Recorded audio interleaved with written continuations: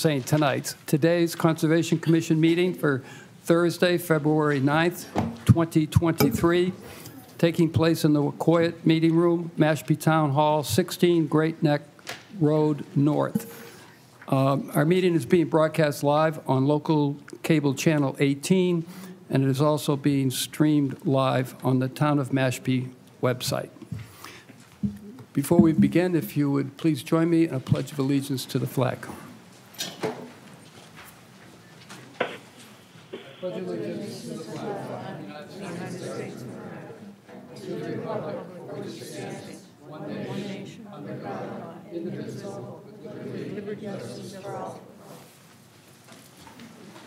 Thank you.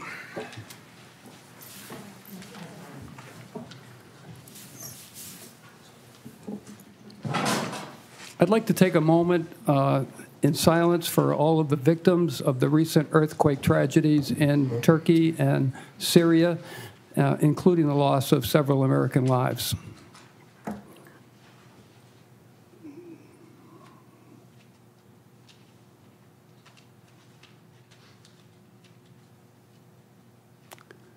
Thank you. Well, welcome to our open forum. Uh, we have been looking forward to hearing public comment uh, in terms of our water quality agenda. We've been running this agenda now for several meetings, and uh, we, we, we wanted to take the time to reach out to all the residents to hear what you have to say, hear your concerns. Uh, so this first part of our meeting will run very much like the public comment agendas that the select board has. Uh, each person that has signed up for public comment, uh, we'll call you forward. Please introduce yourself and your address for the record. Uh, our assistant agent Dan will be timing you to a three-minute uh, window of time. If you go one or two seconds over, I think you'll be okay with that. Uh, and then we'll go on to the next person. Once all of the comment is given, I will open it up to a discussion of the Conservation Commissioners. Before we do begin, I, I know I see a lot of people here that I haven't seen before, and I oftentimes get questions from people in Mashpee about the Conservation Commission, what it is and what it does. And sometimes there's misconceptions out there. Uh, this is a seven-member voting commission, and we have two associate commissioners that are non-voting unless they uh, come into a meeting where we need them for a quorum, and then they have the power to vote. Um, all the commissioners are, they put in a letter of request, and then they're appointed by the select board. Uh, we take our authority from a, a whole range of sources. Everybody has heard the term Massachusetts Wetlands Protection, Chapter 131, Section 40, and that is the main source of our authority. But there are many other areas where conservation commissions uh, not only get their authority, but proceed and have a process. Uh, here in Mashpee, we have the Wetlands Bylaw, Chapter 172. It's a bylaw, and it's also a list of regulations. And there seems to be a misconception about that particular chapter. The bylaw itself, and I believe there are 12 parts to that bylaw, those bylaws, if they are going to be changed and amended, those go to town meeting and those get voted on. It's the bylaw. The regulations do not have to go to town meeting. They come under what's called Massachusetts Home Rule Authority, where this commission, under a subcommittee, a bylaw review subcommittee, will review those regulations, and if they feel as though they need to be updated and changed, they will make those recommendations to the full commission. It will then go to a public hearing, a public comment, comes back, the commission will look at it and vote on it. Then it has to go before town council to be reviewed, and at some point, if everything in there is good, then it becomes law. Um, recently, in fact, uh, on Friday, I saw an article in the paper, and uh, people are starting to say that, oh, they're going to change regulations to circumvent the voters in Mashpee. That, there can't be anything further from the truth. What we're looking at is, and we all know this, we have some serious issues in Mashpee that need to be addressed. Uh, I look at the regulations, and the average life on those regulations is like 15-plus years. If you have rules that are 15 years old and you're trying to apply those to the situations that you currently have, they just might not work. And so that's why we do look at them. And recently, we've, we've updated and changed Regulation 12, which is mitigation. We've also done Regulation 27 on docks, piers, and floats. Tonight, we're going to be talking about Regulation 5, which is the, the fees that people pay to come here, and also Regulation 30, which is a nutrient loading regulation. So we take our job seriously. All these commissioners have these big, thick binders. I know I was coming in tonight and somebody said, Can I carry that for you? I said, Oh, no, no, you can't touch that. Uh, and it, it's a tough job. There's a lot going on here. But uh, that's a little bit about us, and we'd certainly like to hear from you. So if I could get the, um, the list, Brian, could you grab? Right here. Oh, oh, you have it already. Yeah, perfect. One step ahead of me. So I'm going to open this up and listen to what you folks have come to share with us. The first person I will call up is Nicole Corbett. Is Nicole here? Yes, she is. Good afternoon. Good afternoon. Um, I just have a couple of We just want to make to- sure that when you, when everybody comes up, you're speaking clearly into the mic. Because Yeah. when we have a hybrid meeting, it's hard for people on Zoom to hear unless you're talking right into the mic. Understood. Um, I just have a flyer I want to hand out to you guys. I tell stories kind of through pictures, so. Sure. Great.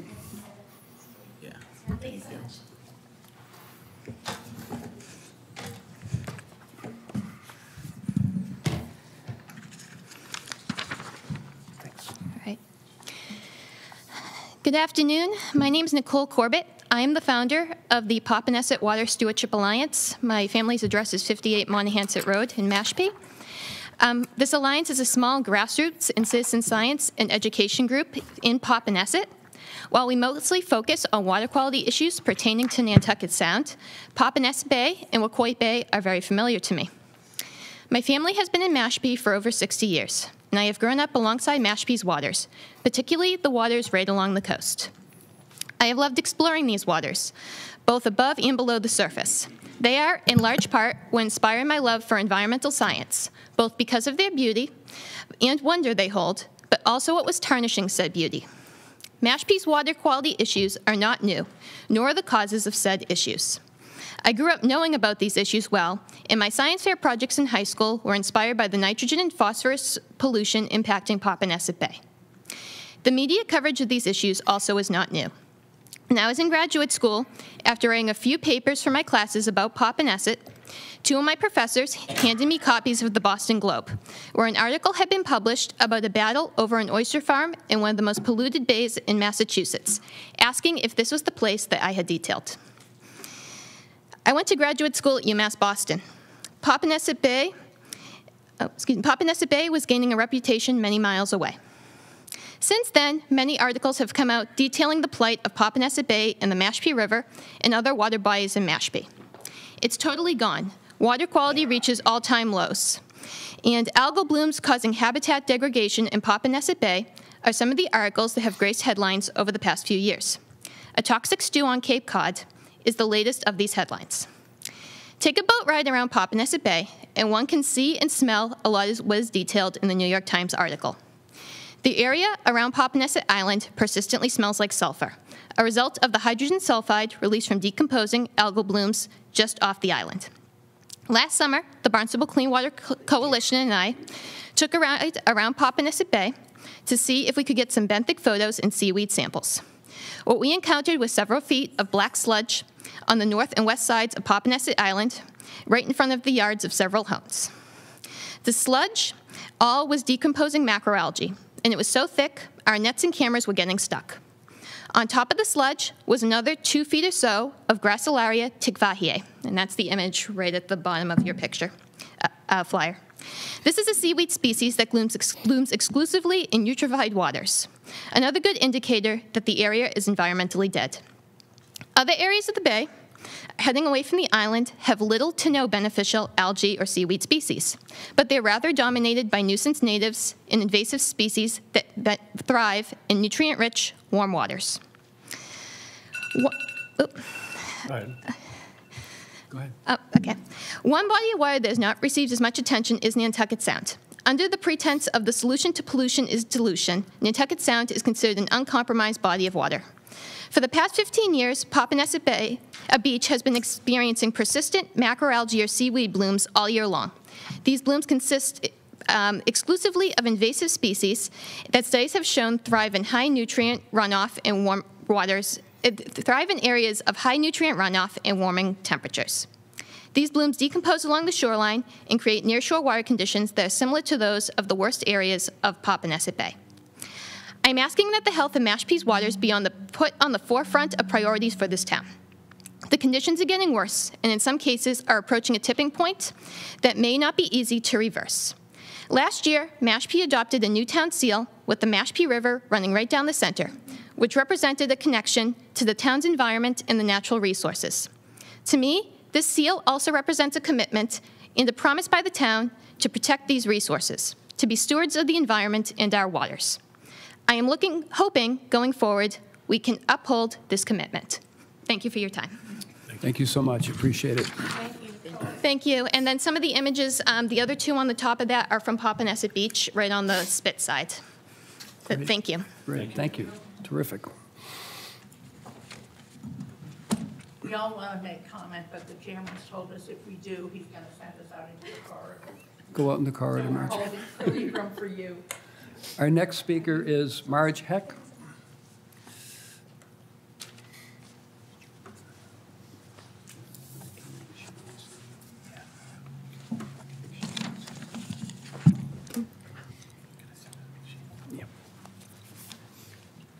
Good evening, everyone. Hi there. I'm here speaking for Envision Mashpee, which is a grassroots group with a mission to preserve the uni- unique character of our town. Our primary concerns are cleaning our waters, providing affordable housing for the people who live and work here year-round, and slowing excessive growth. We support the long-delayed sewer system for Mashpee, and we're committed to seeking more state, fe- federal, and private support to help local residents pay for sewers. We support the articles on your agenda on prevention of pollution and the expansion of the buffer zone in wetland areas. We recognize that we inherit the current environmental situation, which the New York Times termed a toxic stew, from the unbridled construction boom of previous decades, which ignored adequate infrastructure. It is time now to moderate this process and put the future of Mashpee above the aim of maximizing private profits. We need housing that workers and families can afford, not McMansion behemoths on the waterfront with multiple bedrooms and bathrooms that are turned into vacation Airbnbs, with no regard for the resulting additional effluent. This type of construction contributes nothing to the solution, it only adds to the problem. It is possible to find creative solutions to balance the need for additional housing, sewers, and the economy. This is something we're working on.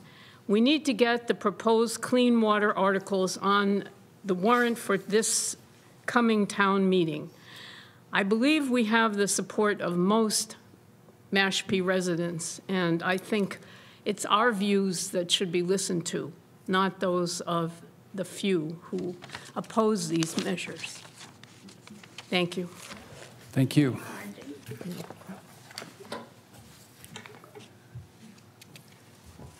Our next speaker is Ken Marsters.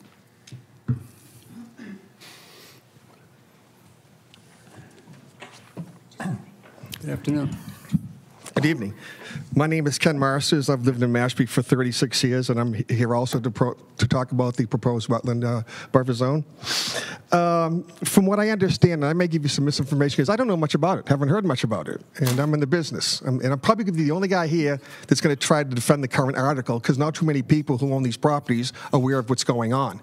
I know we have a public hearing, it's produced in the Mashpee Messenger, but you know, or the TV here between you and I, how many people read the messenger or watch our meetings, you know? Um, most of these people might be second homeowners and might be out of town or they're just not informed. Um, so I just wanted to understand why, why is it we need it? I think everybody painted with a uh, broad brush. And so I'm trying to think, what's the rationale? What do I think the rationale is that everybody's thinking? Will it increase open space?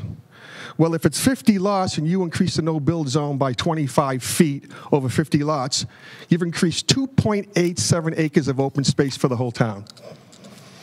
There's 14,894 square feet of open space in the town. 560, 560 50 of it, 38% is open space. Now, if you want to decrease the nitrogen going in, nitrogen going into the wetlands, remember, um, does anybody really know how far a septic system is typically under the current laws to the, to the wetlands? And I didn't. I'm saying this, I, I just found it out myself. Does anybody know if nitrogen gets all the way from the wetlands, uh, from septic into the uh, wetlands? Before town water was uh, presumed we, uh, on board, we had a distance of 150 feet from septic to well. So in other words, you could do your thing, and 150 feet later, you could have a potable well. That's science. Because once we did that, all of our water met all of the EPA standards. So we were doing, uh, drinking water from wells 150 feet apart. So um, I have just recently done two lots on, on Lake Shore, and I have some other areas. The distance to the septic to the wetlands is a minimum 150 feet during the current regulation. Most of my lots are 240 feet. So why can't that water from that septic, if it permeates, if it's good enough to drink, and I'm not a scientist, okay, but it must be good enough to go into our wetlands. I haven't heard of a problem that we've had with any of our wetlands right now that have been polluted. I don't know. I mean, I've been in town for 36 years, and 30 years I've been on town boards, zoning board, select board, and water commissioner. And during all that time, and I'm a builder, okay, full disclosure, I'm a builder, I haven't a problem that we needed to address with our wetlands. And I, um, so why don't we take a simpler approach? Is it a, is a no build? Are we trying to take away building? Is this a no building, or is it really what we're talking about, something for the environment? Why don't you just require a uh, denitrification septic system? right? We take care of the major enemy is the stormwater runoff. We put that into dry wells. We can make these houses nitrogen uh, free if you really want to. And as far as building McMansions, that was three minutes. Let me let me let me end, let me, let me end it, and I was talking fast too. You know, let me end with this thing about This is McMansions. Grammys, you just, I know, and I had more. 'Cause let me just say, say the thing about McMansions, okay? And this is this is I think you have to hear it from me because I'm a builder, right? Right now, what we typically build in the market right now is a 24, 2,500 square foot ranch. You make that blueprint lower. So in order to make a, I'm going to use a dirty word for this conservation profit, a builder is going to have to go build up into the second floor. So he's going to go up to the second floor. He's going to build out over his garage. So instead of having a 2,500 square foot ranch, you're going to have a 20, 4,500 square foot McMansion with more bathrooms and more people doing what they typically do there. So it sort of could backfire on you in a way too. And just a few questions, if you don't mind. Does this article affect existing homes in any further uh, additions on, on, on them? Are any special permits grandfathered like they are for zoning? Um, will they be grandfathered? So um, that- that's more. That's I've used all my three minutes. I got more, but I think I hit all my three points. And thank you for allowing me to take extra time. You're welcome. Thank you. it. you did well, thanks for Thank you. Thank you. Mr. Chairman, we're saving all questions for the end, right? Yes. Our our next speaker is Irene Chekanich. Did I pronounce that right? Chekovich. Chekovich. Not too bad. Sorry.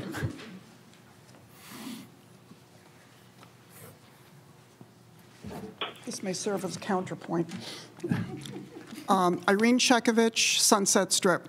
First, I want to thank you for holding this public hearing, and I also want to thank each of you for your time and service on this very important committee. Um, Based on a report written by consultants hired by the town of Mashpee to address the degrading water quality within Santuit Pond, where many of their findings could be applied to all waterways, we know that, one, ideally and at a minimum, fertilizer use should be restricted within 300 feet of the water.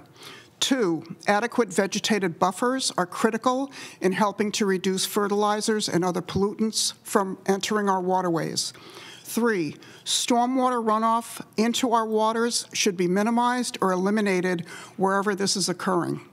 These findings appear in the AECOM report published in July 2010, over 12 years ago. And sadly, fertilizer restrictions close to our waterways have still not been increased. Um, we are only just now discussing an increase in vegetated buffers alongside our waterways, and some or all of the sites identified in that report for stormwater management improvements have yet to be corrected. There is a myth being promoted by some town leaders that sewers alone will fix our waters, so no action beyond sewering is needed. However, for those who are listening to the experts and reading report findings, we know that that's just not true. So, assuming, as I do, that the AECOM experts knew what they were talking about, and assuming that today's consultants, Fuss and O'Neill, are equally knowledgeable um, about uh, what they are also recommending, the exact same recommendations. And knowing that over the last 12 years, all of our waterways have declined, my question is a simple one. To you and all town leaders and department heads and the voters, I am here tonight to ask one question. What on earth are we waiting for? As the commission charged with the protection of our community's natural resources, at least according to the town's website, you are in a unique position to help.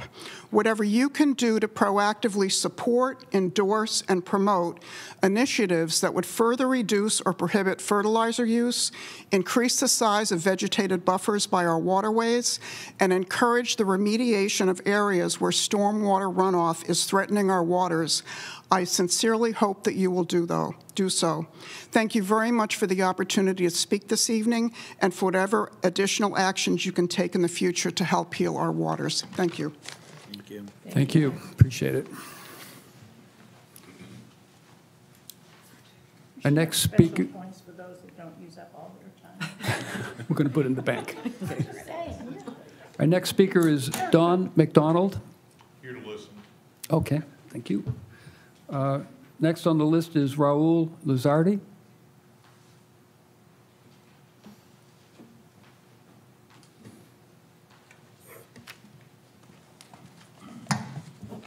Good evening. For the record, Raul Lizardi from Cape and Islands Engineering at 800 um, Falmouth Road.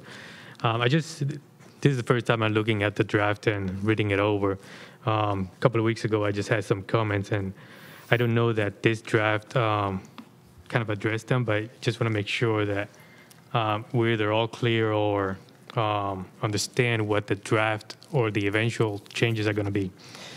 Um, so my two questions will be, these buffer zone expansions, they are going to be expansions to wetlands as defined by Mashpee, not strictly wetlands defined by DEP, Wetland Protection Act. Um, and kind of a follow-up on that one, um, there is going to be a 75-foot natural buffer strip to land subject to coastal storm flowage, which is just the flood zone, the A zones, the V zones. Are we applying a 75-foot um, natural vegetative buffer strip to a flood zone? Um, just some clarifications on that, because based on what I just read, it looks like there will be. Thanks. Thank you. Thank you. Our next speaker is Susan Dangle.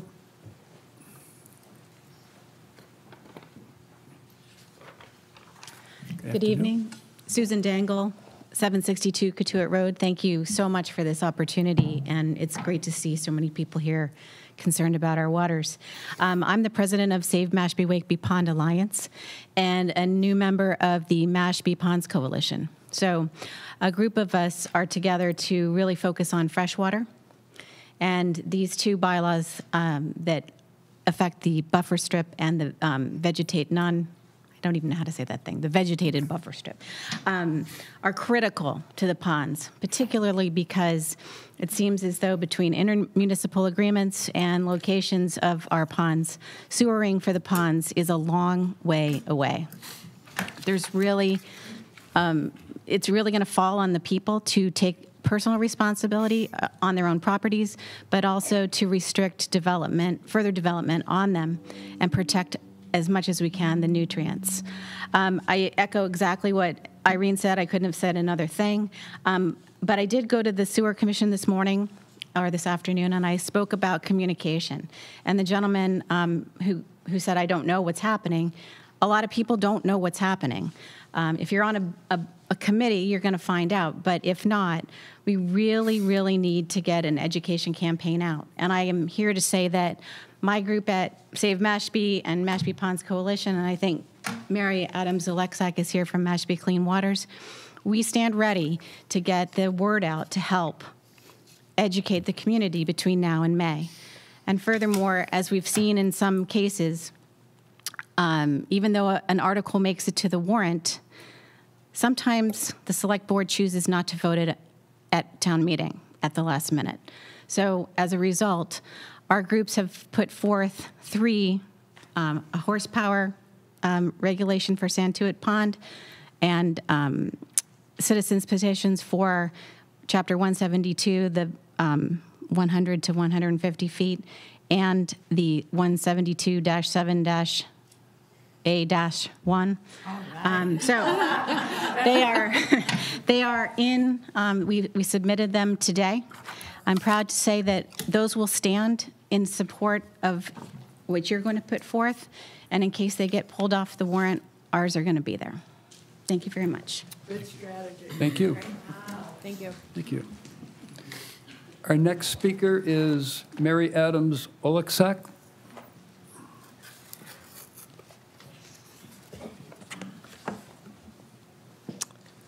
Mary Adams Hello. 18 Capstan Circle.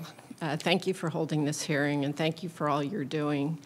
Uh, Despite the earlier comment that um, sewering isn't the only thing we should do, it is a very important part, and I think we're all right now on tenderhooks waiting to see what happens with the proposed DEP regulations. I know that's not part of your purview, but I think it would give us a lot of clarity as a town um, to have a very clear plan about how we are going to tackle the nitrogen issue across the town.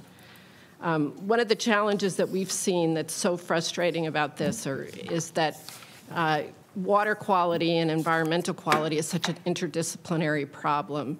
And you're, in some ways, we're preaching to the choir. You, you're taking care of um, some very important aspects of the challenge. Uh, but it, it requires such teamwork, and I don't know if the town has an answer to that yet of how to keep things coordinated. Um, I, I won't go into the specifics, but, you know, I support, I, you know, I, I think most people know me. I, I was kind of the catalyst that started Mashpee Clean Waters. It's a grassroots effort. It's really an ongoing conversation. We have over 700 people on, on Facebook, and it's a, it's a, I think, a pretty good, thoughtful, um, active group. Um, and I think most folks support continued regulation and continued thinking, and, and I, I um, thank you for your point, uh, Chairman Colombo, that, that we have to keep adapting the regs to the reality. But I, I want to challenge you that one of the biggest problems I see is compliance and the learning part, as, as Sue mentioned. Um, compliance, uh, you know, you, you have the opportunity at key moments to really influence what happens, and, and these regulations provide a really good base for that. But we all know that what happens later is that people do what they want, they, they circumvent what, what they've been required to do. And part of it is out of perhaps arrogance, but some of it's out of ignorance. And so, one of the things that we're continuing to challenge ourselves, Sue mentioned it. I mean, Sue found this amazing program that we're going to try to replicate um, to, to teach citizens to be stewards of the land and, uh, and the waters.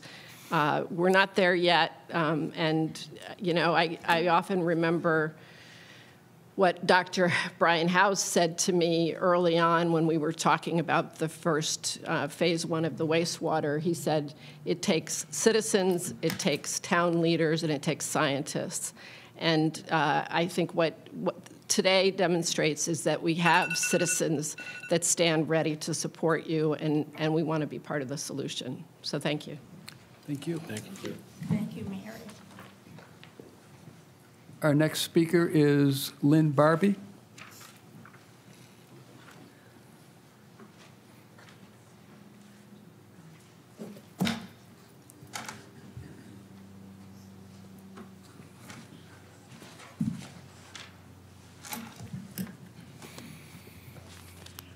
Lynn Barbie, Surf Drive. Um, I'm great, I was really happy to hear Nicole. I see her pictures on the internet all the time, and they make me cry. Uh, and I don't live on Popponesset, but um, I, I just want to say that I know there are people in this room who've lived here many, many, many decades. That is not me. But in the time I have lived here, which is a little over a decade, I have seen the changes to our water. And I think the other thing that we're not really factoring in here is the whole question of climate change exacerbating everything. So we can't keep doing what we've been doing, and we can't just make little tiny fixes. We need big fixes. We got we should do little ones, but we have to do big ones because we are also look. I'm looking at the picture here of the rising sea levels and the erosion on New Seabury Coastal Bank. We have to add the uh, impact of climate change on all of the things that we're trying to do and do more and better. Thank you. Thank you. Our next speaker is Mary Waygan.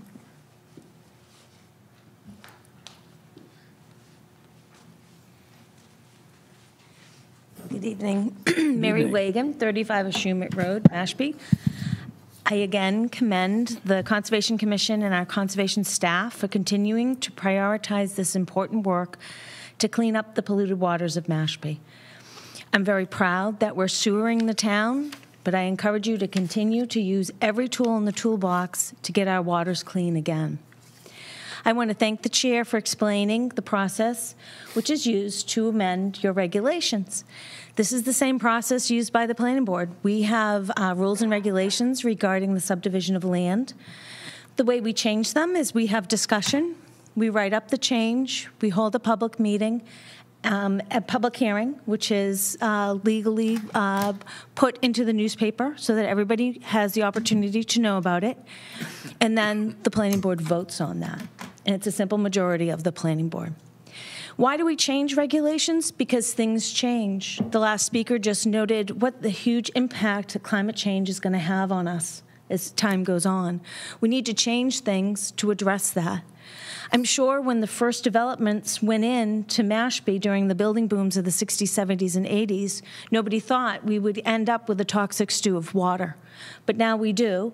We didn't have adequate infrastructure, and as we install our infrastructure, we have to use, again, every tool in the toolbox going forward. Um, I've read your changes proposed for Regulation 30, prevention of pollution. I think they're scientifically based. I like them, and I support your passage of them. I do have a master's in environmental science, so when I'm reading your parts per million, when I'm figuring out how you, you know, set those, I can say that they're reasonable and they're logical. And what I like about them the most is that they not only address the need to clean up our waters, they also allow property owners to, to still develop and improve their property. It's not a, a building moratorium, right? It's a balanced approach. Um, I do hear that some people say, well, that's, you know, it's, that's going to make Cape Cod not Cape Cod anymore, right? If we don't allow these developments the way they've always been allowed. Well, I have to say that nothing is more Cape Cod than clean water. So again, I thank you for. I think I will. and I again thank you for all your leadership on this important matter. Thank you. Thank you so much, Mary. Our next speaker is Margie Ross Dector.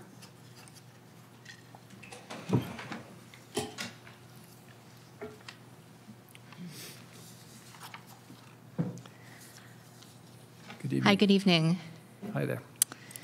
Um, my name is Margie Ross Dector, and I own a home, he- a home here in Mashpee, and I'm representing the board of Save Popponesset Bay, of which who, on whose board I've served for over 10 years.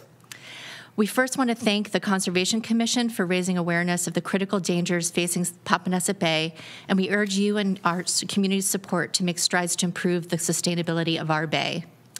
Save Popponesset Bay was founded by neighbors in and around Popponesset Bay in 1987, which, to do the math, was 26 years ago. And our board is a 501c3 nonprofit that is 100% volunteer, staffed, and financially supported by neighbors in and around Mashpee. The mission of Save Popponesset Bay is to preserve and protect the Popponesset Spit for generations to come.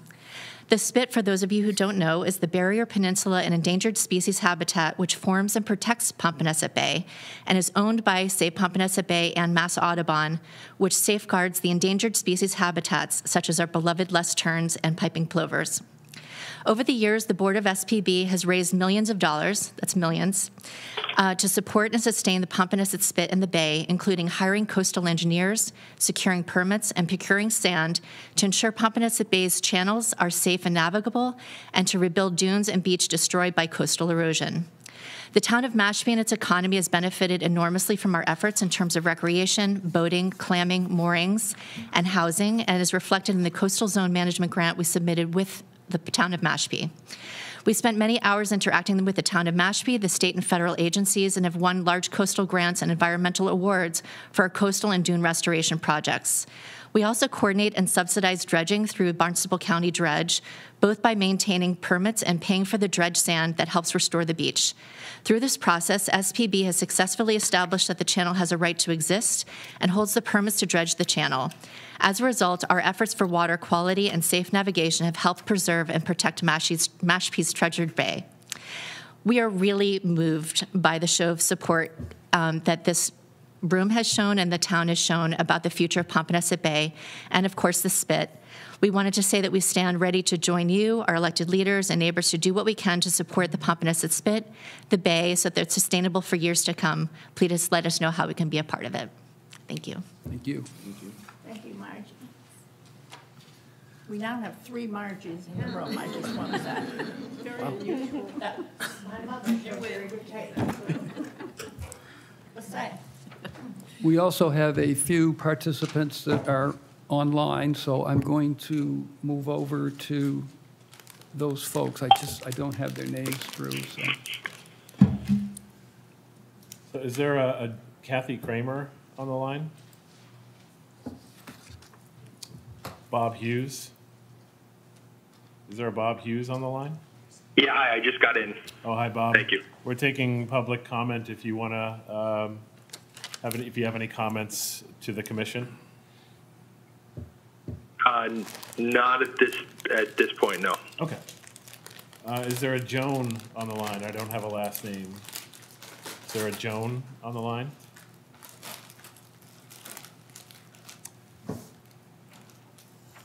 I think that's it.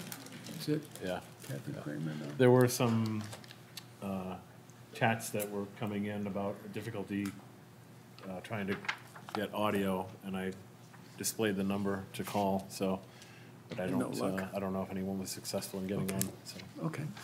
Um, Is there anyone who came in late and did not get a chance to sign up? Somebody that we might have missed? No? We're good? Okay, well, again, thank you, all of you who have come to express your concerns. Um, I'm going to turn it over to the individual commissioners for anything that they would like to say. I'll just go one by one. If you want to volunteer to go first, I'll recognize you, and we'll take it from there. I'll be happy to go. Marjorie Clapprood. I want to add to all the Marjories that are here and- and all the non-Marjories. Uh, Thank you, Mr. Chairman. I'll be uncharacteristically brief. I really just want to thank you all so much. I know you're busy, you have stuff to do, we all do.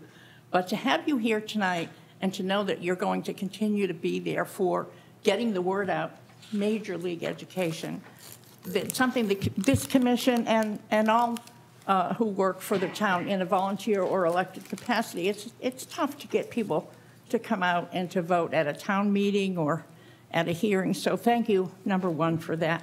And number two, thank you especially um, for passing on the education. We talk here at the commission and so many other places. I feel so grateful to have the benefit of all the knowledge that's around this table. But uh, so many of you, um, I forget who it was, I think, Mary, it might have been you preaching to the choir. And in some sense, we are, all of us here. Um, but it gives us the opportunity, each one of us, to go out and speak to another 10 people because it is going to be an engagement. And I've been coming down here forever, and I am going to be here forever. And my grandchildren want to swim and play in the spit and see the piping plovers. And I don't care who makes fun of me for that. I want it all to be clean and there for you and for everyone. So thank you, thank you so much for coming. And thank you to all my colleagues for being here, too. Thanks, Marjorie. Anyone else that would like to speak? Good? Oh, I have more to say. You want me to? I'll, I'll go. Brian? Um, yeah, Wanina Khan, Natasuis Mosquita, New Tomas Masipia, Kanatai Masipia. I said, good evening, my name is Bearhart. I come from Mashpee and I live in Mashpee. Um, Brian Weeden, also um, not only a commissioner, but also the chairman of the Mashpee Wampanoag Tribe. Um, we just attended the USET conference, which is United South and Eastern Tribes. It's for all of the federally recognized tribes within that area, over 30 tribes that are part of the organization. Um, our tribal youth attended and uh, participated in a group participation, an educational, educational experience called Close Up, um, where they learned about, you know, how Congress works, you know, the federal government, so on and so forth, and the trust responsibilities that we have. Um, the, each tribe got to do an initiative, and our tribal youth did an initiative on water quality. And I really like for them to come and do that presentation and to show you, because that's what they want to do, not only in the tribe, but also in the town. Um, also at that conference on Tuesday, I had a chance to meet with Senator Warren um, and introduce her. And I made sure that that was the question that I asked her about her commitment to the water quality issues. And I think that we not only need to hold the state accountable, but the federal government accountable as well. Um, so just wanted to reiterate that, um, you know, Mashpee and Wampanoag go hand in hand, just as our, our name, Masipi, means the place of the great waters. And I don't think our waters are so great anymore um, you know, and that's sad for our future generations. But it's beautiful to see that our young people are watching and our young people are engaged as well. Um, so I just wanted to reiterate that. Um, and we did have the senator's commitment. Um, so now we have to hold, you know, everyone accountable, and we'll use every, you know, capacity and, you know, powers that be um, to make sure that, you know, they commit those promises. Um, and that way we're taking care of it for the future generations because, you know, I have a son and he's one years old and, you know, he can't really swim in these waters nowadays. Um, I remember growing up here as well as everyone else around this room. So thank you for coming and I appreciate it. Thank you, Brian. Anyone else that would like to speak? I can go. Okay, Alex? Um, Yeah, first, I echo Marjorie and Brian thanking everybody for coming. Um, There are two more specific things that I do want to speak to. Um, When it comes to the buffer zone enhancements, um, last meeting, uh, it was brought up of how, how would that work if it's a bylaw and it's not a state reg? That is not unique, and that would not be unique for Mashpee. Other towns have filings that are through the Concom that are only to the bylaw. So that, that's not a unique situation. Falmouth deals with it. They classify wetlands differently than the state does. So they have filings at times that are only bylaw filings, and they, they charge it differently we could create our own, our own um, form that people fill out, that we have flexibility there. So that's not unique, and it was, I think, pitched a little bit that that might be like, oh, us going out on a limb. It's not. Um, we can do that. The other thing, um, I think, you know, it was it was mentioned last meeting that we do have it within our purview to say no fertilizer on your lawn, and we can say that as a condition when people come in front of us, and that is a no-cost condition. It, it's not going to cost the homeowner to not to to stop fertilizing their lawn, and it's something we can do, and that I would encourage us to do um, for filings to keep fertilizer out. It's, it's not necessary. If you don't have like if you don't if you want a green luscious space, plant native plants. You don't need a lawn, so. Or astroturf. Right. Very green. No. I'm being funny, I'm sorry. I couldn't help it. Um, But yeah, I think, I think we can encourage native plantings, and that's what I have to say. Thank you. Anyone else? Well, then I will um, sum up by, again, thanking people that came here tonight. Thank you.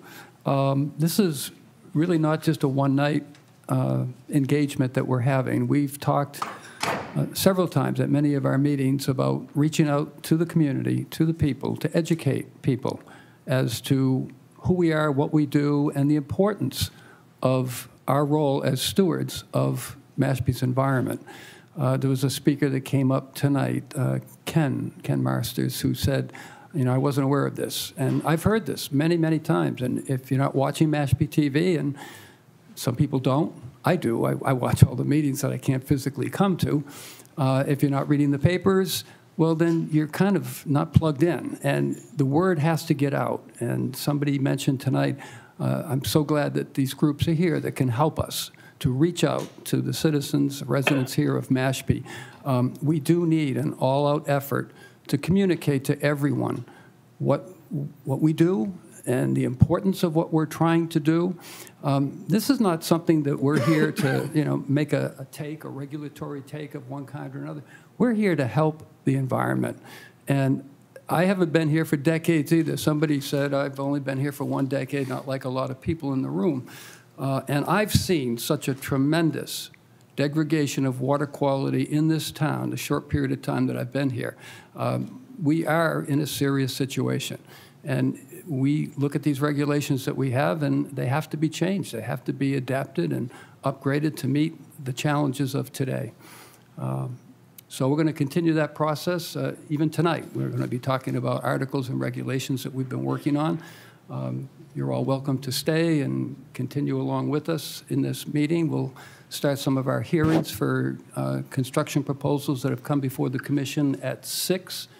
But we have about 10 minutes or so that we could take some pre and post items. Um, I did a couple of things just to add on to the public discussion too. Because I, I did hear some questions that were uh, asked of the commission during the public comment. One of them, uh, Ken Marsters had asked about, uh, does the article, the draft article for the expansion of the buffer zone impact existing homes? Uh, And what about grandfathering of existing conditions? So we have hard copies of the regulatory language uh, up on the desk there, and you can take a look at it. It does address those questions. They're not in, yeah, yeah, right up there. There's two sets, 172-2 and 172-7A1. Um, So you can take a look at those. They're still in draft form, and uh, I think it'll answer those questions that you have. Um, And uh, Alex had already, I think, addressed this question. Uh, from Raul is already um, that, uh, yes, there will be bylaw, there will be bylaw-only filings, and we do have uh, templates to work off of to create our own bylaw forms when it comes to um, the expanded buffer zone. So just to answer those specific questions.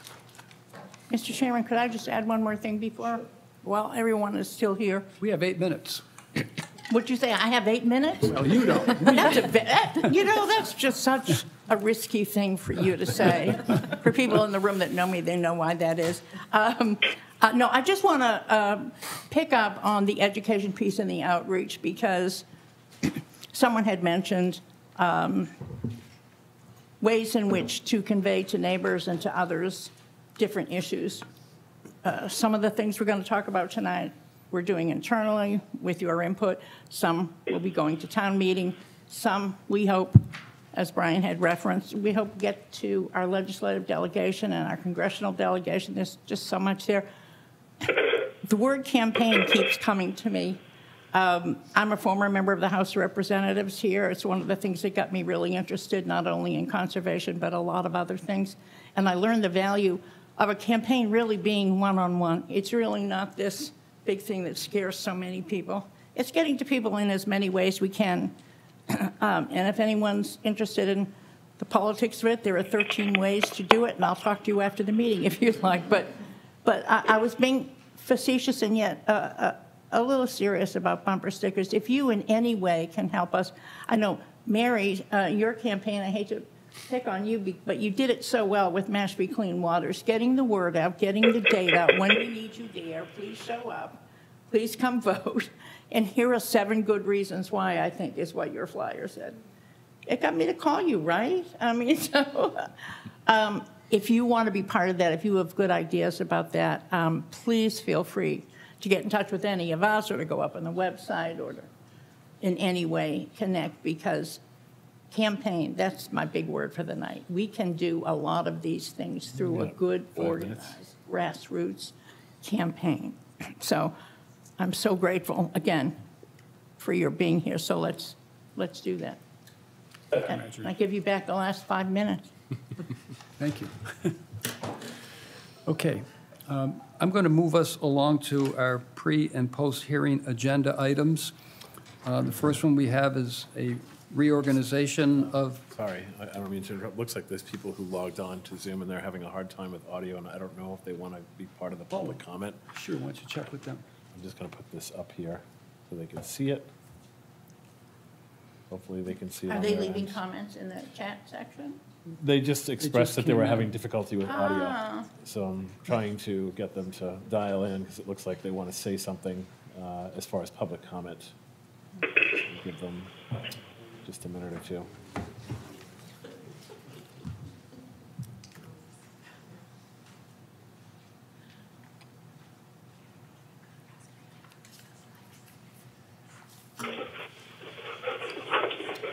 Hi, it's RNJ Adler. Can you hear us?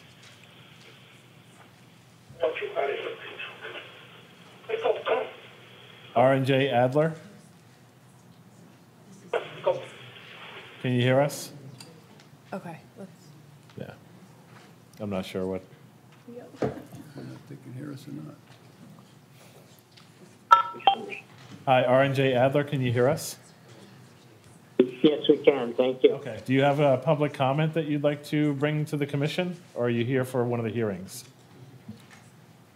Uh, We were going to listen in on the uh, Mashpee Conservation meeting. Right. uh, for-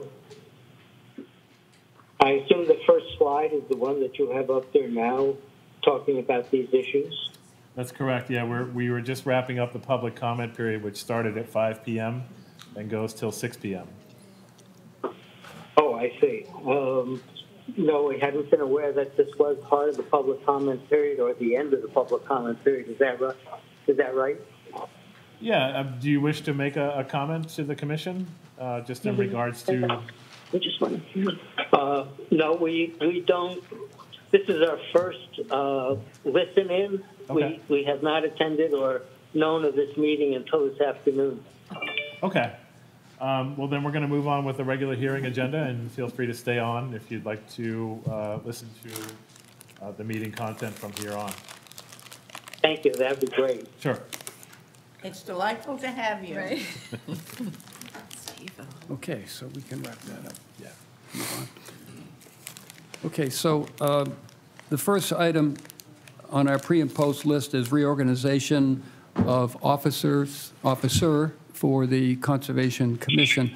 Since I assumed the chair, we've been operating without a vice chair, and I've been really hoping to get that filled. Not that I want to take a night off, but it's always nice to have a backup. Uh, So I would accept some nominations from the floor of any individuals that would be interested in filling that slot. Mr. Chairman, I'd like to um, nominate Alex. Alex, so do you accept that nomination, Alex? Nominate you. Well, you can both be nominated, and we can just vote. The enthusiasm is There overwhelming. may be others, Alex. too. Uh, Brian. Uh, yeah, I'll accept that. Okay. Are there any other nominations? Mr. Chairman, I do want to nominate Brian. You do want to I name? All right, so now we have two members of the commission that are nominated. Let's all nominate each other. Are there any other nominations? Can we go for three? Mr. Chairman? Yes. I'd like to respectfully decline. Okay, so we're back to one. All right, then I would um, accept a motion that we call for a vote. for Alex Zolo as Vice Chairman of the Conservation Commission. I make a motion to appoint Alex Zolo as the Vice Chairman of the Mashpee Conservation Commission. Thank you, Brian. Is there a second to that motion? I second it. Thank you, Marjorie. Is there any discussion on the motion we have for voting before I take a roll call vote?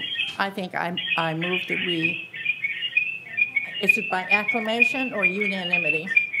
Whichever you'd like. Can we do that? Unanimous? Make sure the meeting minutes say Vice Chairwoman, please. Yes. Okay? All right, Do we have to go around? I'll go right around the table. And I will start with Brian. Yes. Alex, I'm abstaining. you're going to abstain. Marjorie, Yes. Aaron, Yes. Steve? Yes. I vote yes as well. Is Charlie logged in?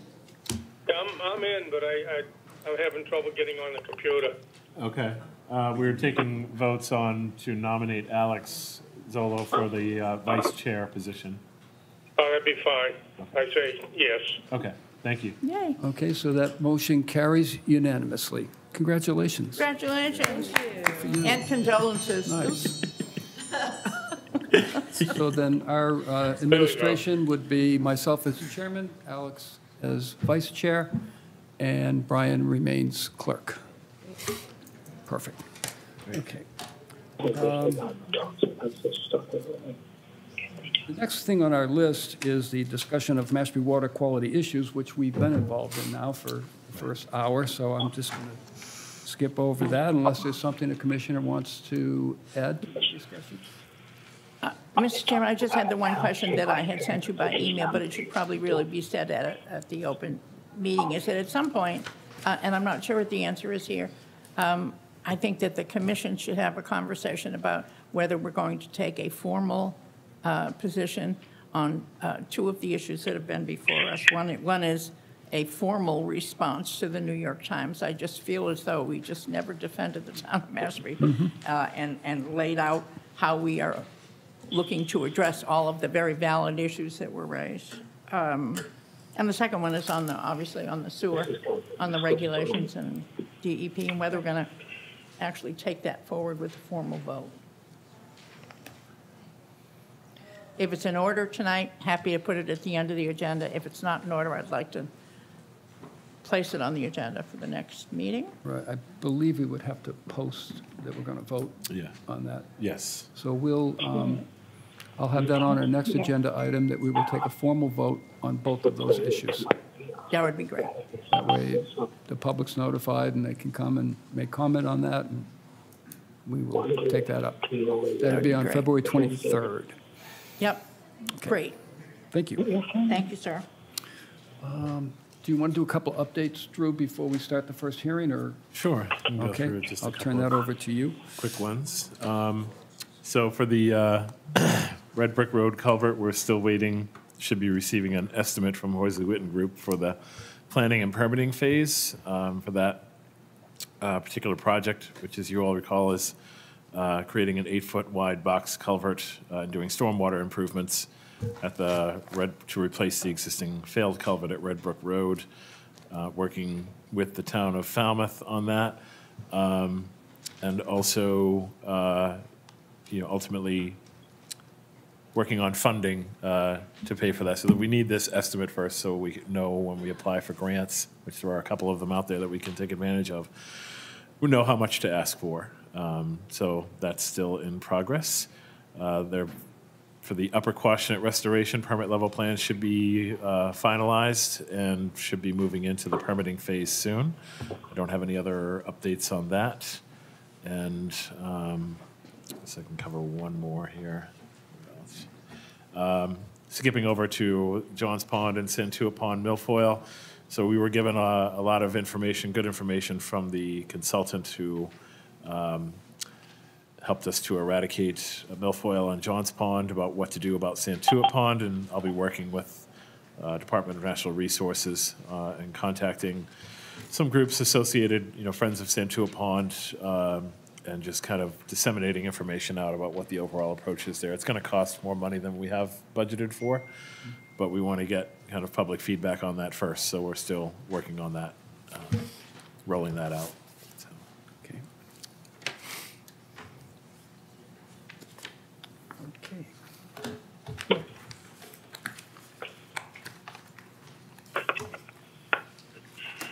I'm going to call the first hearing that we have scheduled for tonight. Um, This is for Mark R. and Robin L. Galante, 164 Captain's Row. It is a proposed two-story addition to an existing dwelling. The representative is J. E. Landers Cauley, and this is continued from October 27th of '22 and 11/10/22. It's an amended order of conditions. And Jack Landers is on Zoom. so- He's on Zoom. Yeah. Okay. Mr. Chairman, um, I need to recuse myself because uh, Mark and Robert Gallant are clients of mine. Okay. So I'll step out of the room. Thank Sure. you. Thank you, Steve. Jack, can you hear us? One, two, three, four. Jack, can you hear us? I don't think he can hear us. Nope. It's a good thing I got this typed out. Yeah. Yeah. Copy and paste it into the chat too, because it's backwards for them. Yeah.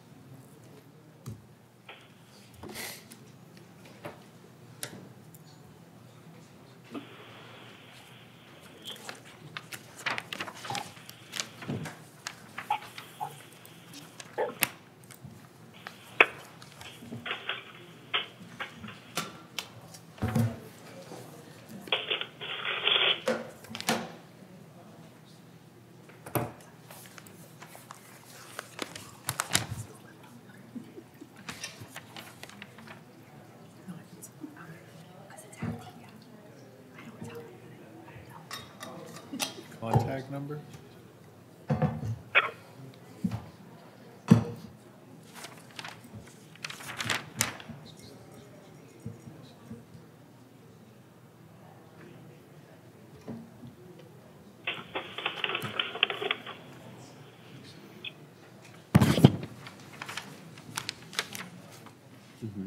You were saying that the tribal Yeah. No, I was trying to have them come to one of these meetings first. Jack, can you hear us? Yes. I felt like the tingles when you said that. I was like, yes, like, thank you. That's what Yeah. It was awesome. I didn't realize that when I was meeting with the senator, it was the same day as the State of the Union. It's true. Connecting now. Jack, can you hear us? Yeah, yeah, it was crazy. yeah, it was bad. Stacy was calling me while I was down there. She calls, like, she calls us to remind us. I was like, yeah, I'm in DC, but I'll be back. yeah, yeah, I know.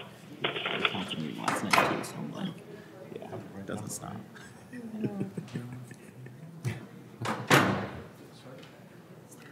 Yeah. Must be a member mm-hmm. When he did come up with the phone number, we helped him with a screw. We can talk. yeah.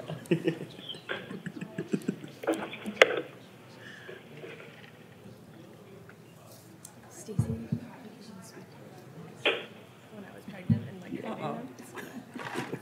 She got me a box. Who's the birth? Tonight. It was good. There you go, he's dialing.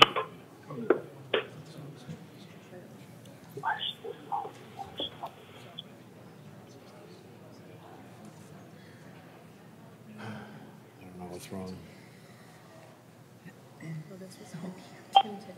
Jack, can you hear us? I can hear you now. All right, great. Okay. I apologize for any delay. No worries.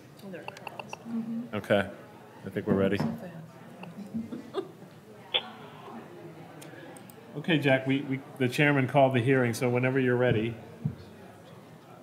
Well, good evening. For the record, my name is Jack Landers Cauley. I'm a civil engineer in private practice, and Mr. and Mrs. Galante has retained me to prepare the plan that's before you this evening and the request for the amended order of conditions. Um, Drew said he could share the screen to show you what it is we propose. While he's doing that, let me explain what the situation. Um, in the first notice of intent in order of conditions, my client wished to literally pick up the house, take it off the lot, move it diagonally across the street, and then rebuild in almost precisely the same footprint the proposed house. Well, one year goes by, the prices are escalating, and he simply cannot afford building the house, his dream house. So, having realized that, he took two huge steps back and he proposed an addition as attached to the, if you're standing in the road facing the house, the left side. Um, do you, can you share the screen, Drew? Uh, I am sharing it right now. Well, I don't see it. That's, but I can do this from memory. Okay. So standing in the road facing the house, we have an addition. That addition is approximately 700 square feet inside. And I, I might add to the, to the commission, the staff asked me today um, to analyze the lot to make sure that we don't exceed the 5,000 square feet that an applicant is entitled to given certain circumstances. And I can answer it this way. We are not altering uh, permanent alteration, that is, more than 4,500 square feet. That includes the existing house, the proposed addition of about 700 feet, the 1,440 square feet of existing driveway, a concrete pad, which is about 120 square feet, and then an area that's altered right by the water, which I, I don't know how to describe it as maybe a, a sandy area where people come trans traverse from the upland to the water, which is another 120 square feet. So when you add those all together, the grand total is 4,500 square feet. In the upper left-hand corner of the plan, we actually show some tables. Those tables don't clarify precisely what I just said. They do show um, a couple of things. One, the existing house. Um, they do that is the square footage. They do show that the proposed addition with the existing deck and the existing house has another um, value about I think it is 3,000 square feet, and then um, we add on to it the driveway and the two small disturbed areas. So I believe the application follows the intent of the Rivers Act. I believe it's approvable as amended order of conditions because we're getting no closer. Um, it's a, a modest change of about 700 square feet. And I think it's entirely consistent with what is allowed both as an amended order of conditions and what is allowed um, by the Mashpee Conservation Commission. So having said that, if you have some specific questions, I'd be happy to answer them. Okay, thank you. Um, I guess my first question would be, um, does this trigger a required hearing with the ZBA? Um, that's a good question. Um, Chris Corain rendered an opinion that it did not. Um, I'm certainly not the zoning expert. I, I know quite a bit about zoning, but to this point, um, I don't believe it requires a ZBA approval. Um, That is based on his review um, of the zoning bylaws and the application at which we're proposing. Um, I also believe that he uh, talked to the building commissioner and got him to concur with his opinion that it doesn't need a ZBA approval. Even if it did, what we would do is we would go to the ZBA, or I should say, Chris will go to the ZBA, and I would assist him in a um, uh, in a back. Uh, what am I trying to say? I would assist him on the technical issues of his application, but he would he would be garnering the argument um, as to why it doesn't need a ZBA approval, or if it did, why it should be in, approved. Any other any other questions? Well, it's it- more of a comment than a question. Um, If it does need filing, we would have to have the appointment, we'd have to have the filing before we could proceed, correct, Drew? Yes, I can, I can Um, only, I'm sorry, Jack, I can only say that based on today's comment from the building inspector, it does not need to go to It the does zoning not board. No. No. It's an addition by right, it's further than 50 feet outside the wetland. Yeah. So it's, it's not within land subject to coastal storm flow. Okay. Uh, So it does not require ZBA. I, I do believe you have a form also that is required to be Yes. filled out. So we were and informed by submitted. the- So that was the vehicle we used to get before the building commissioner. Yeah, it's gone through a couple of different iterations, so, but this latest does not trigger. All right, we just wanted to cover that base first. Sure. Um, I'll open it up to commissioners that have questions or comments or concerns. I have a question. I'm Marjorie? not sure if it's the gentleman representing the homeowners or if it's to you, Drew, but um, I can't find the Board of Health position uh, on the septic upgrade. Am I missing it, or is it not in yet? Um, So it was, I can read the Board of Health comments if you'd like.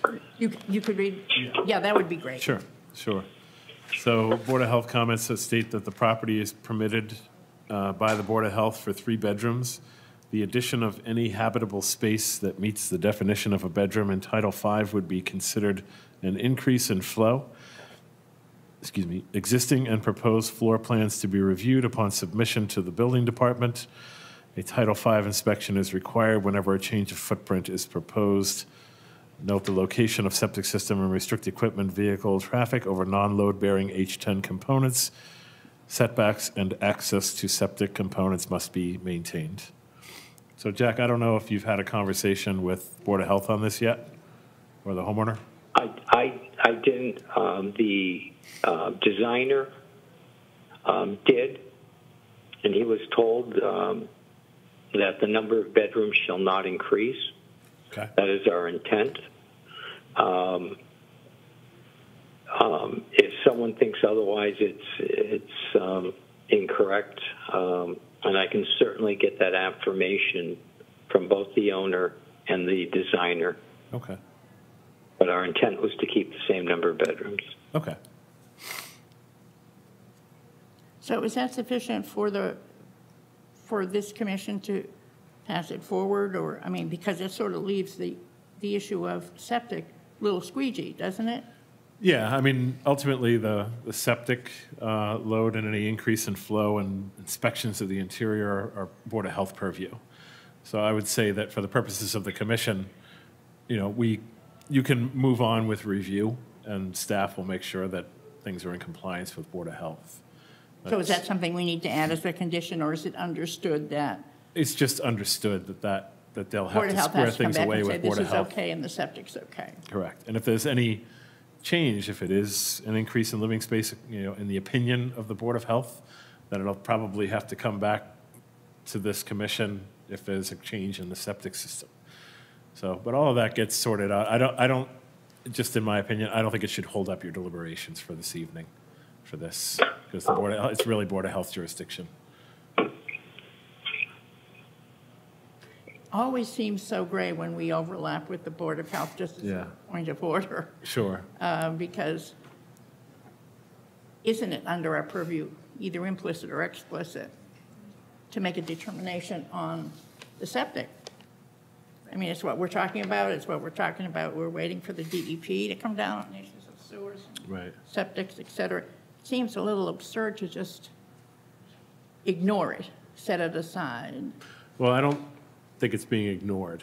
I, I mean, Board of Health is I don't mean supplied that in a their- pejorative No- way. No, no, I, I understand, but, I mean, Board of Health is aware of this project by virtue of them commenting on it for the purposes of tonight's meeting.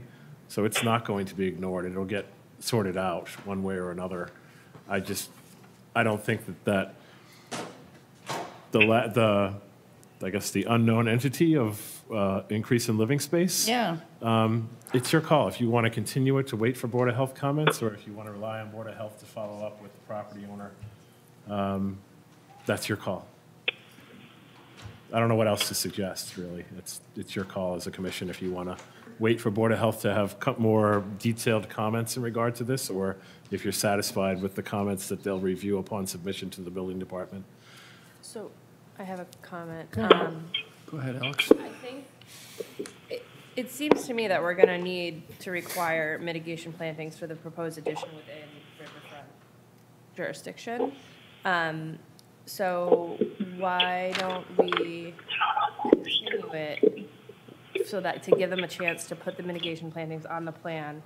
And hopefully, by the time we have our next meeting, the Board of Health will have weighed in and we can kind of do it that way. That's perfectly acceptable to me. I'm wondering if it, if there's something even more direct. Uh, ha- Have there been other, um, I seem to recall several other uh, proposals that have been before us that we had to continue. Uh, And it wasn't just the Board of Health, they were the very unknown issues of what the floor plan, as approved, and this is the second floor plan for this particular applicant, right? Yes. Yes.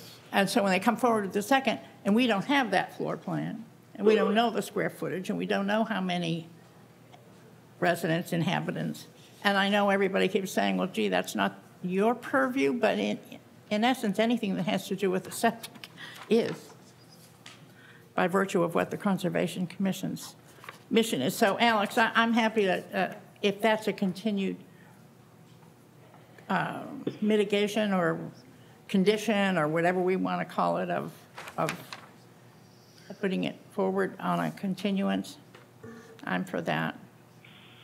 We do, we What? do have a floor plan for this proposed Well, if if I could add something at this moment, um, if we were And to increase the number of I- I'm bedrooms, sorry, which is didn't not get the one. So- case, Oh, Hold on, we'd have to Jack. uh, redesign the septic system. We'd Jack? have to go to the Board of Health. In Jack? fact, we'd have to come back to the Conservation Commission and tell them we're increasing the soil absorption system to accommodate additional flow. The way it's been explained to me is the, the Galantes simply need more elbow space, so to speak, because they want to reside there um, a longer time um, during the year, and um, they just don't think the structure they have now suits them for any long-term residence at, at the property. Hence the reason why they were going to build another house at one point. Um, they're not trying to hide anything. Um, I think that the board can, in, in good faith, um, close the hearing and approve it as presented. And quite frankly, our office would never attempt to, to do anything other than be um, 100% um, truthful about um, what they're proposing. Let me just say for the record, I'm not accusing, nor do I have any, uh, I apologize if you got the impression that I think that you're misrepresenting this. That's not my intent at all. I'm, I'm talking about the lack of information. I see now that I'm missing the floor plan, so I apologize. You did submit the floor plan. Um, And if this is the floor plan with the adjusted square footage, 2,400 and change, and the number of baths, it's going to go to the Board of Health. I will defer to my colleagues here. Uh, Is anyone else uh, concerned or? I mean, it's interesting that the new storage room is this bigger than an existing bedroom. Just Yeah. throwing that out there. Yeah. Well, I mean, these are the, these are the thorny gray issues, are they not? Yeah. I just wanted to raise it. under the heading of due diligence. Mr. Chairman? Yes. Um, I would be fine with, um, us making it a condition. I think when I try to look at, you know, the documents we have before us, one that I like to have in front of me is the one with the agent's comments.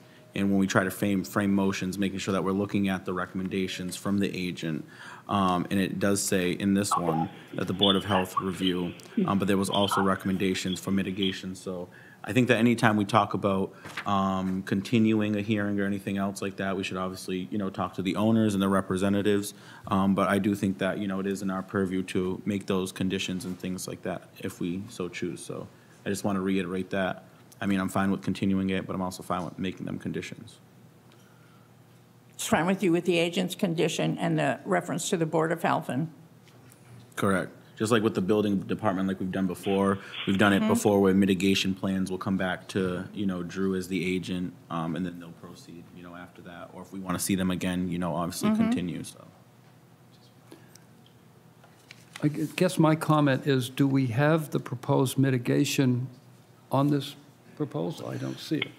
No, it was a suggestion that I put forward because this expansion of, um, the addi- thus, the addition is taking place within the 50 to 100 foot.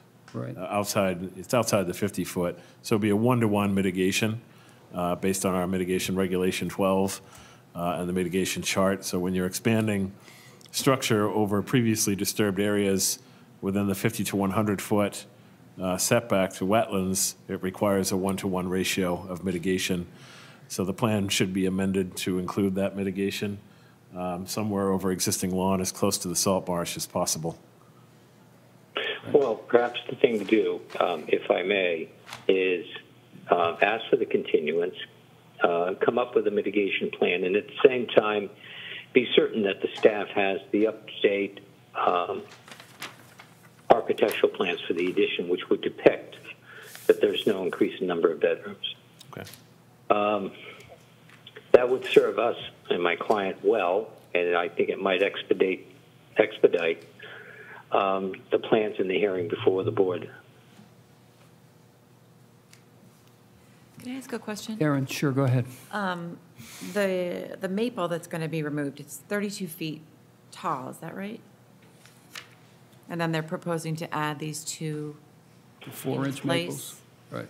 Just wondering, you know how we, there'll be like a, you have to have a plan where you would maintain the, the plantings for a number of years. Do we Mhm. have something similar to make sure these two maples take hold and is that, can that be part of it or addressed? Well, we, To make that as we could condition a Yeah, something three-year just to make sure contract they- of monitoring to make sure that the mitigation survives. It's a big tree to lose, so I'd like It to is see a that big they- tree. That they take hold and flourish. So, Mr. Chairman? Yes. Um, I did hear from the applicants that they would, um, like for a continuance. Um, so the question is to Drew, um, what would that date be in that time? So this,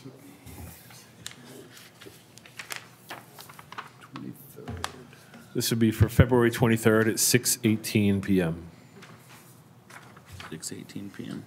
All right, Mr. Chairman, if I could, I'd like to make a motion um, for the matter of Mark R. and Robert L. Gallant at 164 Captain's Row to be continued to February 23rd at 6:18 PM. I'll second. Okay, thank you, Alex. So the motion is made and second. Is there any further discussion on the motion before I call for a vote to continue? And I'm under the impression that we would have the mitigation plan and hopefully something from the Board of Health by the 23rd. Yes. It's- Those are the two issues those that are we're... the two. And if the mitigation plan can show where the trees are going also. The one-to-one ratio. We, I think any And and the all trees. mitigation should be on the plan. Exactly. And I heard, I don't know, I don't think we need this in um, writing, but um, I heard the representative for the homeowners say that they would submit more detailed, uh, either the floor plan or the specs of the home so that we could see clearly where the bedroom Okay?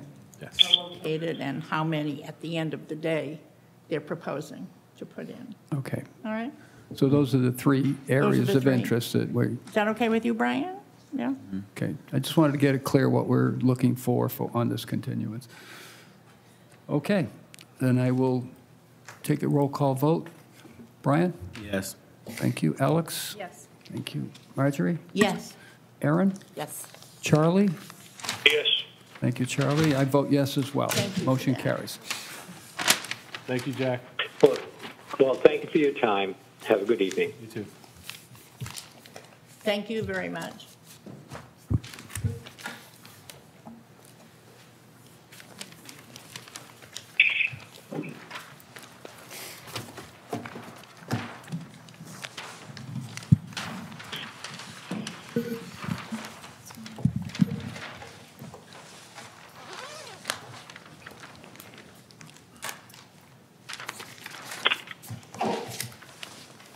Bless you.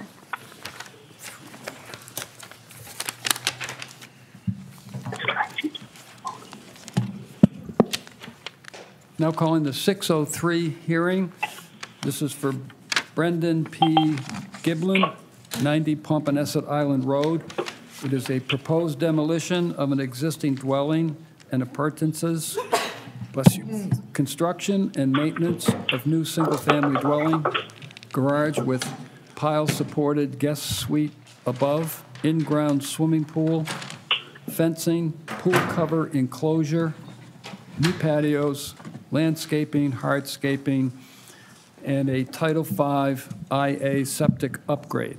Representative is Cape and Islands Engineering. This is continued from January 12th and January 26th of this year. It is a notice of intent.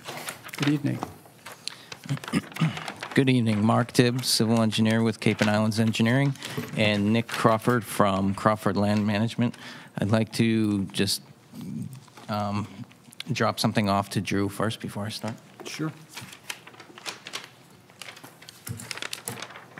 Revised, uh,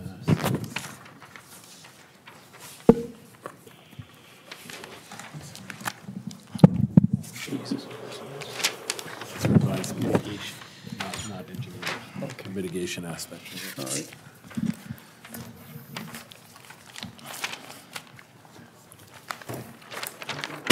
What you're- receiving now is just a revised hard copy of the mitigation portion of this project. I'm sorry? What you're about to receive now is a revised plan of the mitigation portion Oh. of this oh. project, but not the engineered portion. The engineer plan is the same that you have in your binders. Thank you so much. So we are here tonight for the proposal of a raise and replace at 90 Popponesset Island Road. Um, We filed a notice of an intent application for a single-family home, deck, porches, uh, a pool, dry wells, and a detached garage. I'm just going to go through a quick timeline of the documents you have in your folder, through the existing conditions and proposed conditions. Um, So we were first scheduled for January um, 12 to come to our first hearing. We did receive some comments from Drew on the 11th. So um, in order to you know, review Drew's comments. Uh, We requested a continuance of the 12th hearing.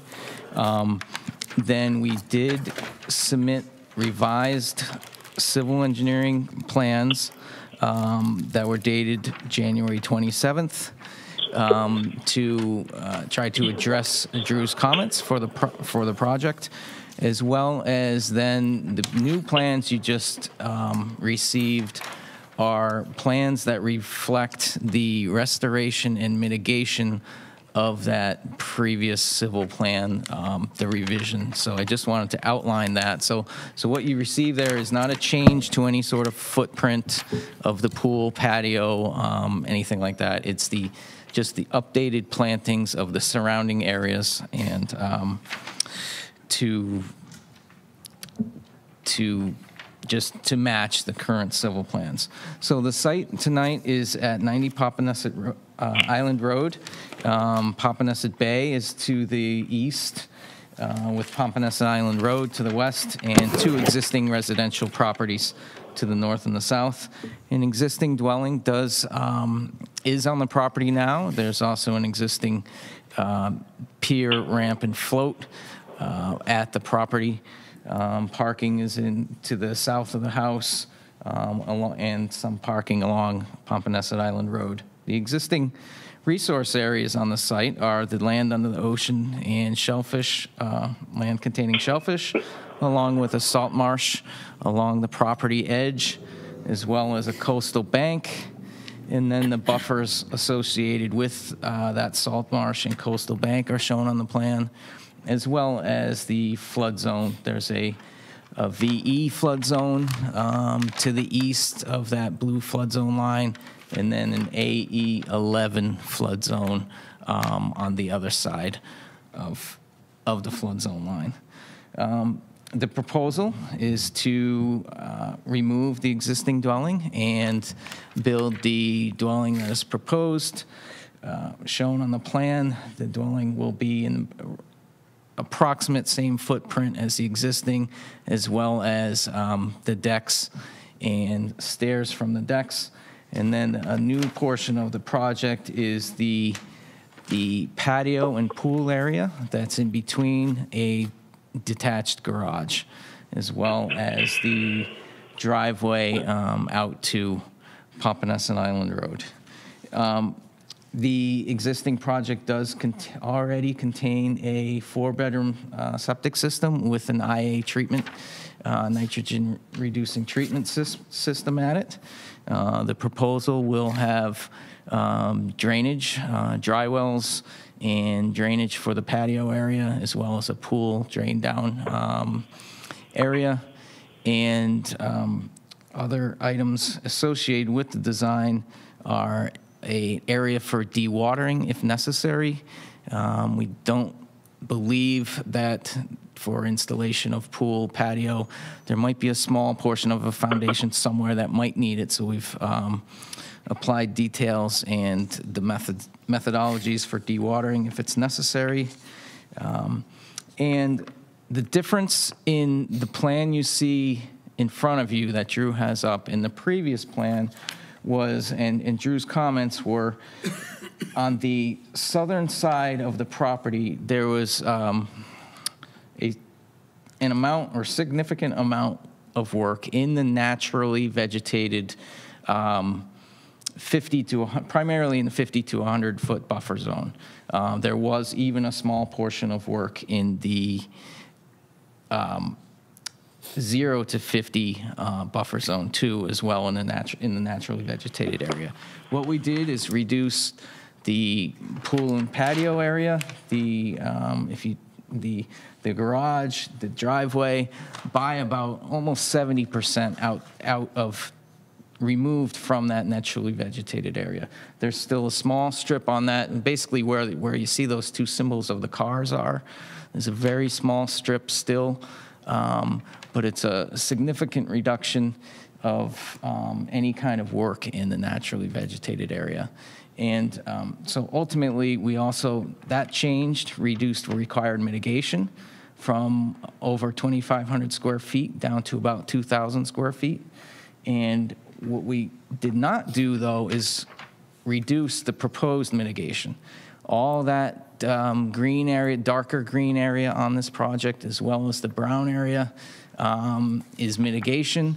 And then once we get into the Crawford Land Management Plan, you'll also see we're also restoring areas on site um, beyond the mitigation. So we've also, this proposal has um, created a, the natural buffer strip in the zero to 50. Um, The existing conditions, about 48% of that natural buffer strip um, was only remaining. So uh, 52% of it was disturbed by um, just historic lawn um, and work in that area. So we're all, we're all the way up to almost 80% of that natural buffer area restored. So we feel that this proposal tonight does uh, provide a net environmental benefit through, um, and I sat through the, the initial discussions tonight. I think three of the key things that came up through that was um, limiting fertilizer. Uh, lawn is basically reduced just to that lighter green strip around the house for access around the house. You know, we um, mitigation plantings and buffer restorations are right up to that, um, but we do want the homeowner to you just at least be able to get around the house. Um, runoff, all the roof runoff will be contained. Um, the pool and patio area will have uh, runoff associated with it. And then we greatly increase the vegetated buffer um, for that plan. I'm going to hand it over to Nick just to describe some, the, some of the Crawford Land Management Plan. Uh, Good evening, everyone. Uh, Nick Crawford from Crawford Land Management. Um, So, as Mark said, if you look at the um, diagram up in the upper right-hand corner of the plan, um, the entire blue area is currently not naturally vegetated and kind of Cape Cod lawn, so that is, um, that greatly increases the uh, naturally vegetated buffer um, to both the coastal bank and the the salt marsh. Um, In addition to that, the areas that are shown in the stipple um, will have invasive species management performed. Um, On site right now, it's predominantly Asiatic bittersweet and black locust. Um, There isn't a ton of it, but it would be great to be able to get it while it's still kind of in its early stages. Um, There's no, you know, the proposed work doesn't take, there's no taking of any naturalized areas in the zero to 50. Um, And as Mark said, there's a, the red portions on the plan are the two small areas where um, we do uh, go past the existing um, edge of vegetation. Uh, In addition to that, the, the lighter blue or kind of purple area on that diagram um, is an area that will also be restored, um, that's outside the 100-foot buffer. Um, So, you know, all those things will, all, all of those things will um, result in a healthier plant community and a graded vegetative buffer to the resource areas that we're trying to protect. Um, And just some uh, rough numbers, um, I'll just hit the highlights. Um, There'll be an increase, uh, there'll be an additional 354 native woody shrubs added per the mitigation areas. Um, That doesn't include 430 square feet of um, native black huckleberry sod that will be, also be installed. There's also 1,100 um, native perennials, grasses, and sedges that will go in these areas. Um, In addition to that, we are proposing 17 trees of um, both tupelo and serviceberry um, to replace the minor amount of tree removal required to perform the work. Um, Then there's also an additional 69 native woody shrubs that are just part of the restoration area that um, are outside of the required mitigation. Um, So, you know, the vegetated areas on site are going to be increased, they're going to be enhanced, um, and existing naturalized areas are going to be supplementally planted um, to make them more robust. And and that's, that's about it. Uh, If you have any questions, let me know. Thank you.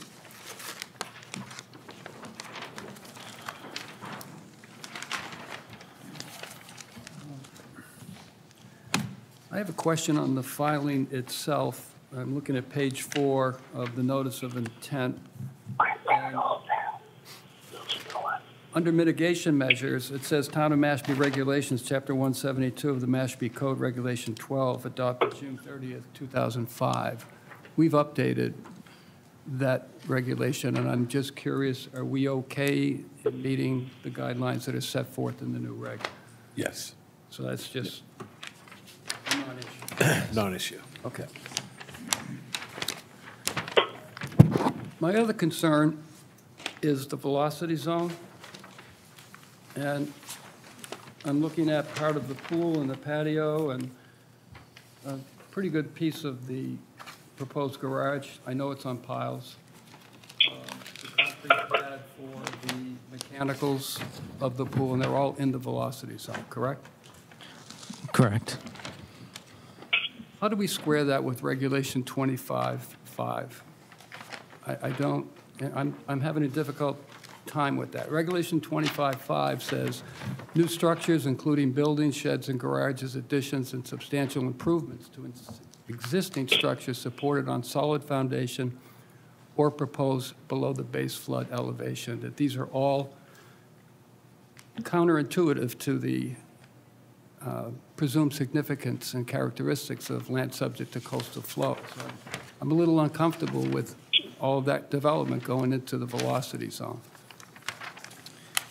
The, like you said, the garage will be on piles and, and built uh, per building code for the velocity zone, as well as the, the deck, there's a portion of a deck that'll be a freestanding deck built in accordance with those regulations. Um,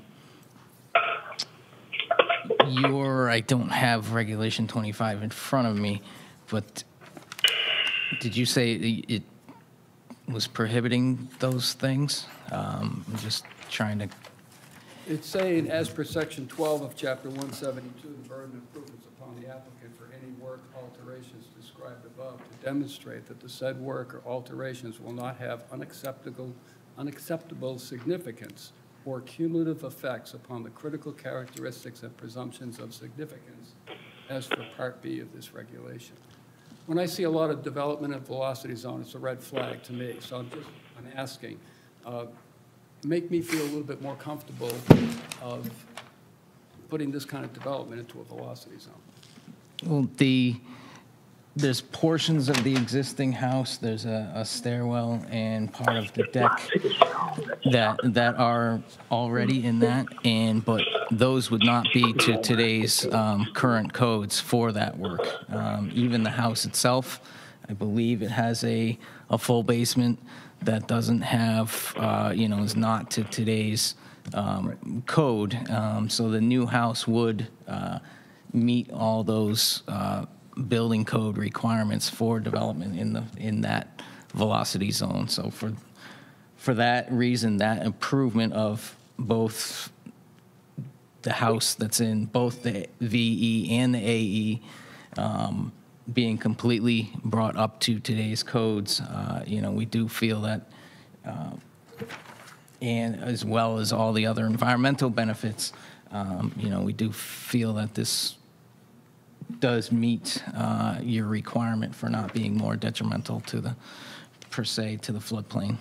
And what about the the patio and the uh, in-ground swimming pool and concrete pads? I mean, I, I get the house, I get the piece that it's a better house, but I'm a little concerned about um, absorb, absorption characteristics of a floodplain, especially in a velocity zone. I mean, that's the first place the water is going to come in. So, again, I feel a little bit uncomfortable covering up that zone with solid infrastructure, pool, patio, concrete pads. Um, Well, there, we have provided both um, all the roof drains as well as uh, there are patio drains and the existing driveway, which is um, over, you can, I could highlight it potentially on the plan, over 70% of that infrastructure already. Um, You know, it's not, I think, the improvements of all the drainage, um, as well as the, uh, just the, the mass of all the native new species versus bare ground that's there, uh, would also, you know, that, those changes would also offset um, any kind of increase of runoff from these areas since they are being managed by, by the, the drainage improvements. Uh, I'll turn it over to other commissioners that may have questions or comments. Yeah, Mr. Chairman, I had the same questions you had about the flood zone with, um, because if you're looking at the elevation of the, looks like the patio is 4.80, if correct? Yes. And then I'm looking at the first floor dwelling at 14.67, so if the deck is at 14, elevation 14, I would assume, and the outer part that's in the flood uh, velocity zone, which is elevation 14, that you're going to get wave action coming in on that deck and wave action on that pool. I understand the garage is elevated, you know, and that's, that's fine, but I'm concerned about the pool and the deck, that you're going to have wave action. How will that, um, you know, wave action inundating that pool and that deck for causing, you know, damage and so forth? And then I know the rest of it's all flood zone, so, you know, once you get past the wave action, it's just flooding. It's all water. there, so that was just my concern about the, the pool. You know, 'cause that's how Deep is the Wait. pool? wave action. Um, It's, and just to clarify, the, the edge of the pool is at 6.5, but it'll, it'll be roughly four feet um, because, it- you know, it- it- we don't want it in the groundwater and things like that. So the depth of the pool will be roughly four feet. Um, And the pool is raised, the pool is raised a couple feet above that surrounding uh, patio area. Um, And you know, there are a lot of pools sited in floodplains, and yes, it would very well at that elevation be, potentially be inundated, yes. Right, So that's, the- my concern is, uh, that- is it a saltwater pool or is it a? It, it, it is proposed to be a saltwater treatment pool. Okay, but then if you had a storm on there, all that water's gonna mixed out, so does that go against where we're talking about having the, uh, you know, for the drain, when you drain the pool into a dry dry well or pumped out? Is that a Well, we could- contradiction there? We could condition any kind of drainage of a pool to go into a truck and taken off-site, rather than get into dry wells and mitigation and dealing with that, even though it- it's salt water, so it's not as bad as a freshwater pool, but it still has issues. I'm just concerned if you get a flood event with wave action, what is it gonna do to the structures and the water in the pool? Where's that, you know, water gonna go? If we, if we put a condition to pump it into a truck, or if you get a storm, that- that just, Right.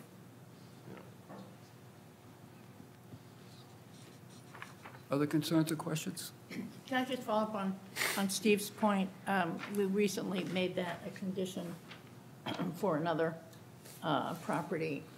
Um, When, when the condition is to, um, on the drainage uh, from the pool, to truck it out, is there a time limit on that, or is that ad infinitum, that it goes onto the property? I believe it's, if it was an order in the order of conditions, when the certificate of compliance is issued, you could have that as an ongoing. It's Would- in It would be an perpetuity? in perpetuity Yeah. condition, yes. Yeah. Okay. Yep. But I, but I hear your point, Steve, that if it's one of, one of our bad ones, yeah. Uh, the other question, do you, what's the elevation of the pool equipment, and mechanicals? The the mechanicals would be at, at a minimum of the 6.5 where the, um, that pool elevation is, So the, all the pool equipment is below the flood elevation? correct? I think that goes against code. It could be, there, there will be areas in the garage that it could, it could be conditioned to be raised if, if necessary. Yeah, I know the building code says all mechanical, and electrical equipment to be raised above the flood elevation or sealed to meet it, so that'd be another concern, yeah. Yeah. Well, there really isn't a location for that pad on this. It's, it's just an arrow that's pointing to an open area. Correct.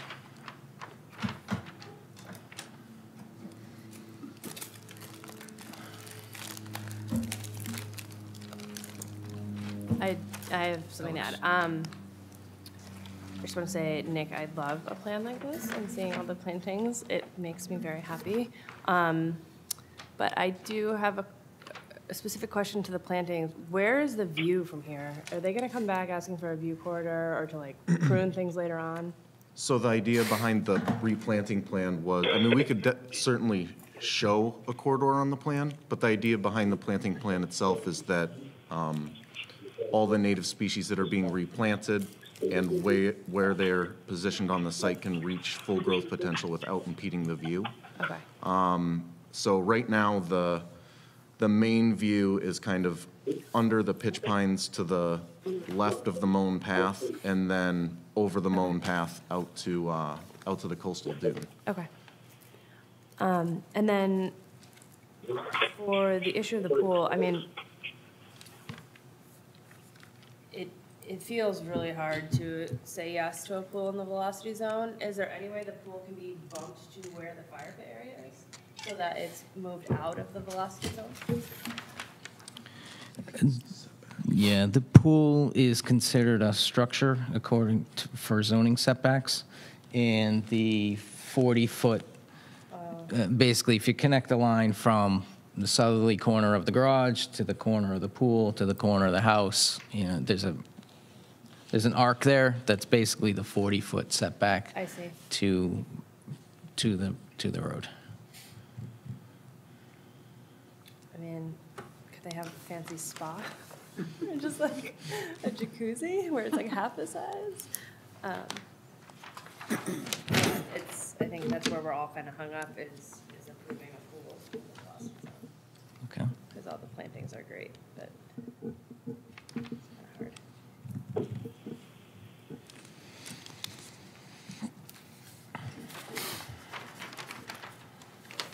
Any other questions, or concerns from commissioners? Charlie, are you all set? Have any questions? Yes, I am. Said all set. He said all set. He said, okay. Let me open it up first, I'll come back.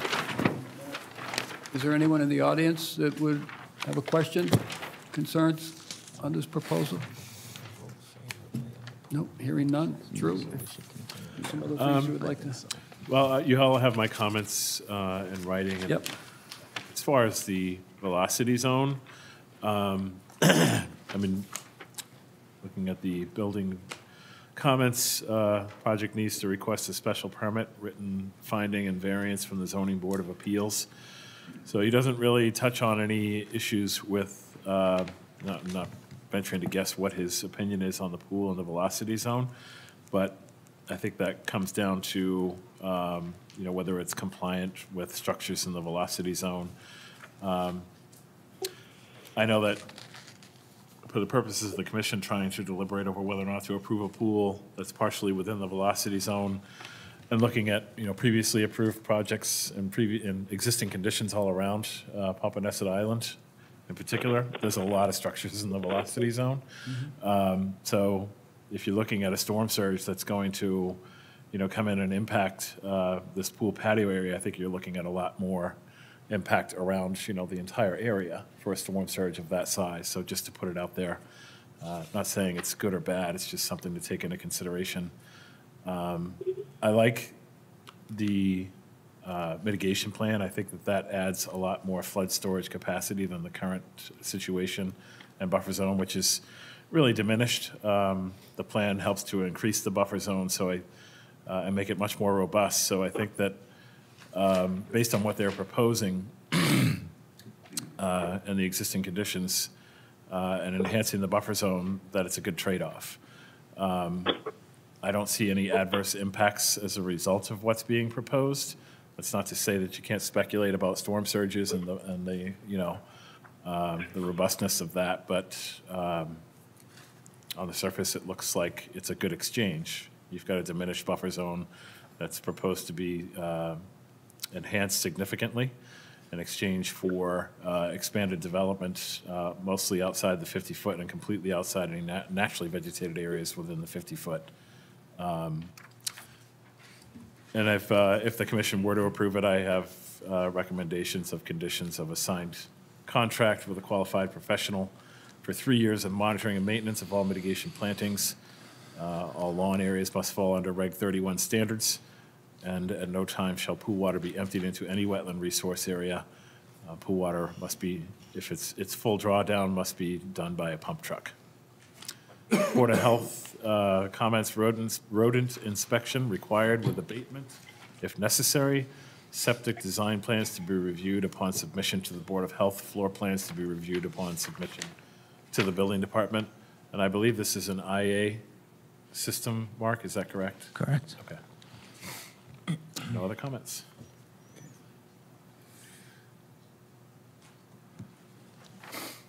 Has a request been filed with the ZBA for a permit?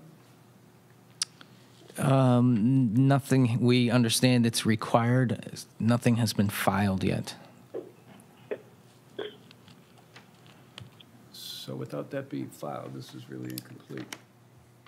Yes.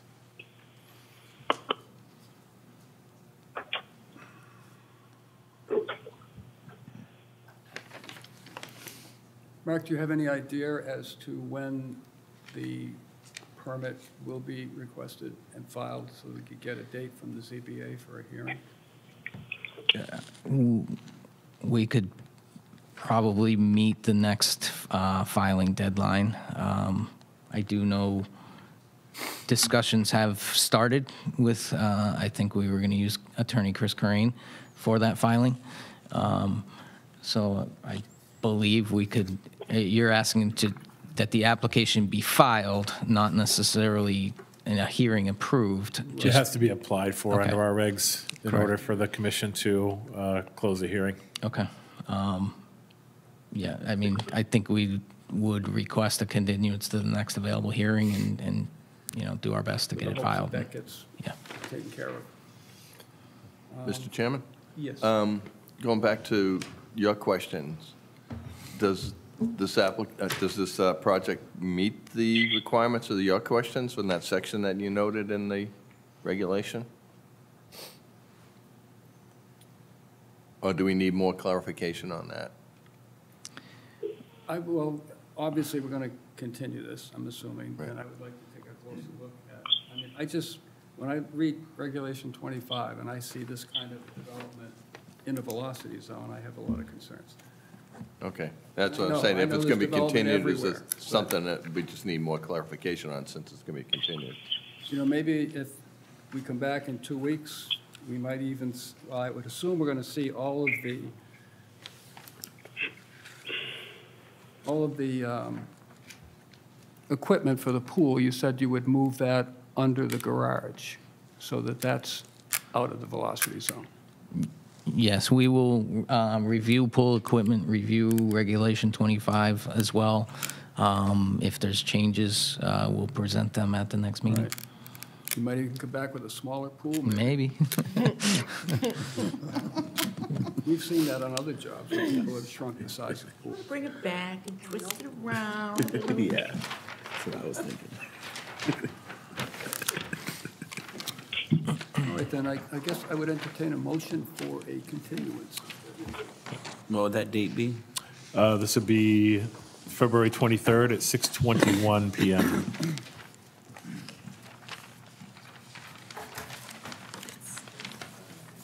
Thank you. Uh, Then, Mr. Chairman, I'd like to move um, that we continue the issue for Brandon P. Giblin at 90 Popponesset Island Road to February 23rd at 6:21. Thank you, Brian. Is there a second to that? Yeah, second? A Couple of them. Thank you. Any further discussion on the motion before I call for a vote? Hearing none. Brian? Yes. Uh, Alex? Yes. Marjorie? Yes, sir. Aaron? Yes. Yes. And Charlie? Yes. I vote yes as well. Motion carries. Thank you. Thanks. Thanks for your time. Nice mitigation. plan. That's beautiful. Yeah. I love it. Those are nice. when they're all- What did you say about April? No, no, I love the plan. It was a beautiful mitigation. Oh. That's good to hear.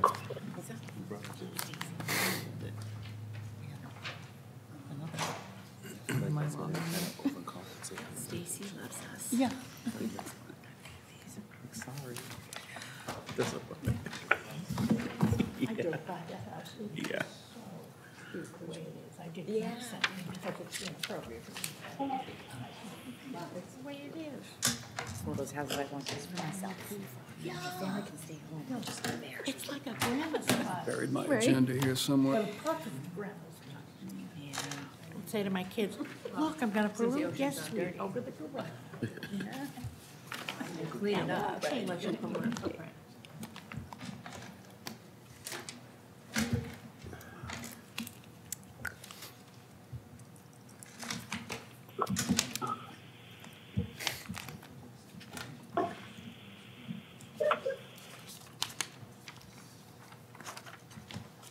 Sorry, I just want to pull something up here on my.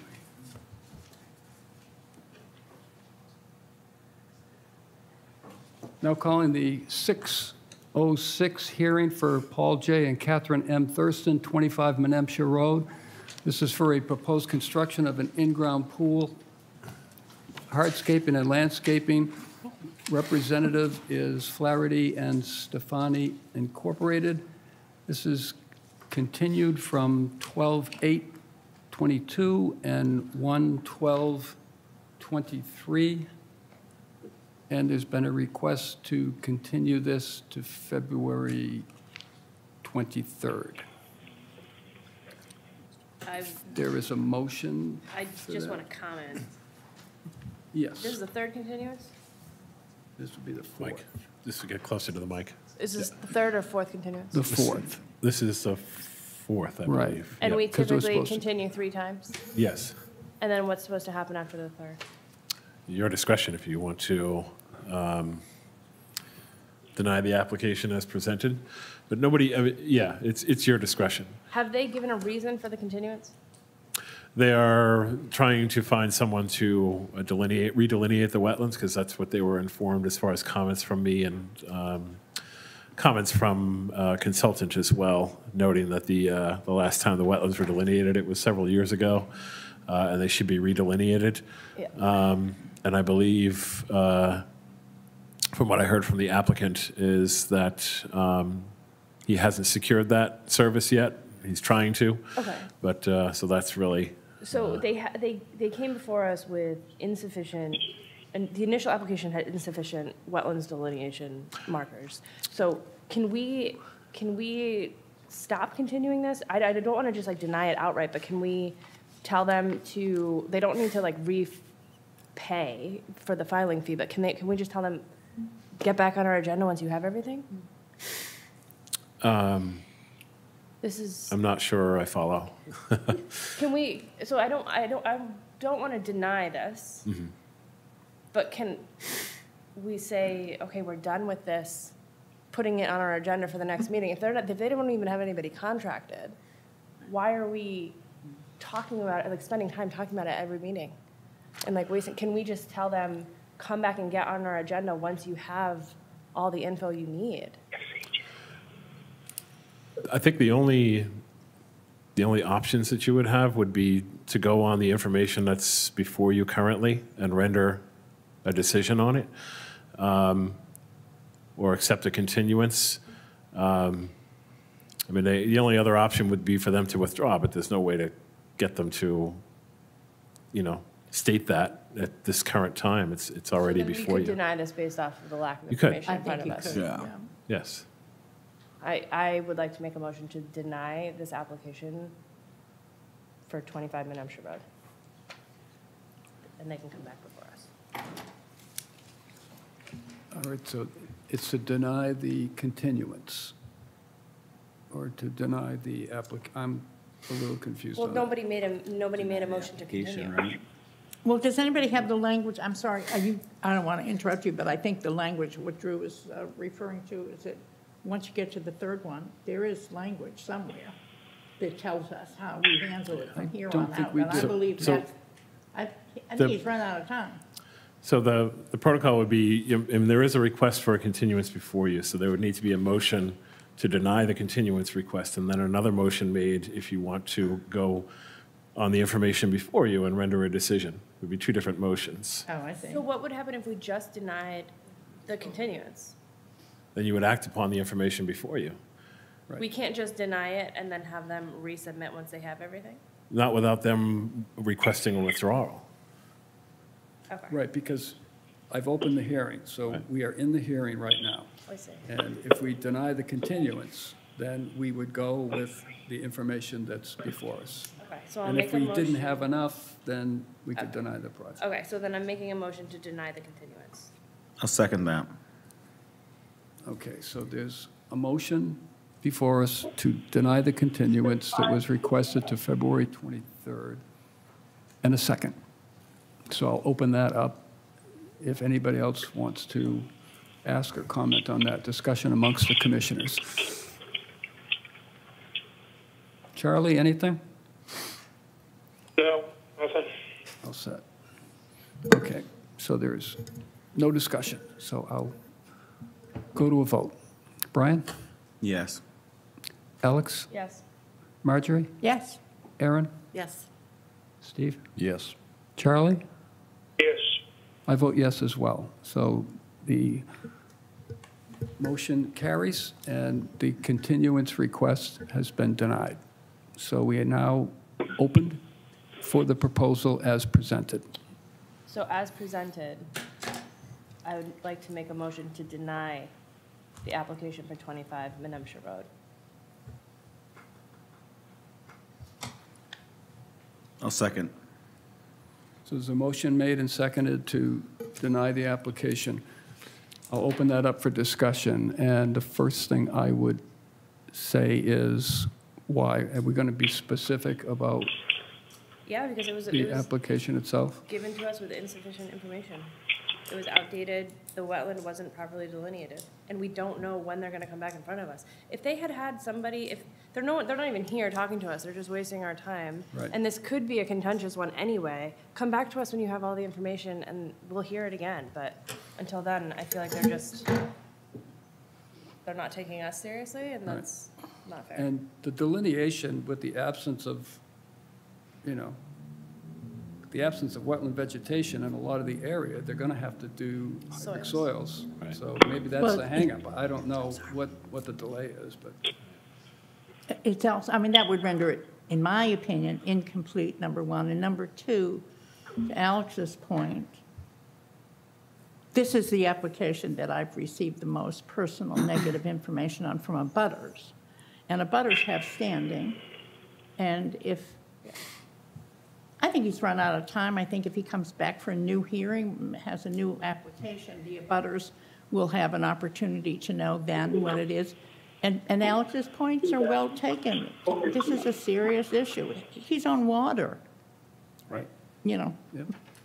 Yeah, I, I just want to say too, for the record, um, I can respect, you know, the abutters and everyone else, and I think that we need to stick to, you know, what is in black and white, and the fact that this is the fourth hearing, I think that needs to be the top of the priority as to why we're denying this request, and make it very clear, this isn't personal, um, you know, because they should have the right to be here and to be heard. We should hear everyone's, um, you know, different inputs and views on this situation, which we have heard some um, but not the applicant. So I just think we need to just put that on the record as well. Um, That's the reason why I personally, you know, would be denying this request. I would also just recommend that a new motion be made to, if you're going to deny it, to denial without prejudice. I've never heard of that, but sure. Make an It, it amendment. just means it's not personal. It's, Right. it's just you're denying it without prejudice. Is it Why would any implied? of it if- have yeah. prejudice? I don't approve Well, things it's- with prejudice. I'm sorry. I don't, I It's mean, a I don't- it's a legalistic sort of parliamentary courtesy, I guess. Yeah, it's Right. courtesy So more than prejudice is anything. implied. Legally, I think that's the best thing to do Yeah. to protect us. Yeah, yeah. yeah. Alex is going, I'm not prejudiced against it. Well, I don't, I don't approve anything with prejudice. No, so no, it's no, I not, know, I know what you're saying, but I think- we, uh, then, so, I think Drew makes a good point, Do an amendment. to come back to. okay, so I'll make an amendment to the denial to make sure that it's understood that it's denied without prejudice. Yep. And I'll second that. Okay, thank you. And that's And second. what were the reasons again for denial?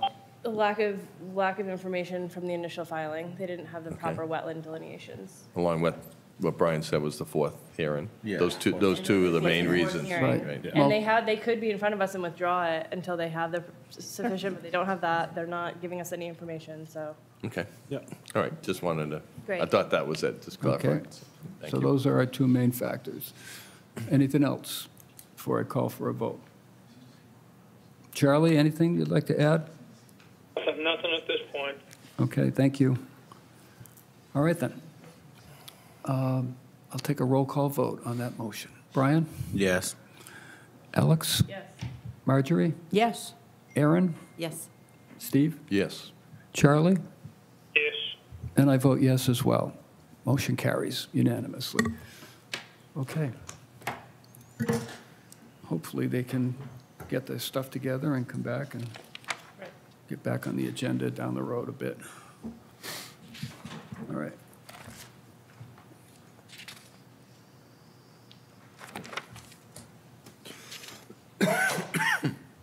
I'm now calling the 609 hearing for Rose M. and Sabino A. DeVito of 132 Uncle Percy's Road.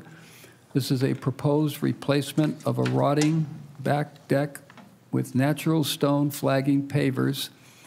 The representative is the homeowner, and this is a request for determination of applicability. Good evening. Hi, good evening, everyone. I'm Rose DeVito. Um, My husband and I are here tonight to request your um, approval to replace our current wooden deck, which is original to the home that my dad built over 40 years ago. Um, It's, it's getting rotten, um, it's, it's a little iffy. So um, for safety purposes um, and for better usability, we would like to get rid of the, the wood and replace it with stone um, and increase the size of it a little bit.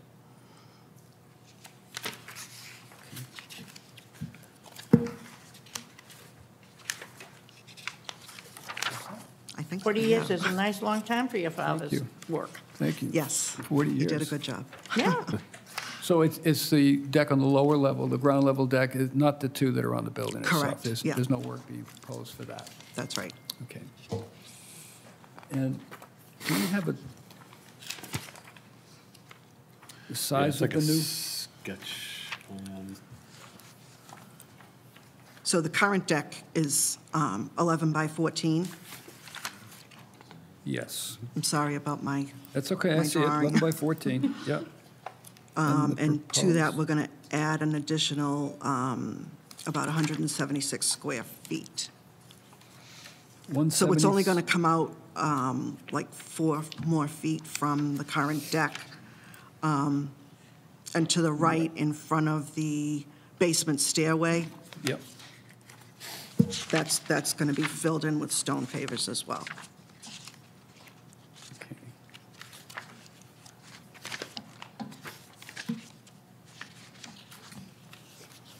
So the, the proposed deck in the current measures out at 24 feet, 4 inches, correct? The, the proposed will be 24 feet. Yep.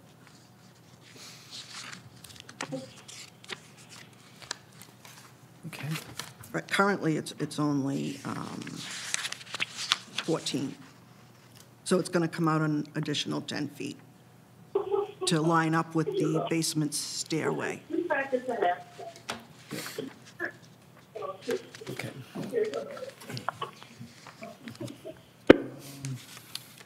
I'll Turn it over to commissioners for questions you might have. Yeah. Uh, You have a question? Okay, I have a few questions. Sure. Um, One is, looking at the site plan, the site plan doesn't match up with the shape of the building. So, and then the other question is, it looks like according to the the GIS map, this is on, this looks like there's a wetland behind there, Drew? That, based on this? Correct. So is there a flood zone out there, or where's the buffer zones? So this is in the, uh, probably the 90 to 100-foot setback from BVW associated with Dean's Pond, but it is within the 100-year floodplain entirely. Okay. Yep. So, yeah, because I I couldn't tell from this old site plan. that- Yeah, yeah. So the other question I had is going back to the photographs of the rear of the house. Looks like there's an, um, you know, from the, the corner of the existing deck down, if that's a two by eight or two by 10, looks like there's, you know, 16, 18 inches at the corner deck, and then on the other deck, it looks like there's more. So it looks like that whole grade is sloping off.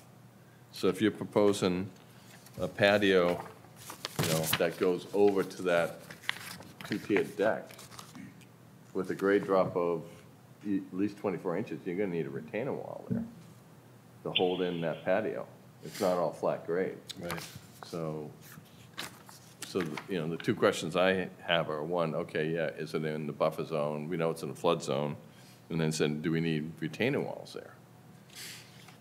So now we're adding structure into the, into the If it's necessary, I believe that the, um, the mason was, was going to build it up so that there wouldn't be any problem. Ha- Have you had a mason come in and do a, He came down to look at plan? it. Yeah. Did Yes. it, did it include the retaining wall that he's talking about? Um, I mean, he, he said that he, he would do. He, I guess it depends on when he's doing the work, how much it, it, it needs to be leveled off. Yeah. Uh, uh, Where did you get your number, Steve, on the topography? Well, I'm just going, I'm just just- looking at the just from- photograph and saying, you know, to me, that- yeah, that looks like, all right, it's a two by eight joist on the deck. Yeah. And there's, you know, like six or eight inches below that deck open, so there's 14, 15 inches, and it looks like the grades drop down further on the other Yeah, side. does. So my concerns are saying, all right, we have a, a flood zone, we have a buffer zone, which we don't know where it is, and the site plan doesn't match up the shape of the building. And you're gonna need, um, retaining walls out there, so we're adding structure Yeah. in the buffer zone, so to me, I, uh, to, to me, this is, would be an NOI versus an RDA, because there's all these unanswered questions. I understand the deck, you know, needs to be replaced or things like that, so. I think, I mean, it's gonna be on the ground, right? Yes. So if the deck is being removed, you would step out and step down. There might need to be, yeah, a little bit of a retaining wall along that outer edge. Yeah, if you're just gonna replace the deck in the same footprint without expanding it, I would say would probably fit the requirements of the A, of the RDA, I should say, versus expanding it and putting in retaining walls. That's, that's my concern. Yeah, I think, I mean, I, I hear you, totally. The thing, I, I just had a patio done at my house with a retaining wall, and, um, it didn't actually disturb anything really outside of that area when they were able to do it. They just like, you know, pushed in the fill and then they back, were able to put the papers on top of it, so, uh, I do think it could be an RDA if no vegetation is being removed. No vegetation is going to be removed. It's just in that space. No trees, no bushes. Right. The, you can't even call it grass. Right, it's like It's moss. dirt, Yeah. basically. But we're adding structure into the buffer zones, we don't know where the buffer zones are, from the Well- edge of the BVW. They did, yeah, they used GIS, and I actually went out, because I've been to the site a few times to measure. It's in the outer 90 to 100-foot buffer zone from the BVW. So the reason I suggested an RDA is because when you've got such a minor scope project that's outside the 50-foot setback, and this is, you can see from the images of the site, this is viewing, stepping in front of the deck area, looking out towards Dean's Pond. Hmm. Fully vegetated, their property doesn't go to the pond, it's intercepted by PBA property. So taking into consideration the minor scope of the project overall, mostly going over existing deck and then, and then existing lawn, it's setback from the wetlands being within the- the 90 to 100 foot setback. Uh, Yes, it's within land subject to coastal storm flow, but it would seem, just from, from my evaluation of the project, that it's not adversely impacting anything uh, as far as the wetland resource areas, the BVW. Um, Flood zone, there could be some, you know, uh, points made about the flood zone, but again, the lot, as far as the square footage of the lot, uh, it's already contains enough naturally vegetated areas to meet Reg 25 standards. So all those issues combined are why I recommended RDA instead of a notice. it really is a very small, minor scope project, um, and I didn't see any, any aspect of it that could be construed as having an adverse impact on any of those resource areas. Could you sl- uh, slide that up a little bit so I can see the um, sky view of the property? So, it- yeah, there it is, okay.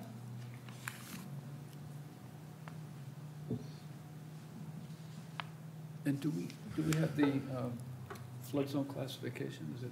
It's the 100-year, not the velocity, Okay. uh, the AE. Yep. AE. Yes. Yep. 13, 14, or 11? I think it was 11. It's 11. 11. Yeah, yeah.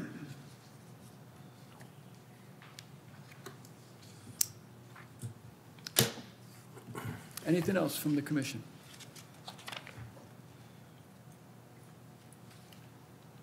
Anyone that's in the audience that would like to comment or question? Any closing comments, Drew? Uh, No, no other comments. Okay. All right, then, I would entertain a motion on the proposal. I'll make a motion for a negative determination for 132 Uncle Percy's Road. Thank you, Alex. Second to that motion?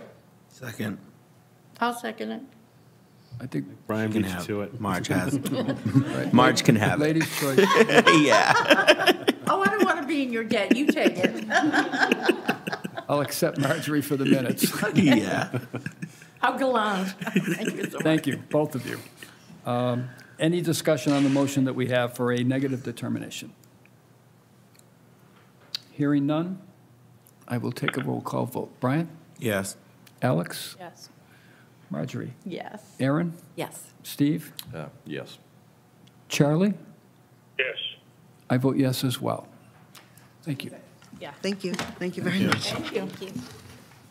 Nicely done, even though you're drawing, you know, luck. a little. Stay off that rotting deck Yeah, we're, in the working meantime. that art thing.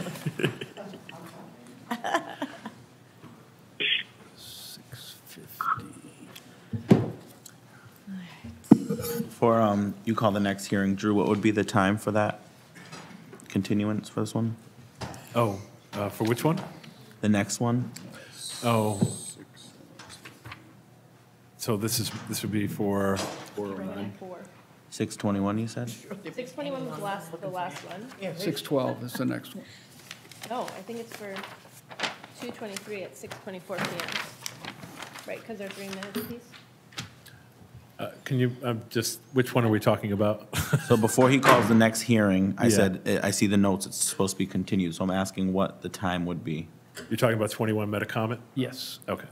The Yes. time is 6 PM Okay. on March 9th. Oh, oh, okay, never mind. On Okay. March 9th? Yes. Okay. Okay.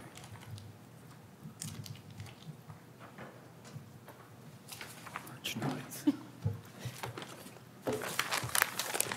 Okay, so let me um, open up the hearing. Um, This is 612 hearing for James Whitney, NJCJ LLC, 21 Metacomet Road. Proposed reconfiguration of a previously approved float and the installation of a pier section. Representative is Falmouth Engineering.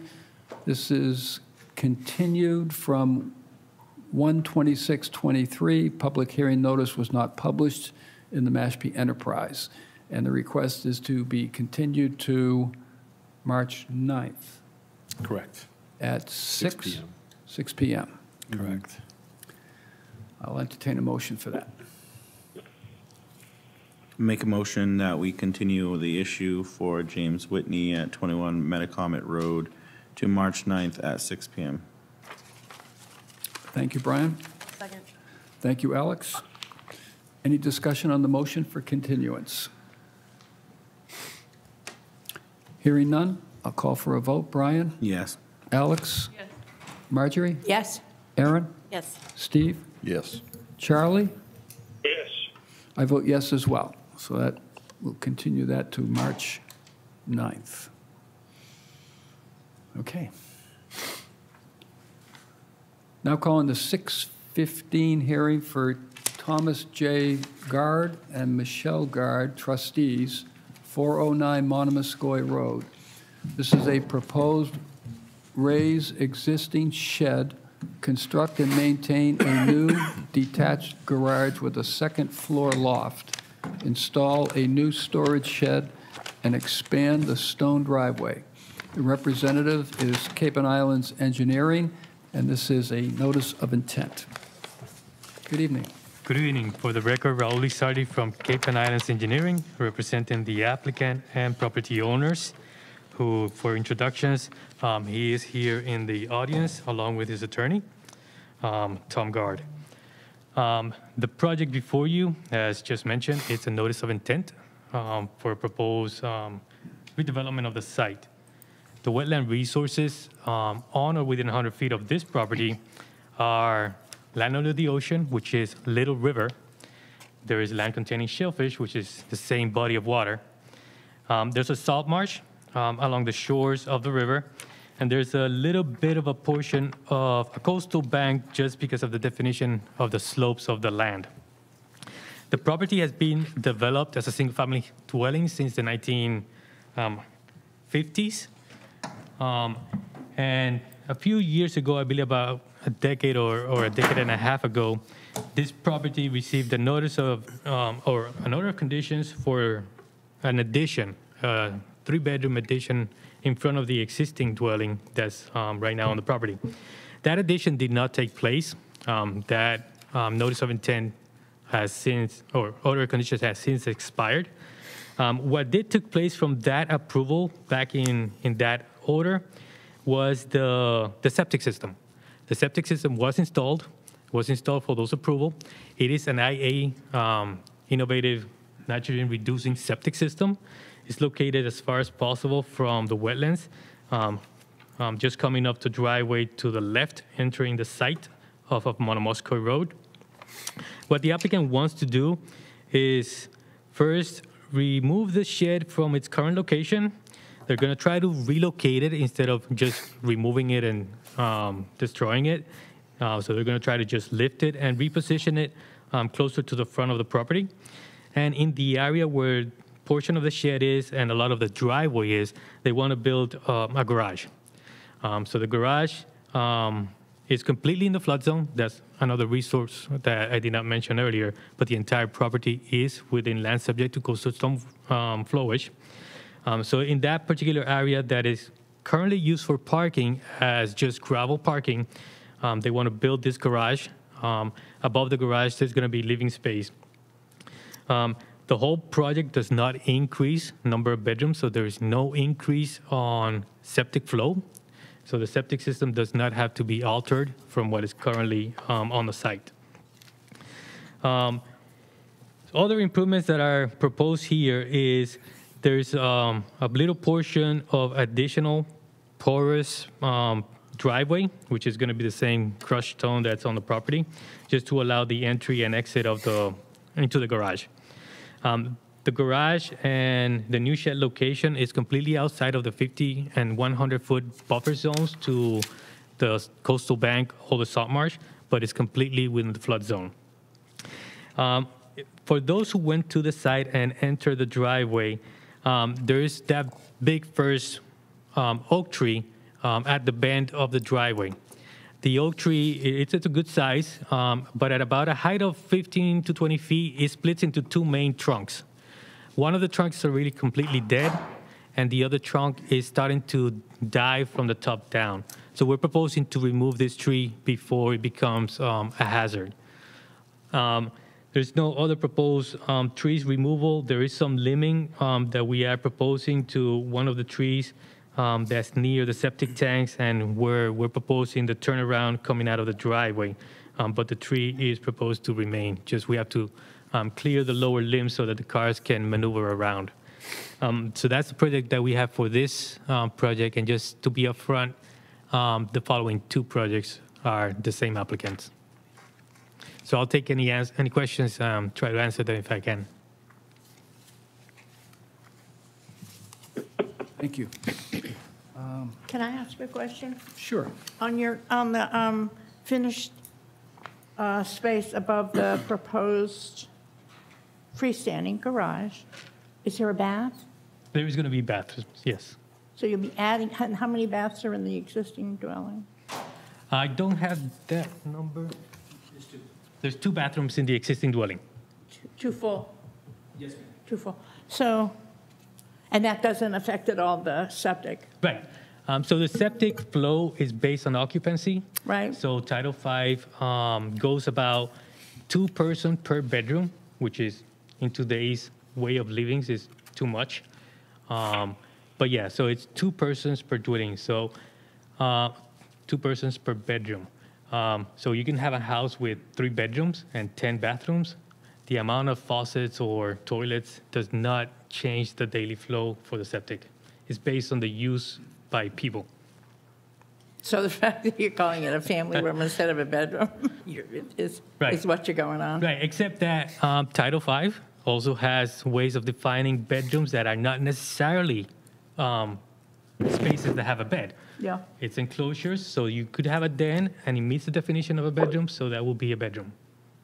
For the purpose of septic designs, yes. So the current septic design is what? Um, this one is a five-bedroom system, and it's not going to change. We're keeping it as a five-bedroom system.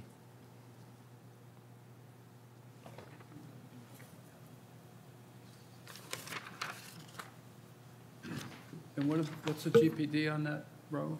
I'm sorry? What, what's the gallons per day on that system? 550. 550. Yes. And how old is the system? Um, it is a Title V system with an AI system. Um,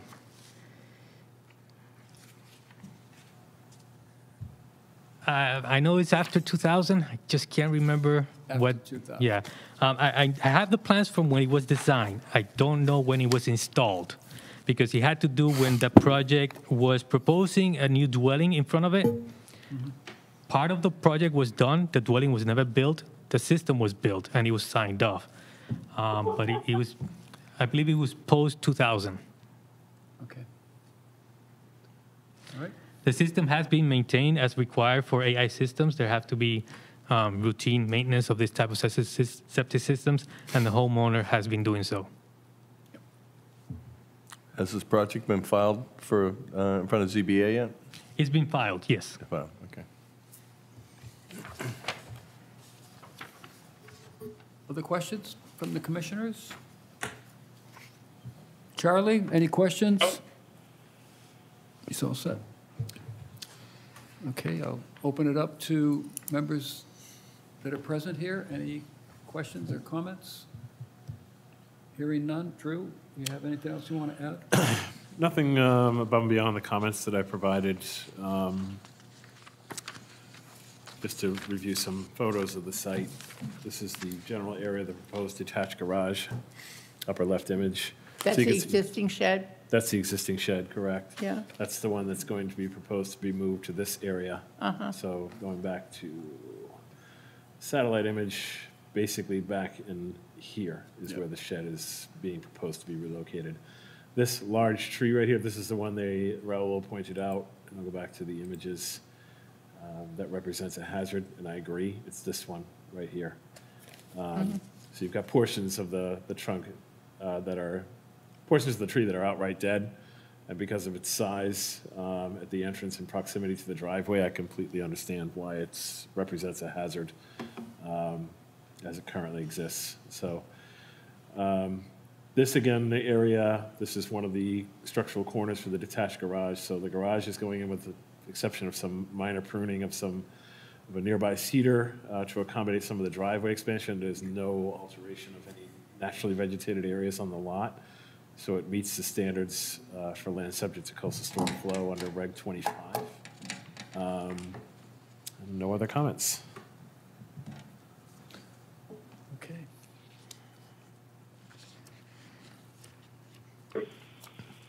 Thank you. Sure. I'll open it up to the commissioners to, I'll entertain a motion, if there is one.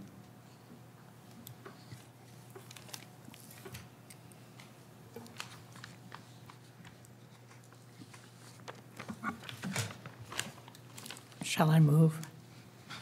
Uh, Mr. Chairman, I'm happy to make a motion uh, for Thomas Guard, Shell Guard at 409 Monomoscoy. Um, Pending, did you want me to put in something there, Steve, about the ZBA, or are we assuming that they, They they've already they filed? have provided proof of application to the ZBA. Yeah, They're all set. they're all set. Uh, So uh, I recommend close an issue. I'll second. Thank you. Any discussion on the motion we have on the table for close an issue?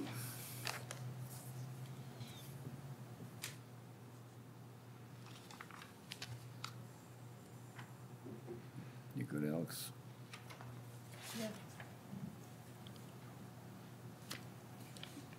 No discussion? I'll call for a vote. Brian? Yes. Alex? Yes. Marjorie? Yes. Aaron? Yes. Steve? Yes. Charlie? Yes. I vote yes as well. Motion carries. Thank you. Thank you. There you go.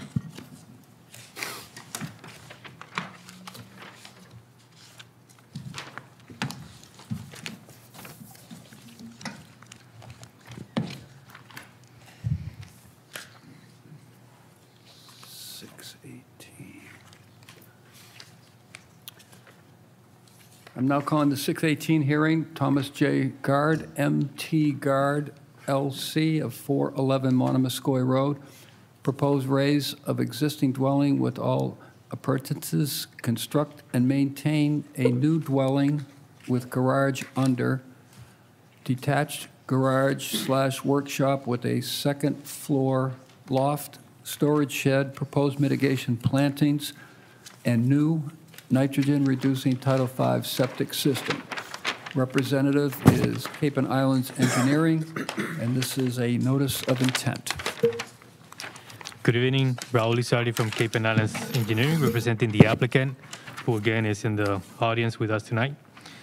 Um, Yes, so this project, um, the applicant just purchased the pro- the property last year. It went up for sale, and he was concerned that somebody else could do something else with the property, so decided to purchase the property and prevent someone else doing something on the site.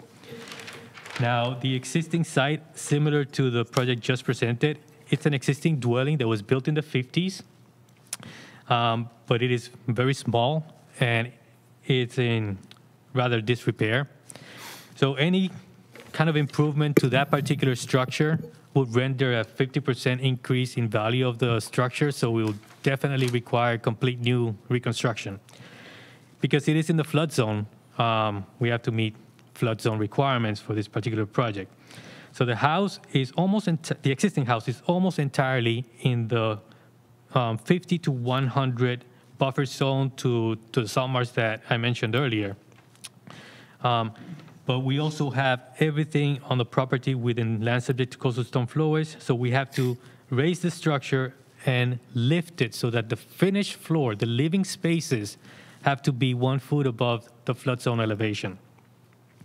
So that's what we're proposing to do here. Raise the existing structure, raise the existing shed, build a new house that meets flood zone requirement constructions. The first floor is up in elevation um, 14 as shown on the plan. The bottom of this um, house is going to be open, um, it's going to be a slab on grade at elevation 6, which is roughly the elevations of the grade of the ground. On the back of the house, where is the existing septic tanks, there's two septic tanks on the back of the house. We're proposing to remove those two tanks. The septic system that's serving this existing house is similar to the other project in the front um, towards Monomoscoy, except that this system is not a- an AI system. This is just a Title V septic system. There's two tanks in the back of the house, leaching field out by Monomoscoy. What we propose to do with the new house and the new garage is to have a new Title V septic system, septic system with nitrogen removal enhancement. So we're proposing a fast tank. Um, we have to use a pump chamber after the tank just because of grades and separation to groundwater. So we're pumping to the practically the same location of the existing leaching field, except that we're raising the leaching field and raising the grades for the new driveway. Um, the existing grades um, are coming up by about a foot just to get the separation to groundwater. On the back of the proposed house, we are proposing a 16-foot deep deck. Now that this house is going to be roughly nine feet above the existing ground, um, we cannot just walk out of the house on the back of the house and have your yard like currently it does. Right now, it's just a step out and you're in your yard. Right now, on the back of the house, at nine feet above the ground, what we're proposing to do is a 16-foot deck. Um, below the deck, it's just going to stay open. Um, so it's not going to be completely impervious since rainwater can filter through the slacks of the decking and get infiltration underneath it. But it is an, an increase in the area between the 50 to 100 foot buffer zone to the wetlands. So we're proposing a mitigation at a ratio of one to one. In that area, there's also one tree that is also kind of half dead, and we're proposing to remove that one tree. Um, Similarly to the project before, we have a proposed shed. This shed location is kind of mirroring the shed that um, we presented earlier. He owns the two properties, so he's going to have sort of two sheds kind of side to side on the two different properties. Um, The vegetation that's being affected with these sheds is arborvitae, which is non-native and it's ornamental.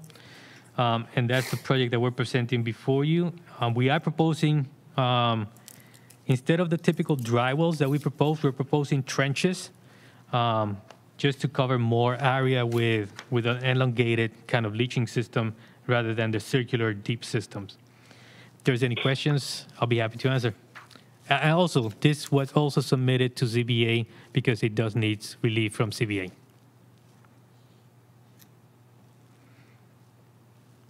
Thank you. Um, On the, the proposed garage slab, you have that trench drain. It's 32 feet long, two feet wide, two and a half inches high. And I noticed somewhere on the plan, it shows an overflow. Pretty sure it was on here.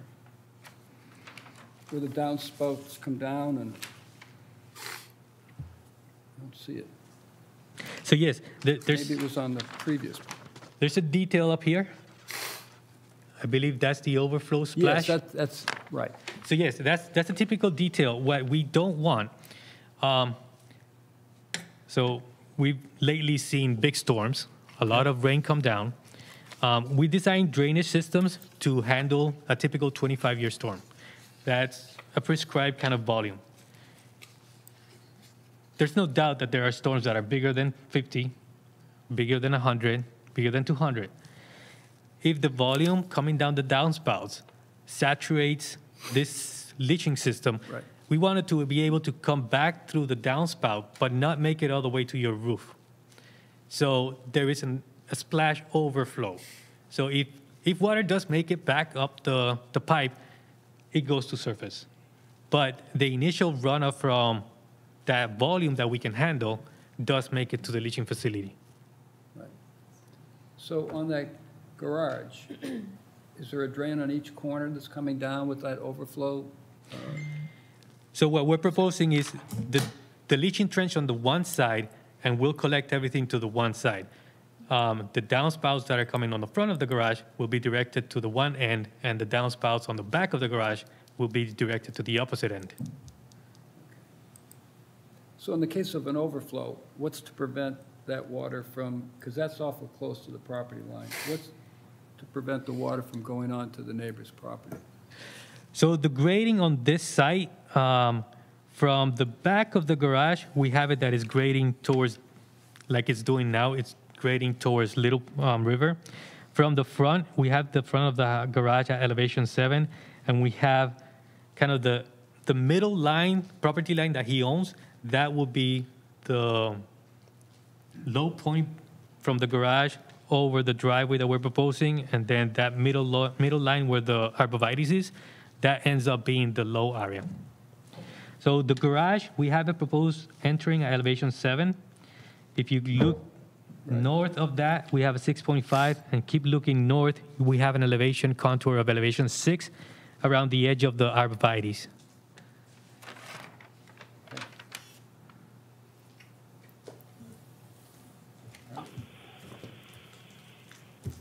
It's fairly flat, the property. I mean, we're talking seven, six, but in a span of about 40 feet, that is, that, that's gonna seem fairly flat. The driveway is just to, to add more, is the recommended porous crushed shell, crushed, shell- shells or crushed stones, so it's not gonna be completely um, shedding water um, all the time. Drew, do you have photos of the site? Yeah.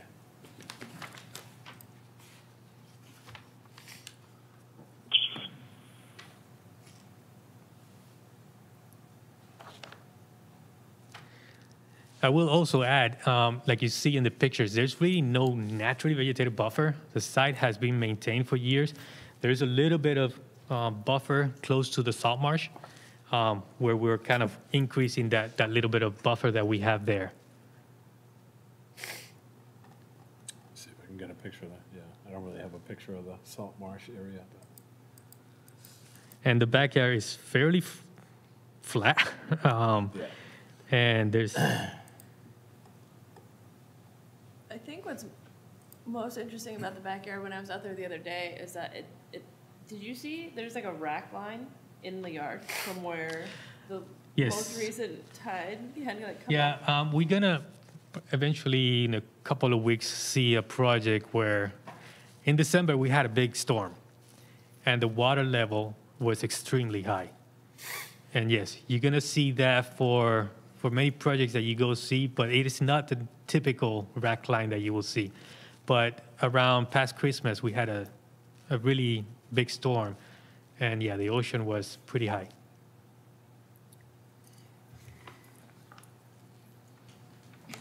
Can I ask a question on your, on the uh, proposed home and the garage? How many bedrooms? Five. Five. Uh, Altogether between the two structures? Yes. And that fast system has been in for how long, or is it? No, this is Oh, this new. is not in, This is completely new. Brand This new. system is completely new. and it handles It's designed for five. for five?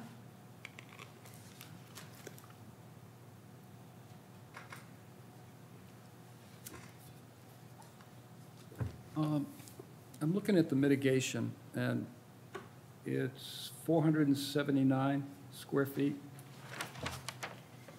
and you're proposing 480. Right. The required, based on the calculation, is 479. We're proposing 480. Are requirements higher than that now, Drew, with the new mitigation regulation? This is in the buffer, right? The, the different calculations are if you're in, increasing in the 0 to 50, there is an incremental um, mitigation requirement. In the 50 to 100, the calculation is 1 to 1. And that's where we are. Okay.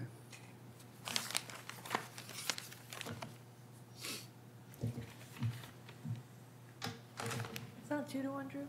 What's that? It's not two to one? in Is, is what? The mitigation requirement? It's a one-to-one It's, ratio it's there? one to one in the 50 to 100 foot setback, and the 0 to 50, it's incrementally increasing the closer you get to the 0 foot setback, starting at 50. Okay, I thought it was more.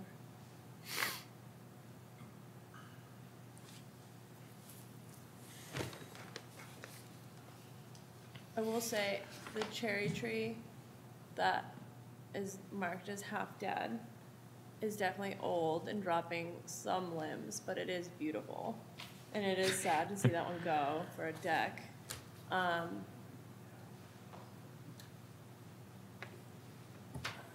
yeah, it's, it's hard when it, there's one tree on a property, or maybe two on that side. But I would also say this plan doesn't show, and this will come up more with the next hearing, so it's like a little hard, but it doesn't show the cedar tree that's in the buffer, um, next to where the ramp is for the dock. So the existing pier, there is a cedar tree there that is not shown on this plan. Um, and, I mean, it kind of shows the squigglies for the buffer that's there, but there is a cedar tree in there that's not called out. I know there's a there's a good sized cedar um, about 20 feet north um, from this pier um, that we're not proposing to touch. There is a, a smaller um, shrub. I don't think it was a cedar. It's a bit, there's a bayberry there too. Um, but yeah, for the next application, um, we can relocate or replace um, that bayberry. And we'll get to that. in- Yeah, that's coming. Um,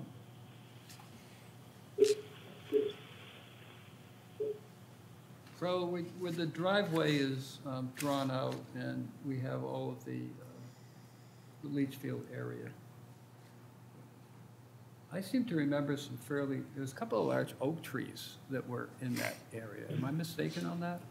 I know where that cap pipe was. And if you come directly across where those green um, filtration chambers are, aren't there a couple of good-sized oak trees right in there?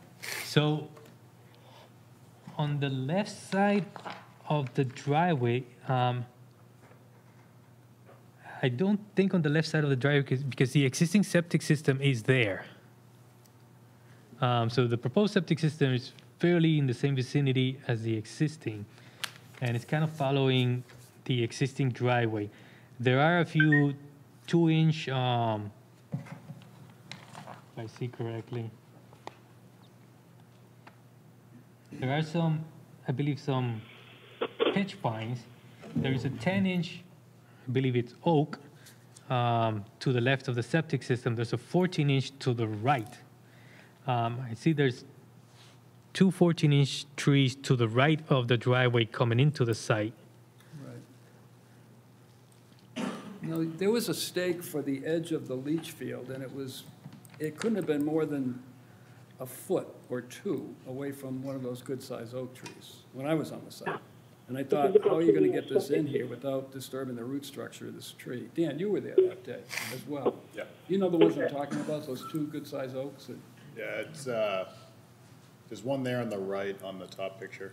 There's an oak right there, then there was one in front, more, more in front of it, about 30, 20 yards up or so, uh, with the stake you were talking about. All right. So are those going or staying? So yeah, if, if I kind of see a 12-inch deciduous tree on the plan where I have a no surface vent. Um, if we go to the plan and you see where I have the note surface vent, just to the left of the surface vent, right there, there's a 12 inch. Maybe that's the one um, you're referring to. Yeah, that at two feet from the field, that will have to go. So that's coming out Yeah. as well. Yeah, at Both that those point, trees, both of those hardwoods are going? There were two good-sized ones, from my memory, that, when I was on that site a little while ago. the other one that I see of a good size is a 10 inch, but it's almost at the property line next to the fence. So that one does not get affected with this work. No, I thought they were pretty much in line. Uh, I didn't take a picture the day I was out there, but Dan, you were there that day. Are those, weren't those two oaks pretty much in line Yeah, with each they were- other? they were pretty There were much a couple of line. pitch pines that were, you know, on either side. But I don't see them on the plan. Yeah. So I was just curious, you know, they, they stay in, they're going. I know they're there. I saw them on the site, but I don't see anything on the plan. Yeah, physically, if there's a tree two feet of a leaching field like this one, it is going to go. It- we have to remove it before we actually begin excavation. So I, I can tell you that that, that 12 inch definitely comes out. Um, I don't see the other larger tree that was mentioned, so I, it, at the moment, I can't comment on that one. So given the fact that those will go, what kind of mitigation are you proposing in lieu of that coming out? If the commission so chooses, we can um, agree to a condition for cedars or tupelos. Um, I don't know if a, probably Drew would probably guide us better. Maybe a replacement um, with consultation with staff. Um, if it's a deciduous and you want to see a deciduous come back, um, I'm thinking it's probably going to be either a maple or a tupelo. Um, And Mr. Chairman, in, in relation to that, is Drew's comments here about meeting Regulation 25 for the vegetation on the front of the property, that's, will disappear also, too. Right? So that's kind of tied into what you're saying? Yeah, so I had, in my, uh, in my notes, Raul, I noted in the narrative that you pointed out the only area on the lot uh, that's naturally vegetated is, is the fringe vegetation and then the salt marsh. But in the beginning of the property, and you can even see it, you know, from the GIS image, you've got this area here that's also naturally vegetated. Granted, there's not much understory. The way that I consider an area to be naturally vegetated is if it's dominated by native vegetation and not ornamentals. So whether it's lacking understory or not, um, I do consider that to be a naturally vegetated state. And there are, you know, scattered trees, you can see them in the imagery. Here, you've got this area that I would consider to be, in its current state, naturally vegetated.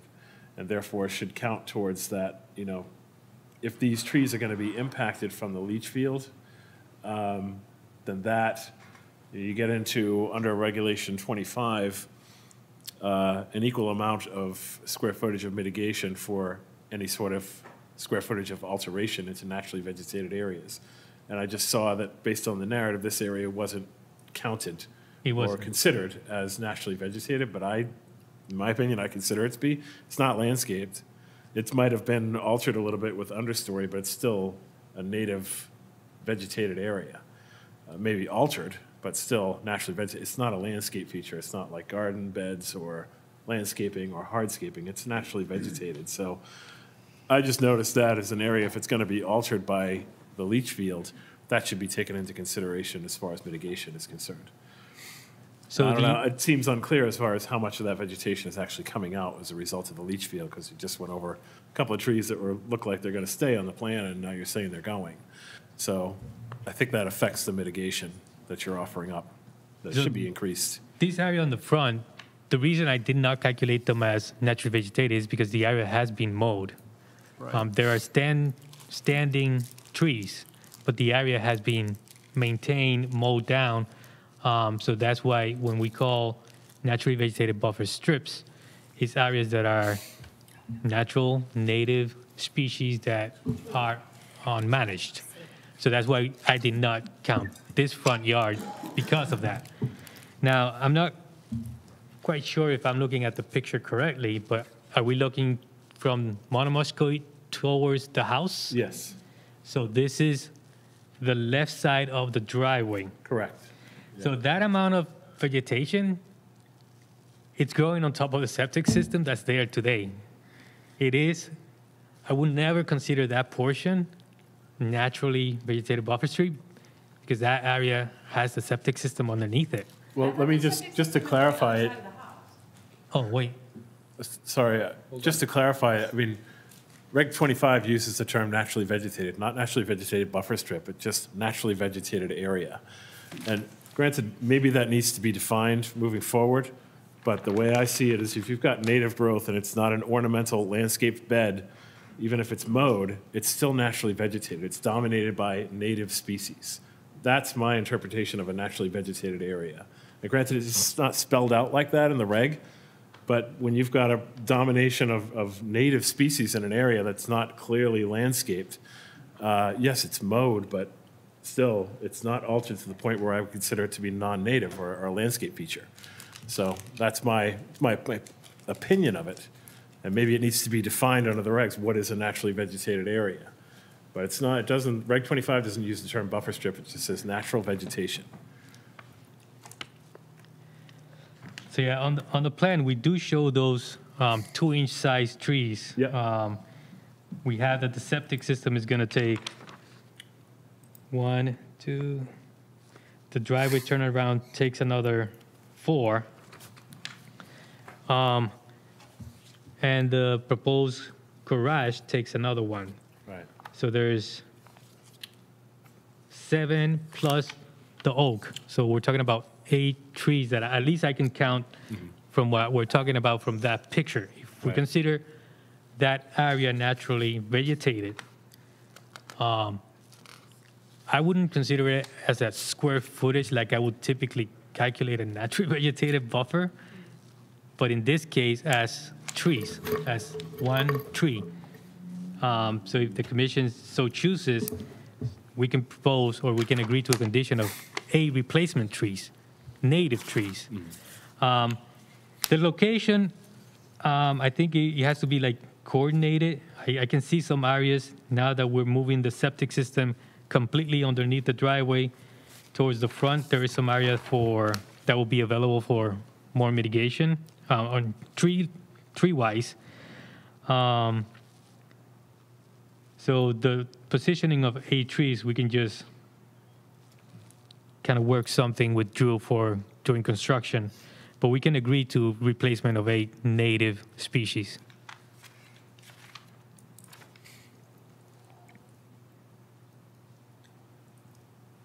Alex, you have something you wanted to add? Yeah, the trees next to the deck also, I mean, when you're out there looking at where the, the stake is, it's so close to those trees, like, they're gonna have to be, like, very uplimbed.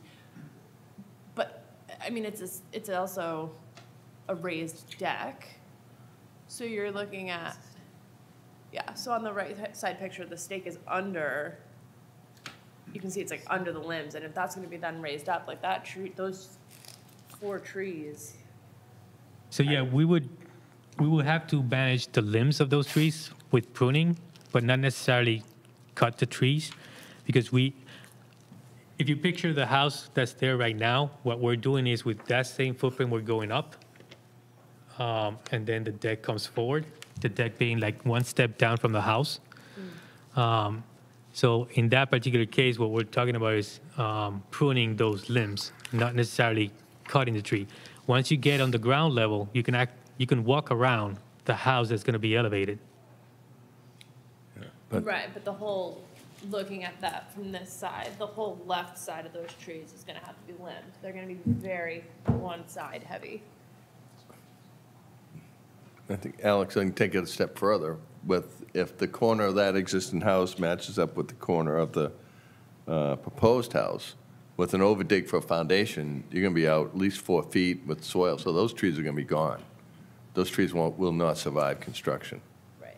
Yeah, yeah, definitely not, because it looks like it's only within five or six feet from the corner of the house. So, yeah, You're going to have a four-foot, at least a four-foot overdig for a foundation. Well, based on the stakes, I didn't think they would survive the pruning, because basically you would have. You're like shearing them up. Yeah, yeah, so they, yeah, you wouldn't even get to that point, they'd be gone. Yeah.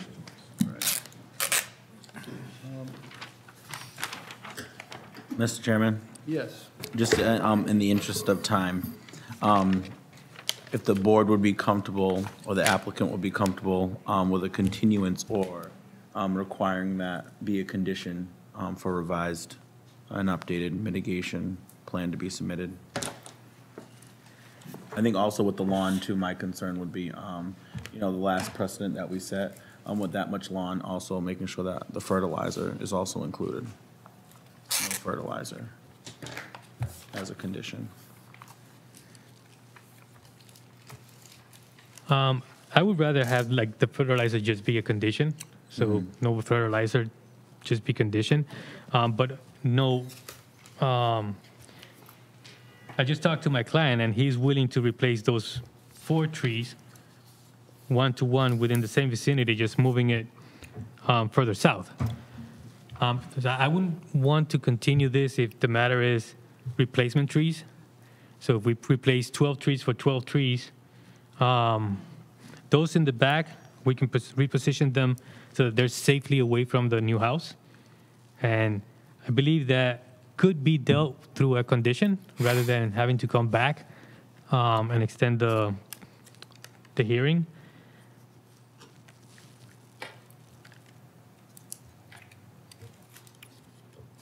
I that's reasonable. I mean, I would leave it to the board's discretion, like we've done before. I mean, if Drew's fine with the mitigation plan, I would be fine with it. Yeah. It's an easy enough That's thing just to how I work feel. out with the applicant, Okay. in my opinion. To have a, have them submit a mitigation plan that. Yeah. That you can. That we can work with them to implement. Work with yeah. them, verify. Yep. Okay. Yeah, because that would address all your concerns on the front of the property along with, on the water side of the property. Too, yeah. Okay. And you're saying that these trees that you're going to replace are south of the location? So you're coming over towards the neighbor's property line with those trees? So yeah, those those four right there that we have on the pictures, those are the ones that are close to the house and The close to the new deck. right.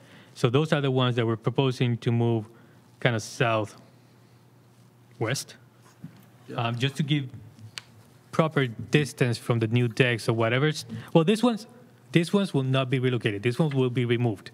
We'll replace them. Right. So the ones that are coming up will be a, a good safe, safe distance from the construction. Yeah.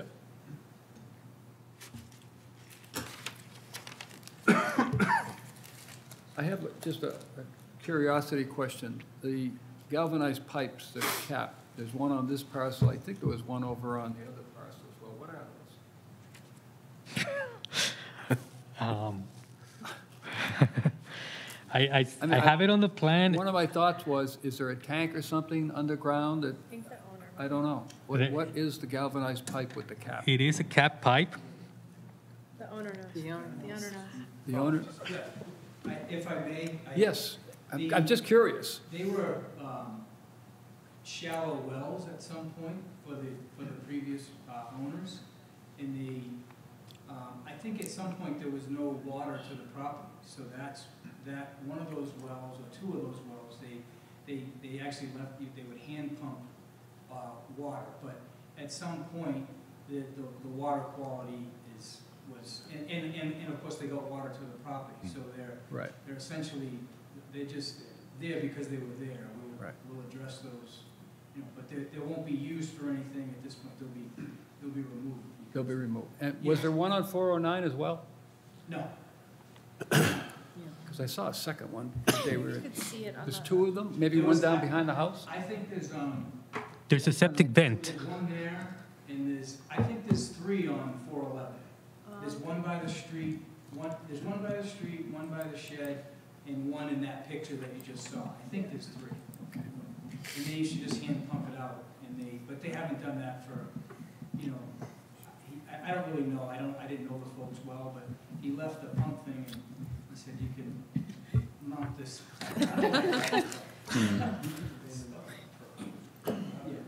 Okay. Oh, yeah.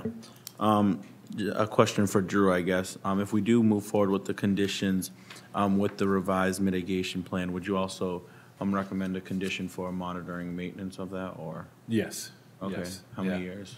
Uh, Like a I would say a two-year monitoring and maintenance Okay. agreement. Recommend a two-year.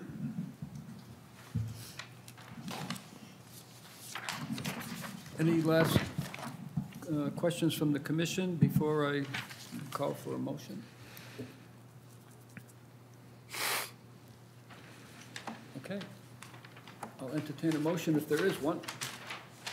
Mr. Chairman, I move that we close an issue um, for Thomas J. Gord at 411 Monomoscoy Road with the condition of a revised mitigation plan to be submitted and approved by the conservation agent, as well as the condition of no f- fertilizer um, and a two-year monitoring and maintenance of the mitigation. Thank you, Brian. Is there a second to that? Just I'll second it.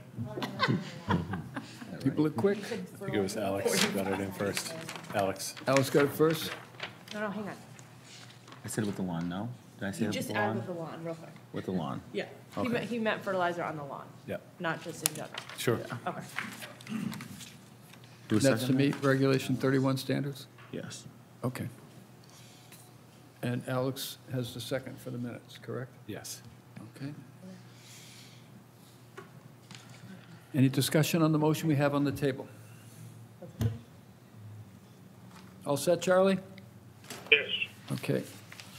All right, I'll do a roll call vote. Brian? Yes. Alex? Yeah. Marjorie? Yes. Aaron? Yes. Steve? Yes. And Charlie? Yes. I vote yes as well, motion carries. Thank you.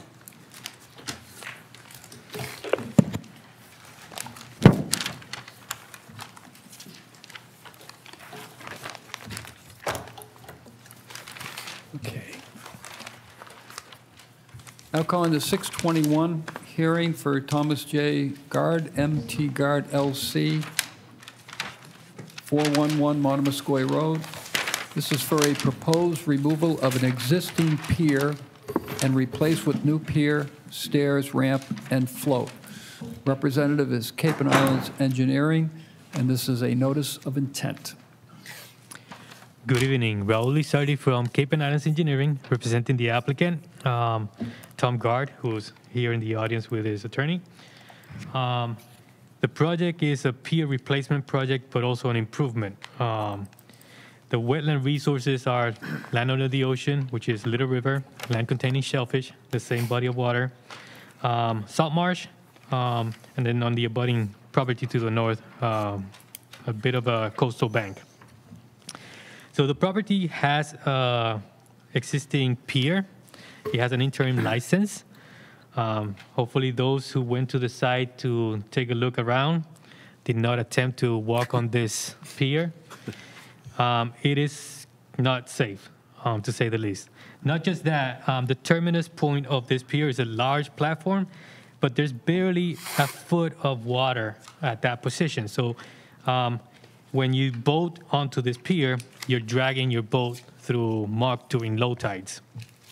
So what we're proposing to do is remove this existing structure completely and propose a new structure. So the beginning of the pier um, starts at elevation roughly a little higher than elevation two, comes up three, four steps onto the fixed platform boardwalk to reach a point um, approximately seven feet, 70 feet from the beginning, at which point the fixed pier ends.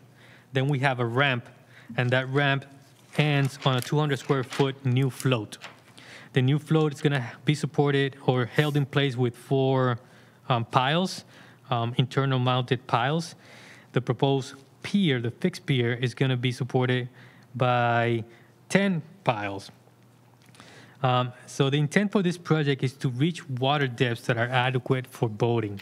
So we're proposing to reach water depths of two plus feet. Um, at the far end of the pier, we're roughly 24 feet away from the channel on Little River. The delineation of this channel is from a plan that this board approved for the dredging project that's going to happen on Little River.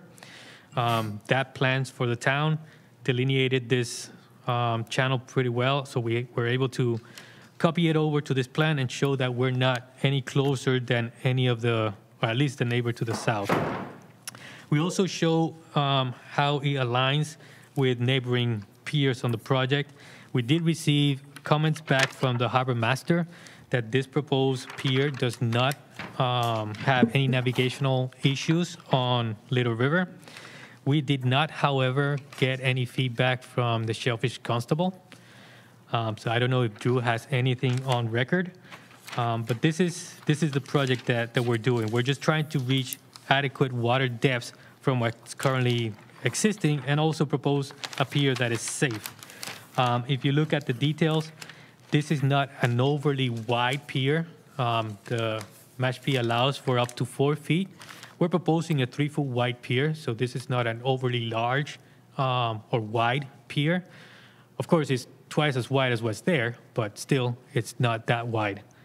Um, I know there's some comments about a potential tree um, where the proposed pier begins. I remember seeing a shrub. Um, I don't remember a cedar, but um, I know the shrub, it's best just to have the shrub removed and replaced in kind. Um, if we have a cedar, um, the best thing for a pier is just to prune the lower limbs and not, not remove the, the cedar tree.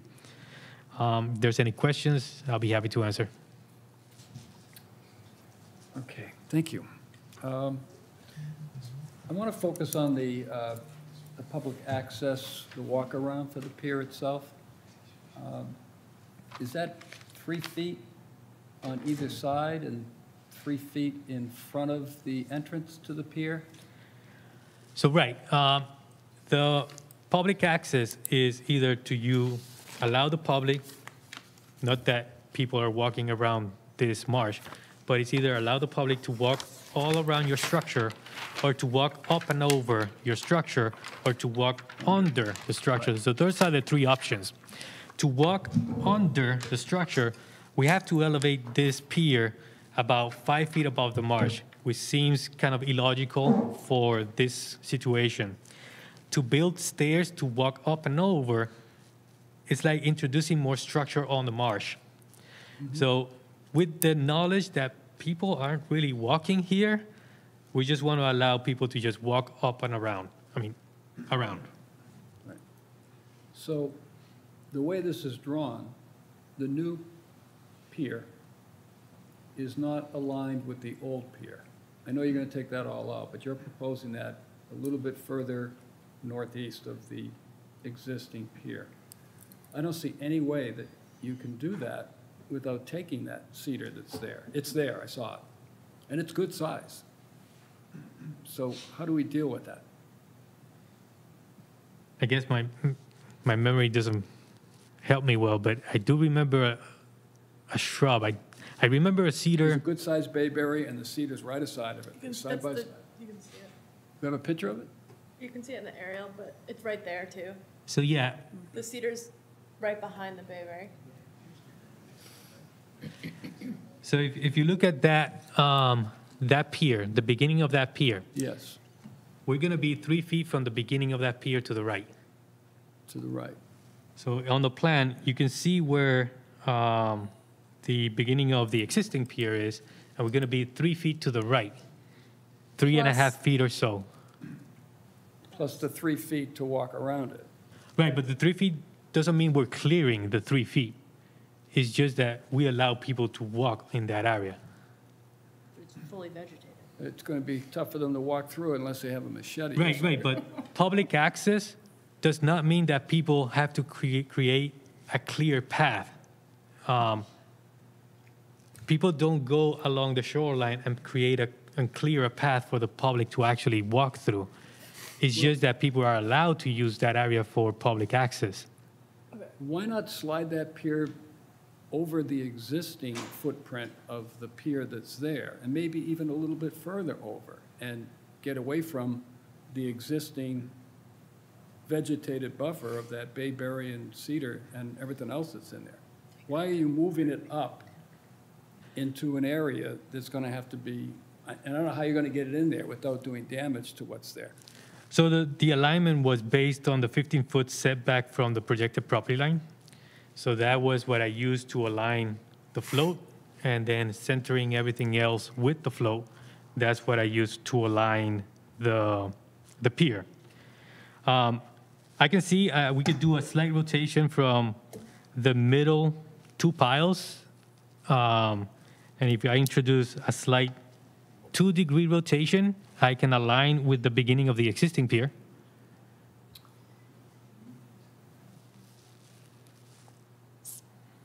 Mr. Chairman, if I may. go ahead. Raul, the way this is shown on the plan, uh, so if you're looking at this right here, can we agree that what is to the left of the pier looks different than what's to the right of the existing pier? Yes.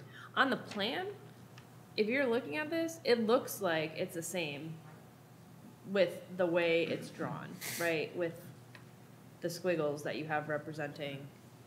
So, right, what the plan represents is just the edge of clearing, what the edge of the homeowner has cleared. So, from that point forward, what we have on the left is, I believe these are salt marsh grasses. Um, on the right, there's more shrubbery. Right. So that shrubbery has to stay in order for the mitigation plantings that are approved in the previous one that we just approved to actually take and thrive. Because if they're exposed, and if those, if, if that's cut back, then the plantings that you have proposed are, are way more exposed. And they don't, I mean, you, you want that buffer there. That, that's gonna help protect this property. It's gonna help protect this property ultimately. So if you're gonna build upon that, I don't know, I, I'm struggling with the placement of this one. What was the answer, Mr. Chairman, what was the answer to your, your question, which seemed like a very logical remedy? It was the setback issue from the lot. So, line. right, um, I started with the setback, but what, what I can uh, agree is at that midpoint um, tandem pier, um, piles, um, introduce an angle point. And I don't know if, if you're following me with what I'm saying.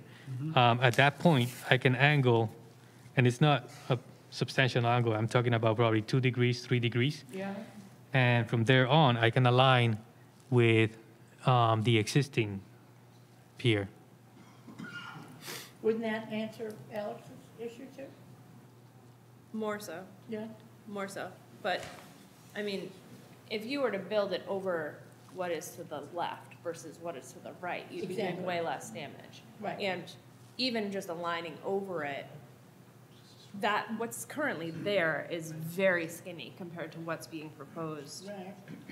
So it's just, Yeah, and going back to what you said, Alex, the two plans don't match up.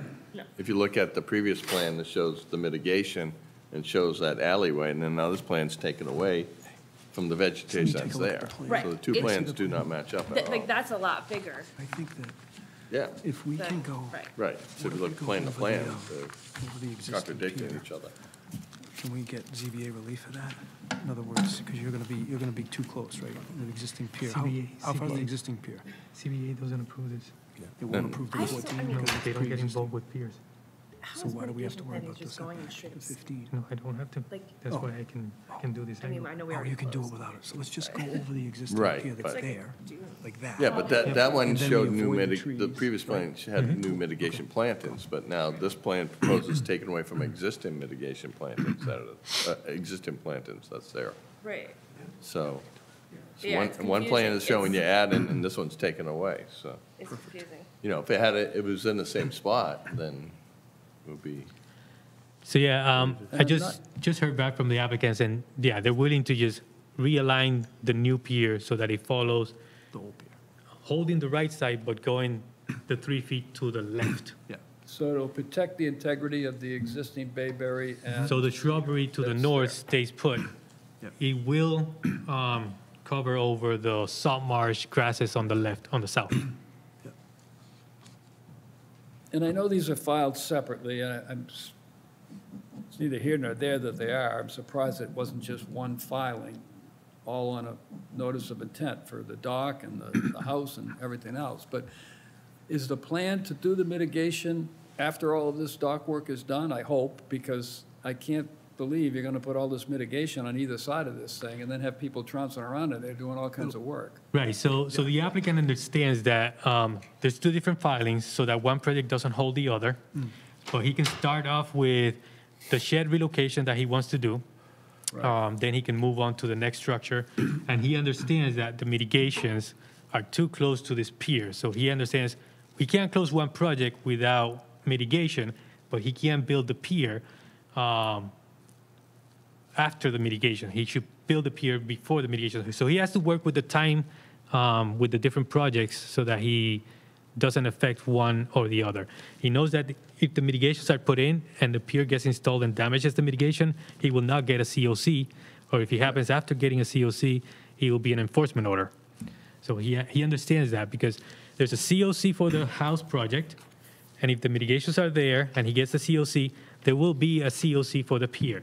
So if the COC for the sees that the mitigation planting were damaged, then he won't get that COC and gets an enforcement order to replace those plantings. So he, he will have to work with those permits to make sure that he, con, he conforms to all these conditions. It it was my advice to the applicant and to Raul to do- file these in separate forms. When I typically have side-by-side or multi-projects, we always have separate NOIs in case there's one denial, so I don't get a denial on a multiple faceted project. So, and the applicant clearly understands the construction sequencing necessary to preserve the mitigation area.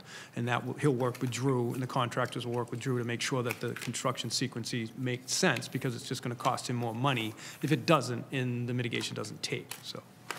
And also, the pier has, the house has other local reviews. The pier has state reviews. And based on the, on the knowledge we've got, or the, last few state projects that we've applied for, it's upwards of eight months um, where we can get a permit for the house um, in a few months. Yeah, this pier will require Chapter 91 as well as Army Corps of Engineers approval before it can be built. And the first step that they're going to ask us is, have you had gone through conservation yet in the Chapter 91 application? Then, that, that application will also require that the building department as well as the planning department sign off on the zoning requirements for it as well before it even gets out of the box. So that's why coming to you now was, was really to make sense. So it sets us up for, at least for the pier separately, for those, that further permit, permit process. Okay. Any other questions from commission? I do have one. Is there any, um, you know, the, I assume that the method for installing these pylons is coming in from Little River on a barge with the crane, but is there any mitigation for any damage to the, the salt marsh or uh, the land during construction, or, I mean, after construction? So the requirement, um, the the typical um, condition for pile installation is that the barge doesn't sit on the marsh, but the, the barge has to access the site during the two hours before and two hours after the high tides. So mm-hmm. those are the sections, once he sets himself, he drives those piles in. Not on the marsh, but from the, the water side. Right, so, so even at, based on your cross-section here, where you have, you know, 2.1 feet at low tide, even, at, you know, high tide, you might be, what, four feet, you know, that barge will, might be sitting on the, on the, the mud? No, no, no. Um, so the, the, when the barge comes and starts to set up, the barge is not floating. Um, the barge sets itself its own piles, and it Okay. becomes a fixed structure. Okay, So the tide comes and goes, um, and he's not floating, um, unless it's one of those small barges that is floating. But the barges that that I've worked with and and seen doing this type of work, um, they fix themselves with um, Spuds. Yeah, the the the, the piles Called themselves. spuds, and they, they lock them in so the barge doesn't ground out. okay, Because you don't want the barge moving around while you're driving these piles. right. So, um, and then I think it's a typical, reg- um, a typical special condition that is in the Mashpee piers permits, that it happens two hours before and two hours after. Has to be high tide. Yeah, at high Yeah, tide. There is, um, uh, the Shellfish Constable did get back today with a mitigation fee of six thousand eighty-two dollars and fifty-six cents. It's the calculated amount based on multiple species of shellfish in this area. Um, so that is the recommended, um, shellfish mitigation fee from, uh, from the Shellfish Constable. That's acceptable. Thank you.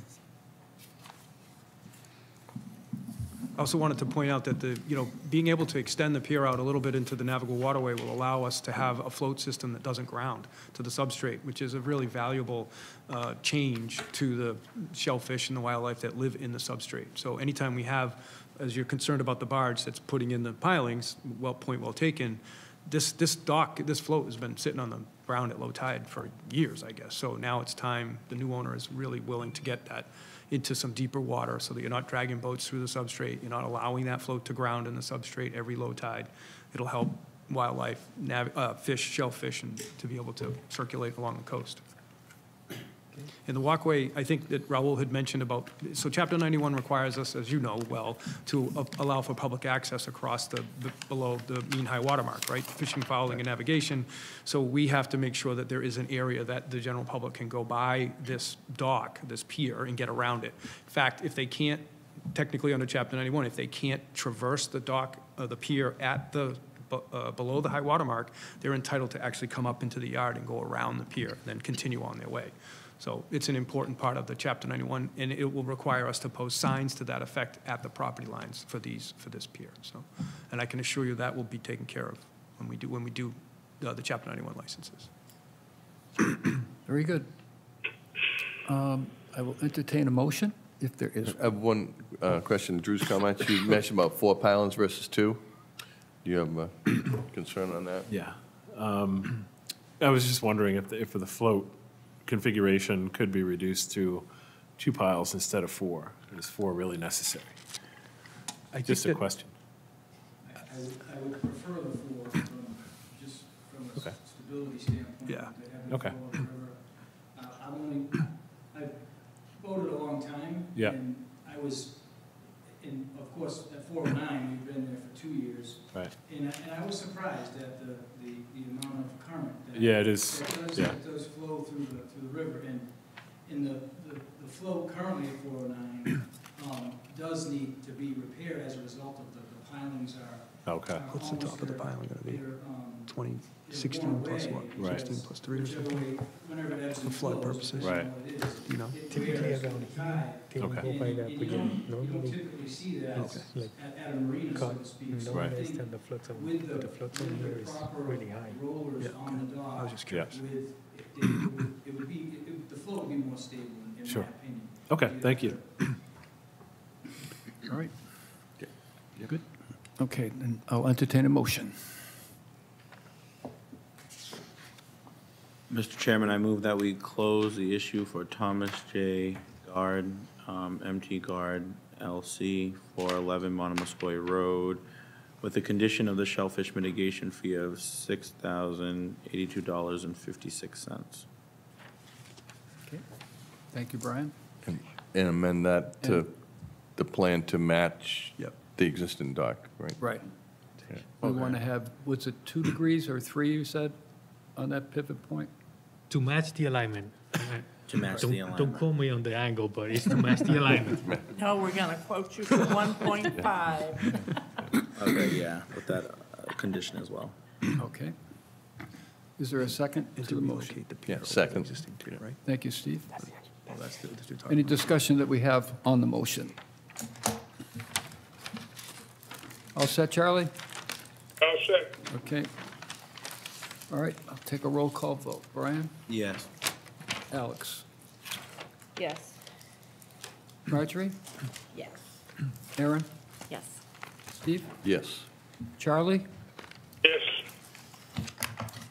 I vote yes as well. Motion carries. Thank you, guys. Thank you very much, folks. Good night, guys. Well navigated. Have a good, have have a good night. Nice job.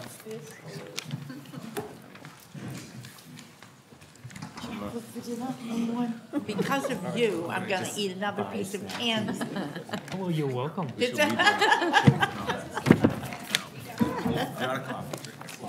longer it I'm goes, so the more tall. pieces of candy I'm going to need. I know. Feeling good? Candy here, candy here. Okay, are we on Quaker Run Road? Yes. X-Man up. That's right. Dan's taking over. Go ahead, Dan. I guess so, on I'm the gonna look queue. at yours. You're so huge. Are they bigger today than for more weeks? So we'll open to six twenty-four. Um, Diane Wells, trustee, twenty-eight Quaker Run Road. Okay, this is a uh, proposed construction and maintenance of a single-family dwelling, including a garage, deck, patio, in-ground pool, all associated utilities. Title V septic system, landscaping, hardscaping, pier, ramp, and float. Representative Cape and Islands Engineering, it's a notice of intent. Good evening. Good evening, Mark Dibb again with uh, Cape and Islands Engineering. Uh, Here tonight, we filed a notice of intent application for Diane Wells at 28 Quaker Run Road in Mashpee. Um, Similar to my last one, I'm just going to give a quick timeline update and then go through existing conditions and proposed conditions. So we did um, originally we were set for January 12th hearing. Um, At that time, we hadn't received Shellfish and um, Harbor Master comments, so we did um, continue. And um, we were actually on for the 26th hearing. Uh, We did receive uh, the Shellfish letter uh, the the day of, and I just wanted to correspond with my um, client regarding that, and um, we did have some questions on that letter, so I wanted to work out with staff and, and um, meet with staff and to review that letter thoroughly and just make sure we all understood what was happening, so we did request a second continuance. Um, And then we received an updated letter, and we're here tonight to present and go over the, the project. So it is a, um, a new dwelling and pier ramp and float on a vacant lot at 28 Quaker Run. Um, It is on Shoestring Bay. Um, There's land under the ocean, land containing shellfish. There's some areas of salt marsh along the coast. And then we have both a DEP coastal bank that's delineated, as well as a Mashpee coastal bank. Um, The proposal is a single-family dwelling, um, five-bedroom dwelling. Proposed, um, we, the entire project um, is sited so that the 50-foot buffer would remain undisturbed, uh, with the exception of the, the path uh, to access the dock and uh, ramp and float. Um, And then the dwelling is sited um, roughly 120 feet from the salt marsh, um, about 60 feet from the top of the bank, with the septic system being over, over 200 feet from the salt marsh, um, and as far possible, as possible on, towards um, Quaker Run. Um, This, this, this project, um, there's a substantial bank, so all the, all the work associated with the house, the decks, the pool, um, is significantly above floodplain elevation. There's no work regarding the dwelling in the flood zone. Um, You know, it's sited per, per the plan that you see there. It has, again, roof drains, um, septic system, and the house. Um, The pier ramp and float is uh, situated so that the, similar to Raul's project, the, the float itself is centered on the property line extensions. Um, It will have uh, stairs leading down the bank. Um, This particular one will be raised. Um, We, a plan revision that we did make was to raise the, the lowest part of the structure six feet in all areas where it's crossing the salt marsh. That was actually a DMF comment. We, we were able to um, implement that uh, change, as well as the public access for this one is a little more standard. Um, We're, we're, a lot- we have in excess of five feet at mean high water, so it's a, a simple under the, under the pier for public access. And then, um, you know, the, the rest of the plan is, uh, uh, it's piles, uh, a ramp and float. The float is a, an eight by 25 float, 200 square feet. Um, You'll see we've uh, shown the neighboring floats for, for use of the harbor master to review. He has reviewed it and determined um, no navigational issues with that. Um, We did receive the shellfish mitigation letter, um, and my client has agreed to that. Um, I would like to just make two comments regarding that. Um, That as, as a consultant, I'd like to just, um,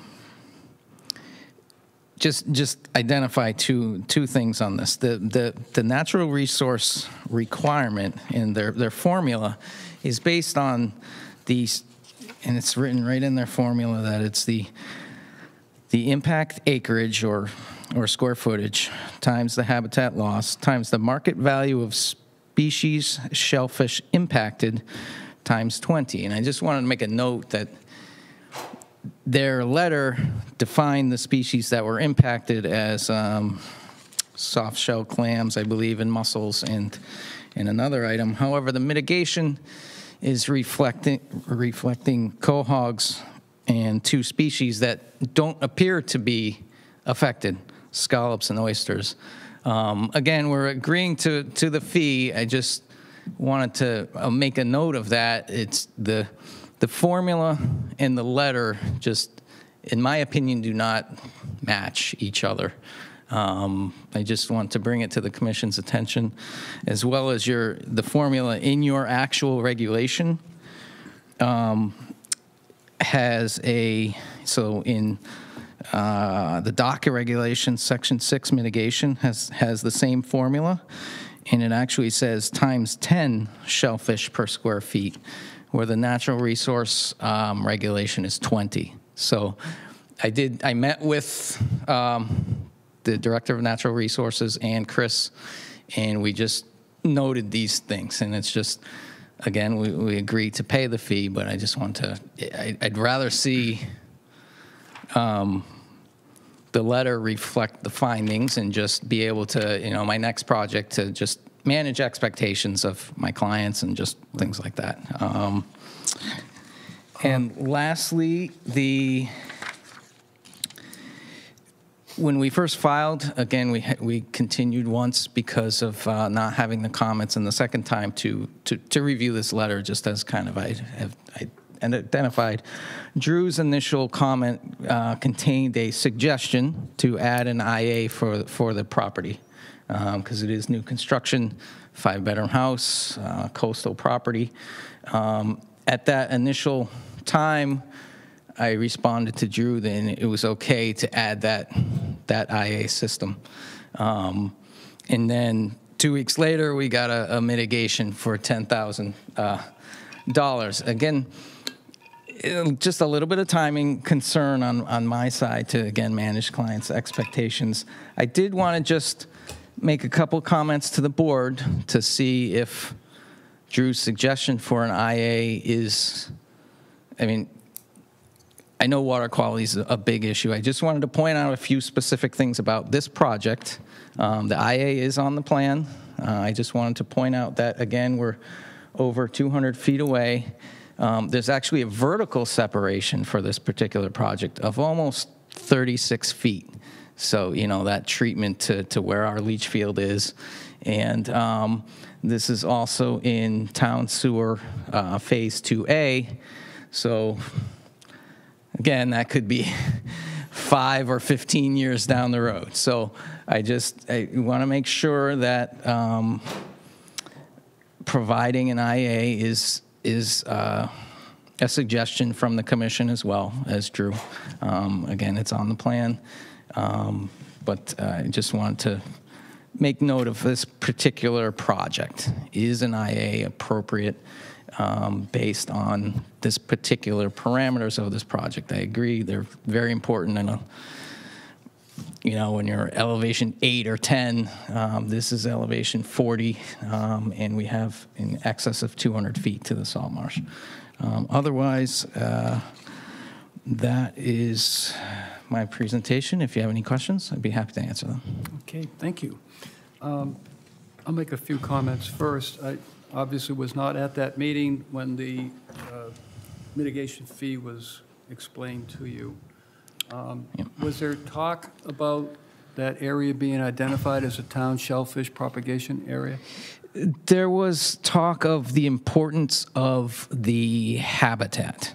Right. Um, you know, I, if the if you're if the the calculation said um, instead of species affected, if it said habitat affected or something to that effect, Mm-hmm. right. You know, it just it's what it says and what they found uh, are two different things. So yes, they they they described it as very important location for uh, habitat for in the future, um, and described that it's basically all three of those species are calculated within that area, you know, so it's like three times that for those different species, resulting in the, in, in that amount.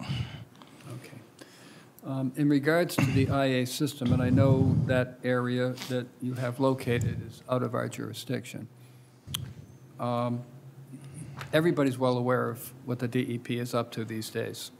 And my thought is to you that it would behoove you to really reconsider that. Um, Phase 2A is, in my lifetime, I'd be surprised to see it. You're a long, long, long way off from wastewater treatment collection in this area. Um, Given the fact that we have a successful watershed permit and it goes well, great. But if it doesn't, you end up putting in a Title V system, and not that long down the road, you're going to be taking it out. So it's something to consider.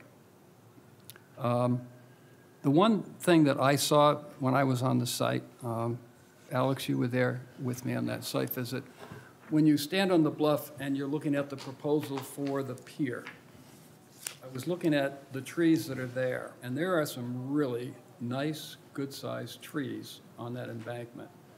I would hate to see any of those go, and I could see a pathway through a couple of, I'm going to say they were at least 12 to 14-inch diameter trees, and there was one tiny, small white oak that was coming up between the pathway that I could see. And it appeared to me as though the angle of the pier could go through that pathway and only sacrificing that one small, I believe it was a white oak. Mm-hmm.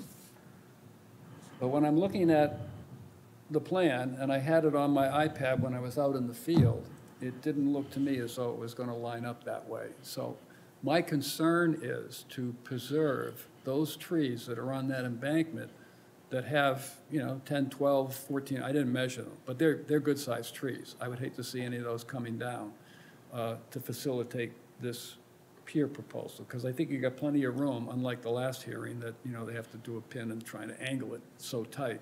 This is not that tight, so um, I'm just throwing that out there, that I, I would not want to see those bigger trees come down. And with that, I'll open it up to other commissioners that have questions, you're on the site or based on the proposal that we have before us. Can I make a comment? I just wanted to Sure. kind of reiterate what you two have just said. I was out there today, and um, there are the two large trees. I took some pictures. There's a bunch of bird nests. You know, I live looking out over Shoestring Bay, and I've much further, you know, closer up towards Quinaquisset. We're in the condos there. But one of the things we love about it is the bird life and the and the the birds you can hear. So I guess when I hear trees coming down, I think of nests going away. I think of birds and the sounds and the things that I love about living in this area disappearing. So that's a concern for me, and I just wanted to say that I agree as well. There should be a different plan. Well, there are a lot of trees that will be coming down, obviously, because the house is being proposed. And when I look down the embankment, I see trees that, let's work with them and see if we can't um, get those, get that ramp. There it is right there. Yep. There's a, s- you see that small, tiny, if you move the cursor a little bit more down, no, over here. There's a little tiny, it's probably about a four-inch, This one here? uh, no, come on over to the right, right there. Yep. See that little Yeah. one right there? If that got clipped out of there, I'm wondering if the ramp, the pier, couldn't get down through those trees without sacrificing any of those trees. I would not want to see, I mean, there's so many options there to, to get that, is this a four-foot wide ramp? Yep. There's a lot of options there. So, um, depending on, and I can't really tell, you know, unless we're right on the site with the surveyor. so for the sake of this, would we condition it to site the pathway and the, and the steps to take out as few trees as possible? Right.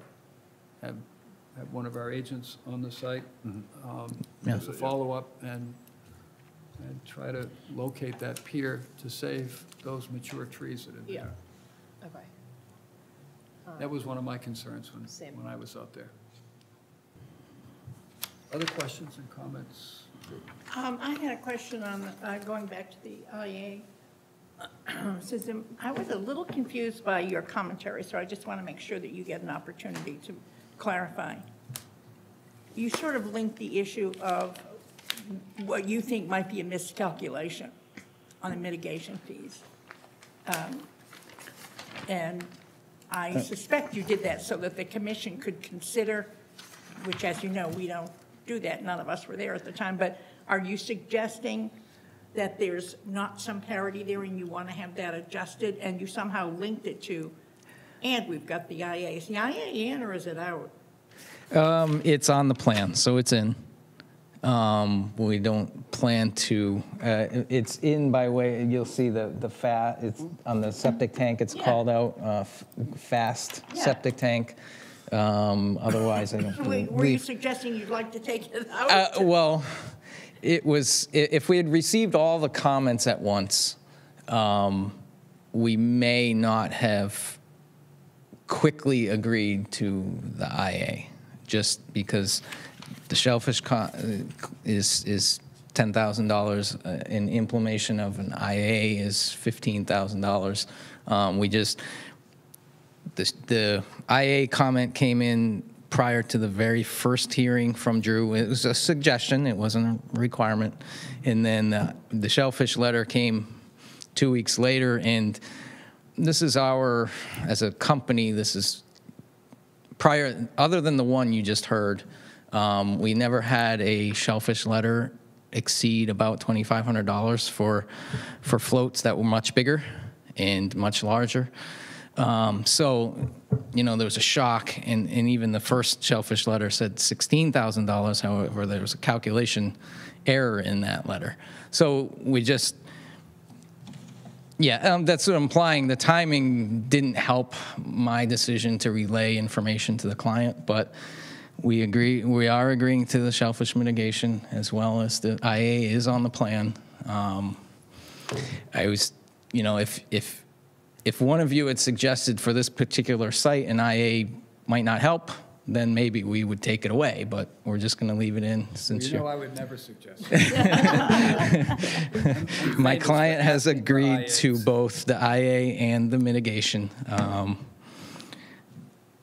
Just You end know, it- end Pat- it there. I'm sorry. I, I just wanted to, sh- to share with you, I think you could, I know it's hard to say, you could be the leader here. Um, The IAs, it seems crazy not to. It just seems, given the time, the calendar, what's happening on the state level, uh, and given the importance of the issue and a brand-new construction, it just seems insane not to.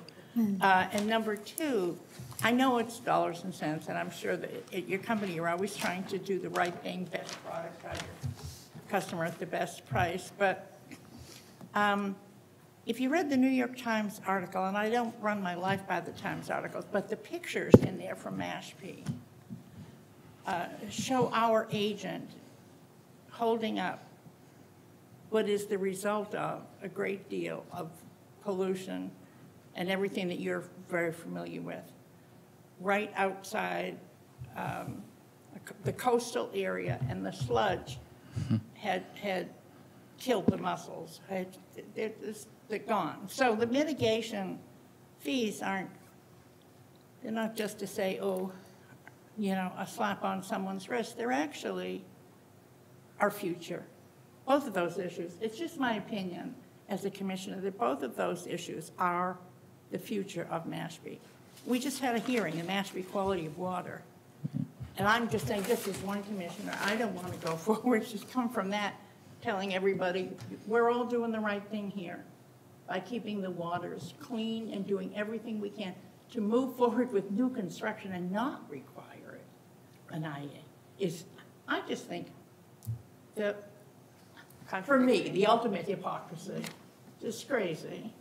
And the fees, I'm sorry if you think that you were unfairly, uh, your formula wasn't applied properly. I wouldn't want anyone to unfairly be, uh, assessed something that, that wasn't uh, in some way backed up by their formula. That's what they meant to do, that's what they intended to do. But having said that, I don't think there should be any connection with uh, mitigation issues and how we feel as a commission for any homeowner, for any, con- new, particularly new construction. I wouldn't sleep well tonight. Well taken. So la-di-da. Yeah.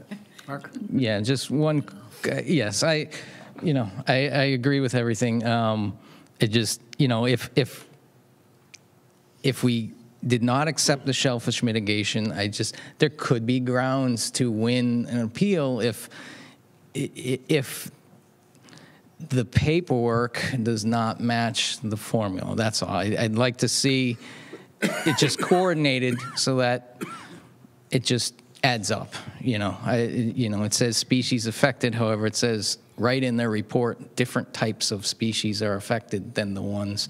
So, you know, it, it, it was just this, almost a suggestion, I guess, just to, to nail down um, the formula. And in fact, your regulations actually have a, it was described as a typo, basically, when we did meet to discuss about it. So that was my only, uh, you know, just a solid coordination of, of, of the paperwork.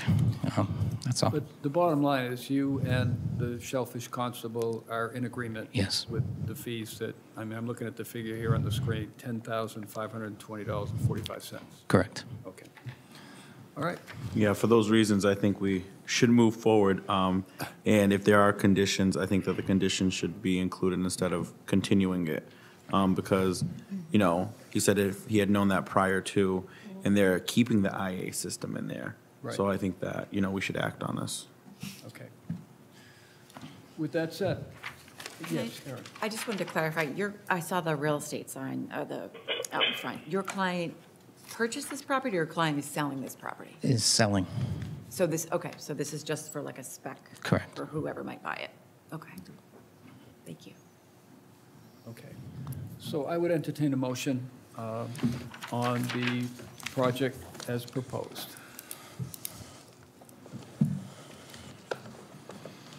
Is there a condition that you had about moving the tree or something, or Work moving? with staff to site the the location of the pier. To site the location with the least amount of trees Yeah, taken down. location of the steps to.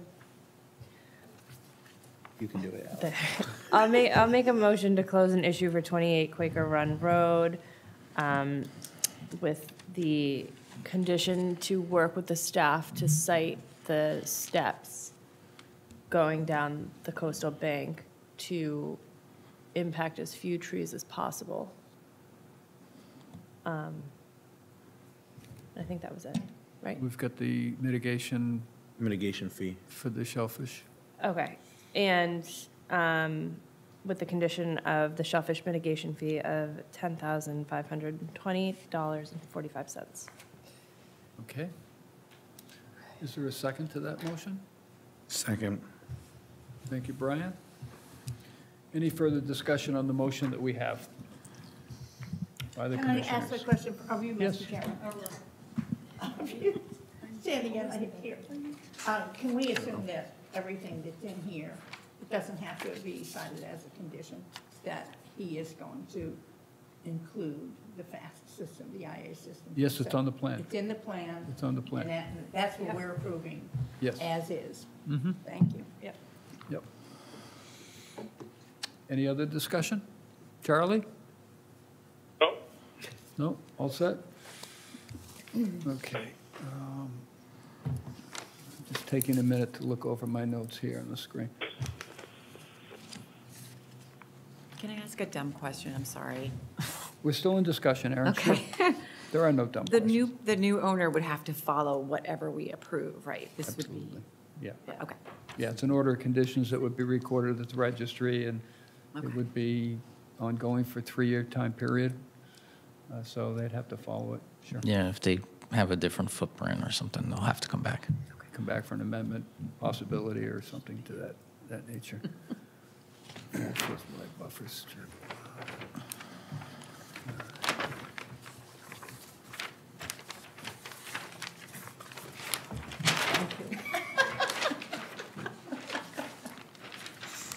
I'm just, I'm looking at, um, we're still in discussion, I'm looking at Drew's recommendation, and uh, project proposes to maintain a 50-foot wide naturally vegetated buffer strip as per regulatory standards on an undeveloped lot. Pathway stairway of four-foot width through the buffer strip is allowed per regulation 29. So we're in agreement that this is a four-foot wide pier.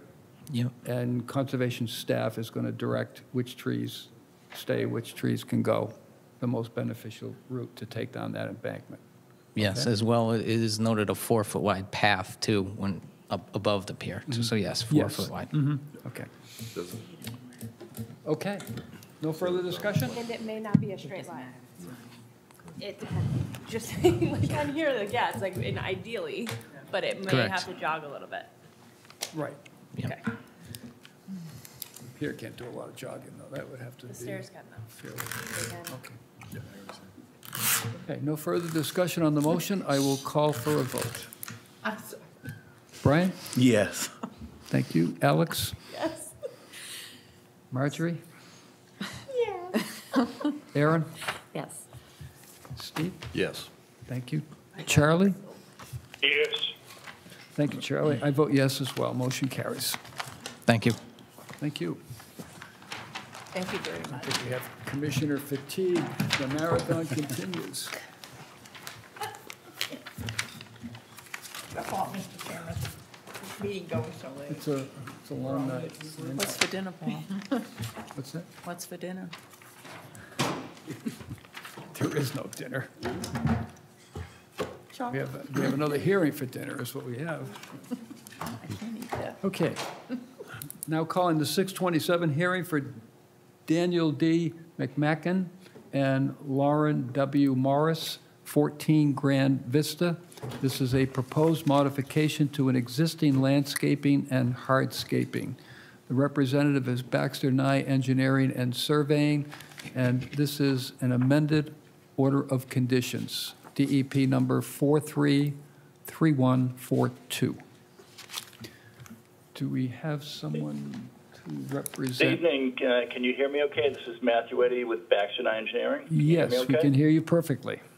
All righty, thank you. Thank you. Well, uh, thank you for uh, hearing me tonight, and I will try to keep this brief. I believe this is fairly straightforward, and I know you've had a long evening. Um, this is a uh, an amended order of conditions request for 14 Grand Vista.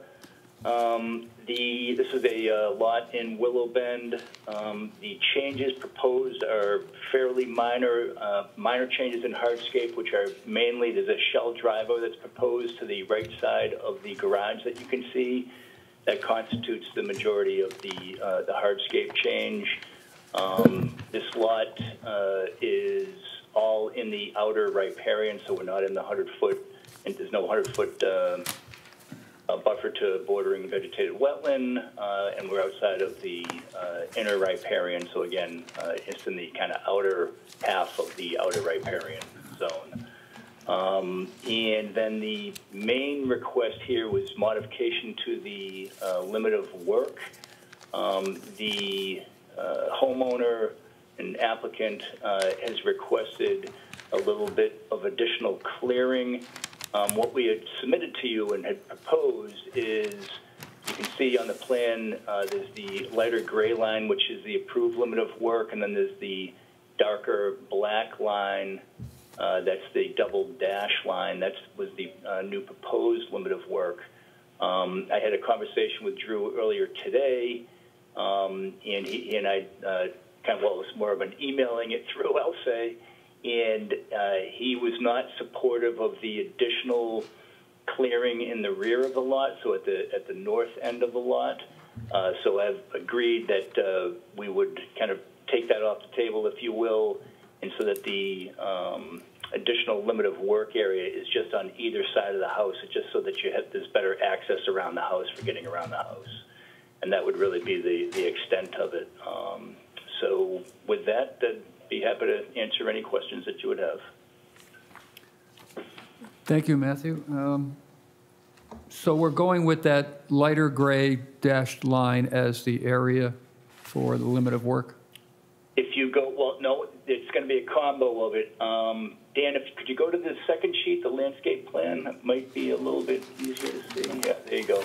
So if you see the uh, there's the lawn edge in the back of the house. Yep. See where it says lawn and there's that solid black line. You got it right there. That's the that's the edge of lawn. So Drew, in my discussions with him, we agreed to that. And then up, going up the sides of the house, the limit of work will be pushed out along the sides of the house. But then in the rear of the house, where we were going to clear, where we were requested to clear further back in the in the rear of the house, there you go. All of that area will take off the table. So basically, it, it will follow the gray line, if you will, on the back, but then follow the edge of lawn and then wrap back into the you know, side property line or the or the proposed limit of work on the side of the house. Okay. Sense? Can I ask a question, uh, Mr. Chairman? I think, you know, um, if Drew's not here, maybe um, Dan can answer this question. He said this would likely need to have a continuance. I'm assuming it's because what's before us um, is going to be amended again. So shouldn't we just continue and have him come back with an amendment, instead of just saying, I'm taking it off the table, him come back with a new plan? Um, yes and no. So he's taken that part off the table where they wanted to just reorganize the natural buffer zone beyond the work limit. Um, but what Drew has also pointed out um, is the 5,000 square foot area limit. Um, since this is a riverfront, you can only do 5,000 square feet of Right. modification. Um, and he wants, and he wants a number. Is it 5,000? Is it below? Is it above? Um, is really what he Which wants. is missing from this one. Um, from the, from Drew's notes, yes. Yeah. So I, I don't see how we can deal with it. I mean, yeah, I think I have the same concerns because I think these things need to be addressed, and I think that moving forward, like, we should have a process, you know, for the department to vet these applications and things, because if they don't answer all of the questions, I don't feel comfortable moving forward with anything until they've addressed all of If, if I if I may, that information is provided in the narrative letter. Narrative? I'm sorry, what did he say? In the narrative letter. Well, I read As the part of narrative the, letter, but as it part of the application information submitted. on. And the reason this is a second amendment is if within Willow Willow before the lots were developed, they did order of conditions for all of the lots out there, and, and they had, they got what was referred to as a generic approval for each of the lots. Once they then sell the lots and they have a, a new homeowner who's now going to actually, you know, has the plans of how they want to develop the lot, we then come in with those actual plans and amend the original order of conditions. That's the only reason that you see a prior or amended order of conditions. This, re- this amended request here, again, I, I think is, is very uh, minimal change. Just as, you know, the house is under construction, it's near completion, there was just some adjustments that they were hoping to make out there. So the adjustment is from 3,599 square feet to 4,066, is that correct? Um, in regarding to, for, for, what are you referring to? I'm sorry. Um, I'm referring to the uh, letter that you said, the narrative letter that came with this filing. Those are the figures that I see on That it. is in the, hold on, let me get it to the letter if I could.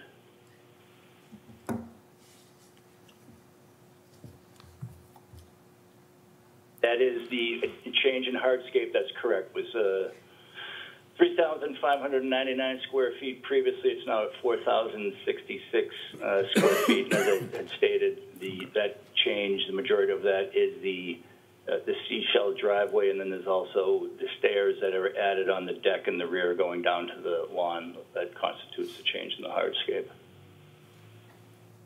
So then the total amount of alteration is 4,066. No, that's the, that's the total amount of hardscape. Um, within the lot. The, if you look we- down further, uh, this paragraph below that, um, work within the um, outer riparian is 5,866 square feet. The, it's over the 5,000 square feet. This is a dialogue Right. that I've had with the commission previously and with Drew. Willow Bend was done as, and approved as a open space development, as I'm sure you're aware, and so the rear of all of these lots have already um, conserved the uh, natural open space. So that's why the lots in Willow Bend, as a cluster and open space uh, subdivision and development, the lots are smaller just as far as the actual lot size that each individual homeowner owns. And uh, so with that, the dialogue that I've had with Drew is there is additional area, un, under the Rivers Act, you have 5,000 square feet on a lot, or you can do 10% of an overall riverfront area. When you look at uh, the riverfront area along Grand Vista within Willow Bend, um, the allowable uh, square footage, if you take 10% of that area, would be over 5,000 square feet per lot. That's the, that's the reasoning there. So we're proposing 5,866 square feet. But are these the numbers af, uh, before you spoke with Drew or after you spoke with Drew? Five, so the 5,866 is the number that does not count doing that, the clearing. The clearing that we were proposing in the rear of the lot, which that was then going to be revegetated. It was just, we felt that we were going to be able to enhance the, the, the uh, riparian area actually. Um, but Drew just wasn't comfortable with that. He wasn't supportive of it. So I said I'd take that off the table. So not just, if we just hold that lawn line, uh, which is basically a line that the gray line in the rear, and then just extending it out to the sides, that's the 5,866 square foot number. Okay.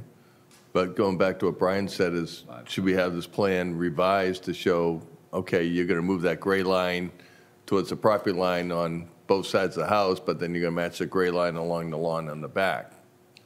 So should this plan be amended before we Yeah, I mean, vote what on I'd propose, if I could, is um, to just, you know, make that amendment to the plan, uh, the revision of the plan, uh, you know, in consultation with uh, staff.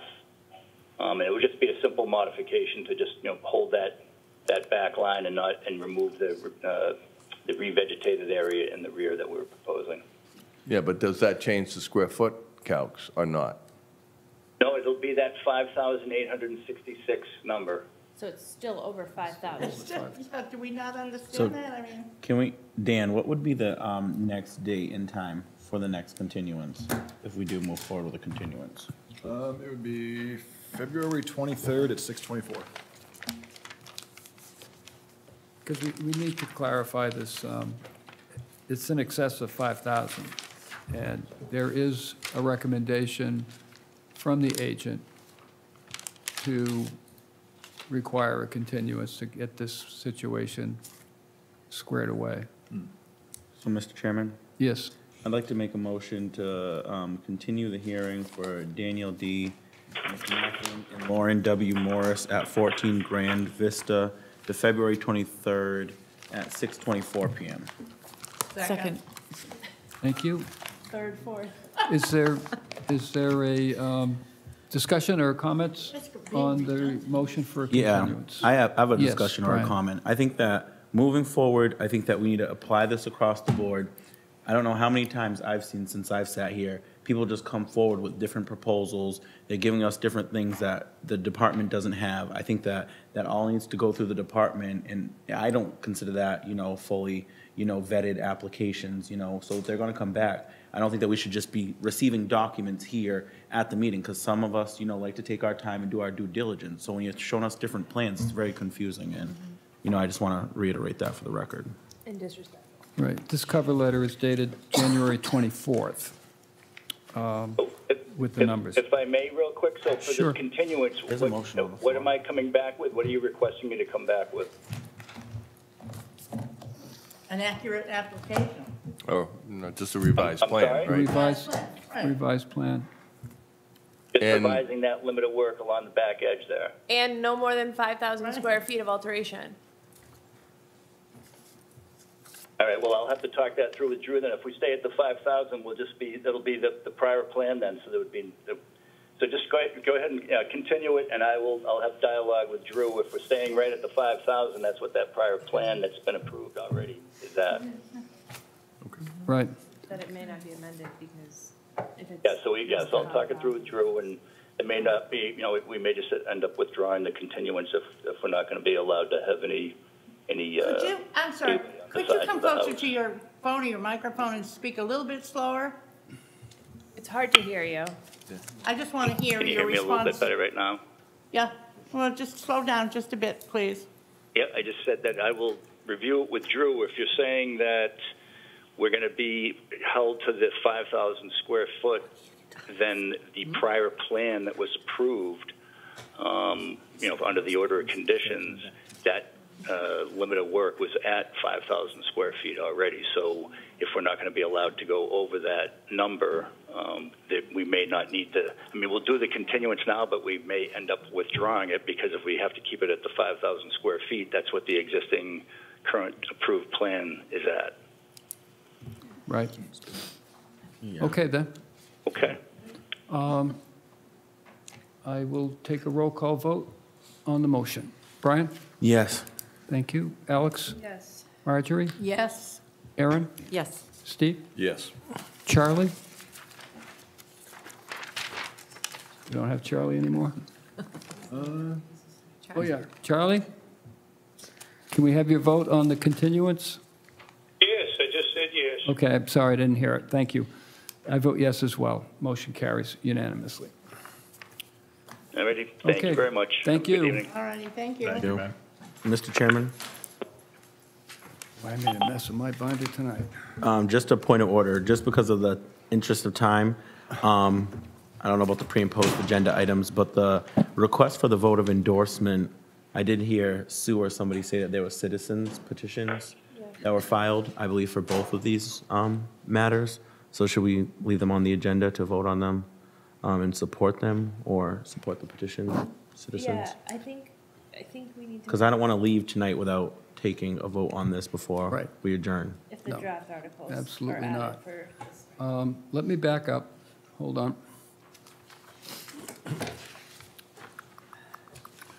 Under communication and correspondence, there is a request for vote of endorsement for the 2023 May town meeting.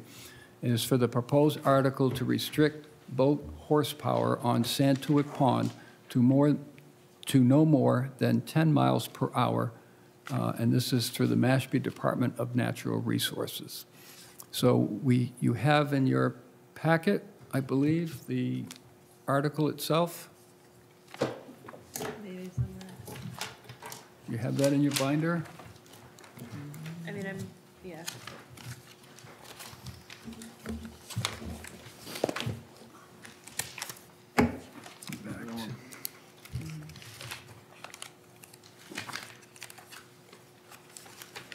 Regulation Attending- 30, draft article, no, hold on.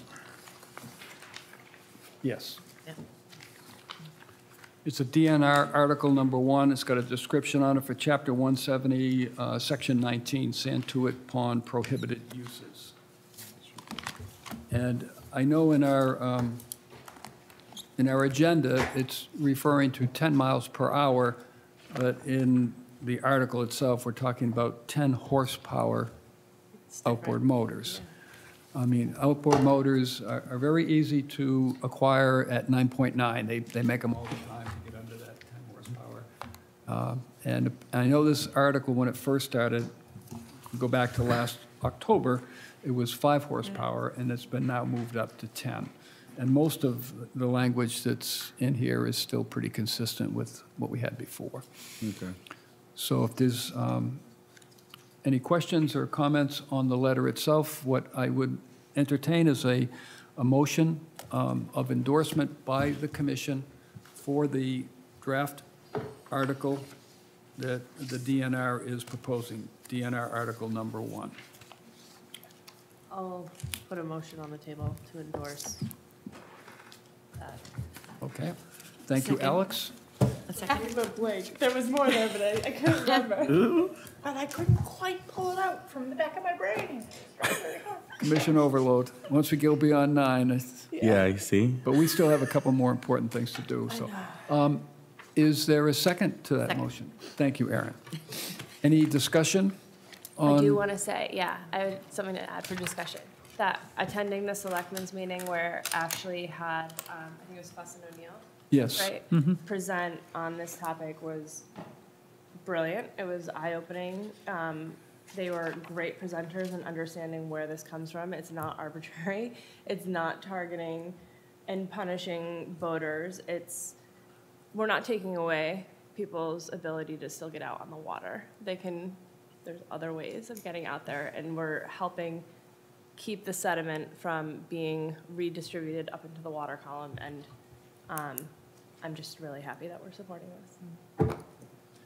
You know, un- until we, um, until we get wastewater relief, uh, not only in Phase One, but multiple phases, including the ponds, um, we have to look as carefully as we can at what I would like to label as no-cost options. There's a lot of different things that we should be doing and encouraging people to do, and we heard it loud and clear tonight in that Mhm. discussion forum. Um, So I, I don't want to amend your motion, but I wholeheartedly support uh, this, this draft article. Any other discussion? Hearing none, I will take a vote. Brian? Yes. Thank you. Alex? Yes. Thank you. Marge? Yes. Aaron? Yes. Steve? Yes. Charlie? I have to say no to this. Okay, thank you. And I vote yes. Motion carries. All right, that's out of the way. Um, Go back to this.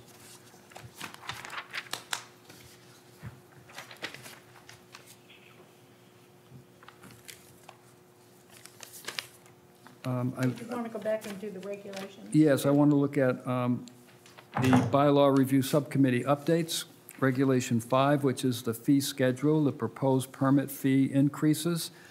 Um, I'd like to have a brief discussion on that article first. Um, And then we would um, have this in preparation for public comment. So that's also in your packet. I know there was some talk about adjusting the fee for after-the-fact filing. And I think that's been adjusted. And all of the fees are listed out there for you. If there's any questions or comments on the draft that we have before us? So, Mr. Chairman, what would we be looking for here? Well, under the pre and post agenda items, we have a discussion based on the draft that's before us. And if everybody is okay with that draft, I would go to the end of our agenda where we have a 633 Town of Mashpee public comment for proposed amendments to regulation filing fees and regulation 30. Let's just do five for now. Um, And if we're okay with it, we can open it up to public comment. There's not a lot of public here. The newspaper's here, which is always good. Fit in the audience. And, and we're on television, which is always good. Um, I won't entertain a motion to um, vote for this as of yet. I, you know, I wanted you guys to be okay with the draft. I don't know if you are or not. We haven't crossed that bridge yet with the filing fees, let alone Regulation 30. But once I know you're okay with that stuff, then um, I would prefer to have it on our next agenda as a public hearing, public comment, so that we have the two-week window to adjust and think about everything that we have here, and then listen to the public, and then we can move on it. So with that being said, we could do a motion to accept the draft as presented and then place on the next agenda? Yes. Okay, That's, that would be my motion um, for Regulation 5, the fee schedule. okay. Can I? So we have a just- motion on Regulation 5 to accept it as drafted. There's a, mi- there's a mistake in the There is a mistake, and we category where, four. There's, just the math is wrong. And where do we see that, Aaron? I'm sorry. Um, Category four, down the bottom, it says uh, 610, and after the fact, 1120. Shouldn't it be 1220 if it's double? I'm not a math person, but 610 times two is 1220, not 1120. Yes, that would be 1220, you're right. Yep. Usual for me to catch a math mistake. Good catch, Aaron. Last time- last time I had my pocket calculator out. Okay, duly noted. Hold on, let me mark that. Okay. Well, I'll make the motion to um, approve the draft with edits.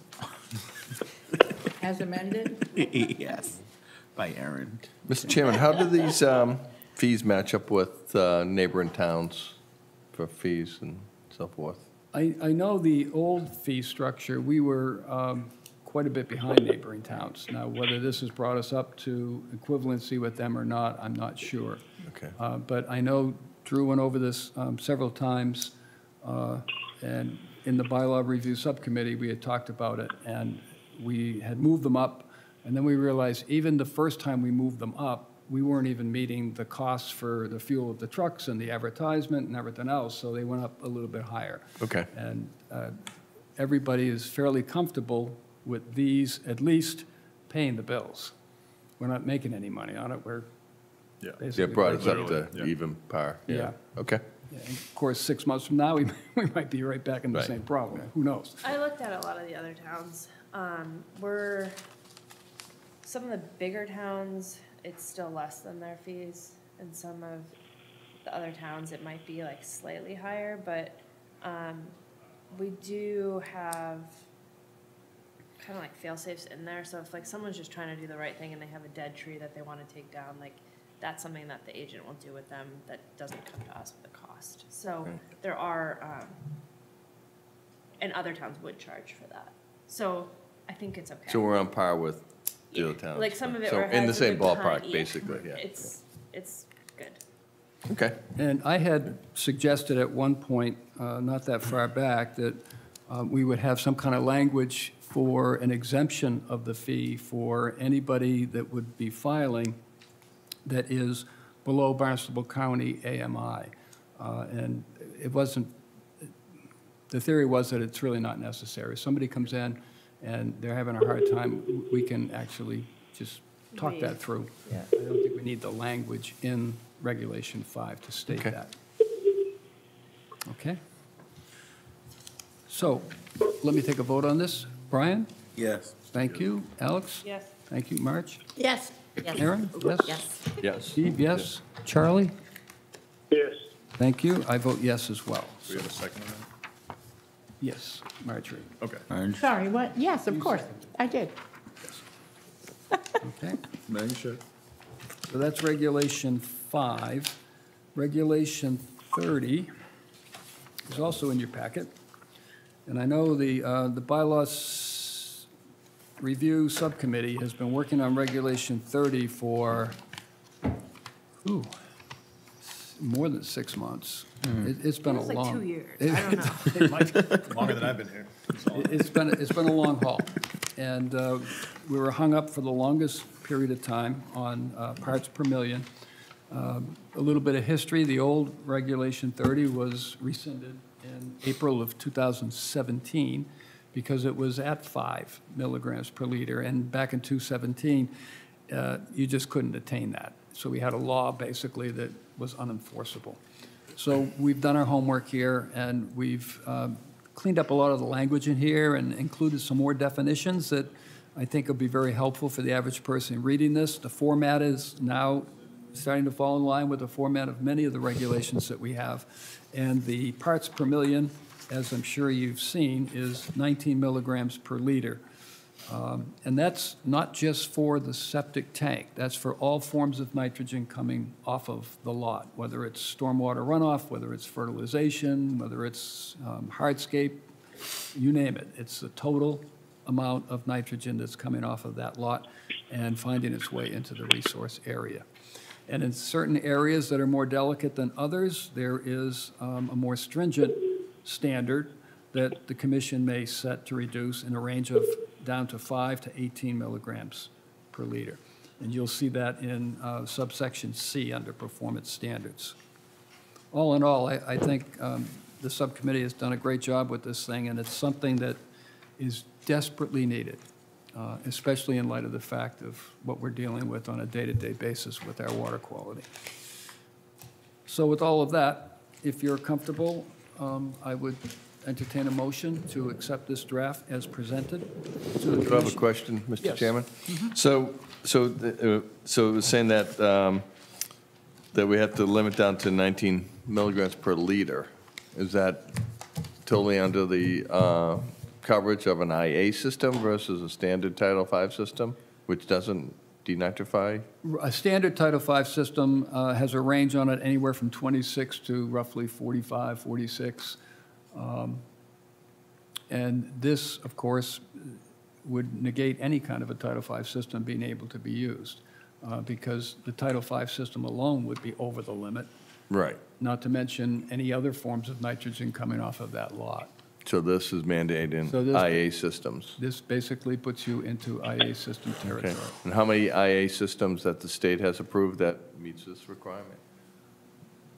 I don't have the exact number, but I know there are many.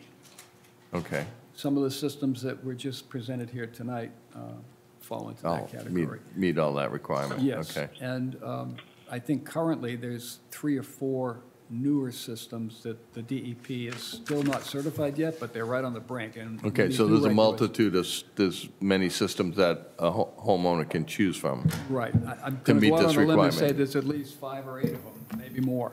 There's Okay. quite a few. You On the DEP website, they're all listed there. Yeah, so in- there's, n- there's no uh, difficulties in- in obtaining one of these systems, or they're not? No, So- and this regulation would not like shoehorn somebody right into a particular system. It's not like we're Right. saying, this is what you need. You have multiple options, Sure, right? There are many options there. Okay. Yep. And does this address, uh, and that includes fertilizer too, eh, or not? Uh, no, the fertilizer is regulation 31. We 31. uh, We haven't Okay, so tackled it's that one just- yet. That'd be so much fun. Right? Yeah. In fact, we've talked um, already, once these, now that these, we've finished our work with these, we're going to move on to regulation 25, because that's, seems to come up every time we meet, land subject to coastal flow, and 31. So I guess the 31 isn't next. Oh, 31 comes after 25. 25 and 31, I think we want to do, and uh, even 29, you know, which is the buffer setbacks. Uh, But anyways, we're looking at 30. Okay. Mr. Chairman, I Yes. make a motion that we accept um, the Regulation 30 Prevention of Pollution draft as presented. Thank you, Brian. Second. Thank you, Marjorie. Any further discussion? Hearing none? Brian, your Yes. vote? Thank you. Alex? Yes. Thank you. Marjorie? Yes. Aaron? Yes. Steve? Yes. Charlie? Yes. Thank you, Charlie. I vote yes as well. Motion carries unanimously. Okay, one last bit of, We're cruising. moving it right along Cruising. now. Are you kidding? We've been here three days. It's already, it's already Valentine's Day. Just don't take my Valentine's candy that's on this desk. Going back, hold on, let me just get back to We're to. just getting loopy now. Well, my sugar level is now at It's, eight it's been a long night. You see why I said what I said, that we need to do that first? Because could you imagine if we did that now? Yeah.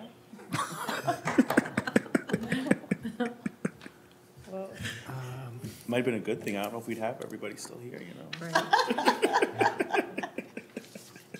Oh, my gosh. I'm looking on the agenda for articles, the warrant articles, hold on. Um, So under the bylaw review subcommittee updates that we just finished, Regulation 5 and 30, uh, the next part of that agenda item is a discussion on the expansion of the buffer zone from 100 feet to 150 feet. Um, We have two draft articles. Um, This is for Chapter 172, the bylaw, not anything to do with our regulations. This is the bylaw itself. And Chapter 172-2 is for the jurisdiction language of the bylaw. And Chapter 172-7 is for the permits, determinations, and conditions of the bylaw. And unlike, as I mentioned in the discussion forum, unlike regulations that we can work with under home rule authority, uh, these are not. These are bylaws that have to be approved and moved on. Uh, So we have some draft language here for you to look at, and the only bridge that's left to cross is whether we want to accept these articles and move them forward, and move them forward to the May 2023 town meeting, or move them forward for October. Uh, I've read these five, six, eight, I don't know how many times. I've read them and read them and read them. And uh, my personal feeling is that we should move both of these articles forward for the May meeting. Um, It's already been told to us that there are citizens petitions out there that are going to do this regardless. Um, And I really think it's our responsibility as stewards of our environment to take our job seriously. We have the language here, it's done, all the figures have been adjusted, and um, I would be happy to entertain a motion to move them to May rather than October, but I'll entertain any motion that comes before me.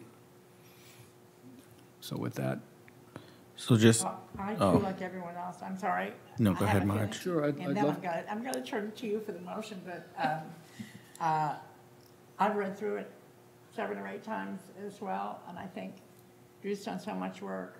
Mr. Chairman, you've done so much work, and May should be what we shoot for. That's my personal opinion. Go. Yeah, I just wanted to say, um, kind of to that point, I feel like with the citizens petition or articles, you know, if they're mirror articles to this, um, I could see us, you know, supporting the citizen petitioner articles and moving this one to October, you know, playing devil's advocate here, assuming that it doesn't pass in May, we're gonna have to go back in October anyways and just try to do it again if we wanted to. So, I mean, I don't know. I feel, yeah, it's hard. So I feel like we have the momentum. I feel like we have, I have, we have people wanting to help us educate, wanting to stand behind us at town meeting. I feel like it'll be a lot of work in the next eight weeks, um, to get this people in the town to understand it. Um, it feels, I hear you, you're, I hear that you want it to be strategic to get it passed. I think- Yeah, because we see how town meeting is. You'll be there all night, and then it's like the citizen petitioner articles are all the way at the end. So it's like, you know, I don't want to add articles and warrants that are gonna, you know, they're the So- same. So They're the if- same. If the, if the, if it's petitioned anyway, then you're saying, you know, it can get passed anyway without us putting it forward. And I haven't seen the citizens petition, so that's what I'm saying. If it mirrors ours exactly, then therefore, like, I feel like we can leave this item and maybe table this, um, because I believe the select board also, um, can bring articles after the deadline anyways. So, yes. so we can get our liaison to do that, and the citizens petition articles have already been submitted. So there is a petition that's been submitted already outside of our draft that we're voting on right now. So that's why I think I'd recommend that. So can I play the devil's advocate to your devil's advocate? Always. Is that ever done? I'll be the second judge. Um, I think May is better for two strategic reasons. Your thinking is good, but I think we miss an opportunity that we'll never get back. To be leaders. Not just to be leaders, but to have the enthusiasm and back of 13 to 15 different citizens group. And they are good. They know how to run a campaign.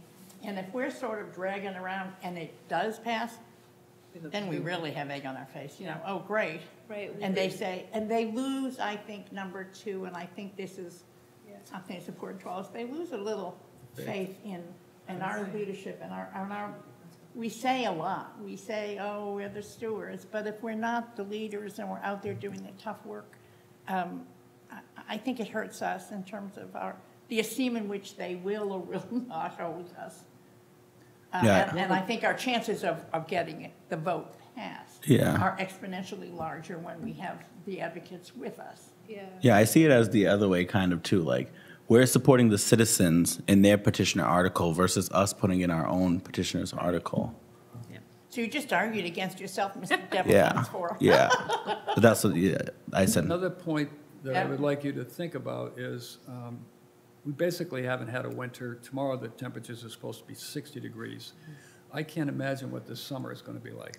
And if we can get some extra buffer to mitigate what's going into the waters, uh, we- we know we're going to have all kinds of problems this summer. I just, I know it's coming. And if the summer is anything like the winter, it's going to be really hot. So I think we should just put all our ammunition on the table and let's just bring it forward. Yeah. You got that And there's a lot of article so time between now and May. I mean, Yeah, I, I mentioned this before. Uh, It's, it's only early February. You could almost take a college semester course in the length of time Yeah. we have between now and May to educate everybody. And we're going to continue to have forums in here. They're not going to be a full hour, but we can come maybe 15 minutes. But who says time. that they can't be? Yep. Well, and also, I mean, February is like over next week because it's a weird month and it goes by really quick. So this will be here before we know it. We can't. Yeah, well, it we does- can't be uh, disillusioned that it's we have time because I feel like we really need to move on this. Right. Um, but I also say, and I wasn't sure when, like, how to address the misinformation that was even presented tonight. Um, it is not two. What did he say? Two point eight acres. Oh, that was Townwide. the mathematical calculations? Yeah, I just got. Oh. Ken, Ken Masters said two point eight hmm. acre buffer zone increase townwide. That is, that is not correct, and I think we need help, um, putting out the information that is correct. Mm-hmm. And Yeah, I I don't don't know, even know that it was relevant. no, uh, The it was a way red that he herring. Packaged it was like saying. Yeah. It, it was a case of taking data and making it say what you want to say. Yeah. Right, so That's what how do, was. how The do figures are we right, but- get ahead of it? Well, you ignore his math, first of all, I think, because it's not our math. Uh, No, no, I mean, it doesn't go to the issue. No. He it had the doesn't. right to say it, but it didn't make sense. No. Well, if you look at it in the grand scheme of things, it's only a 25-foot increase in, over the 50. So you say, okay, 25 feet, well, this is 25 feet from me to that wall behind you.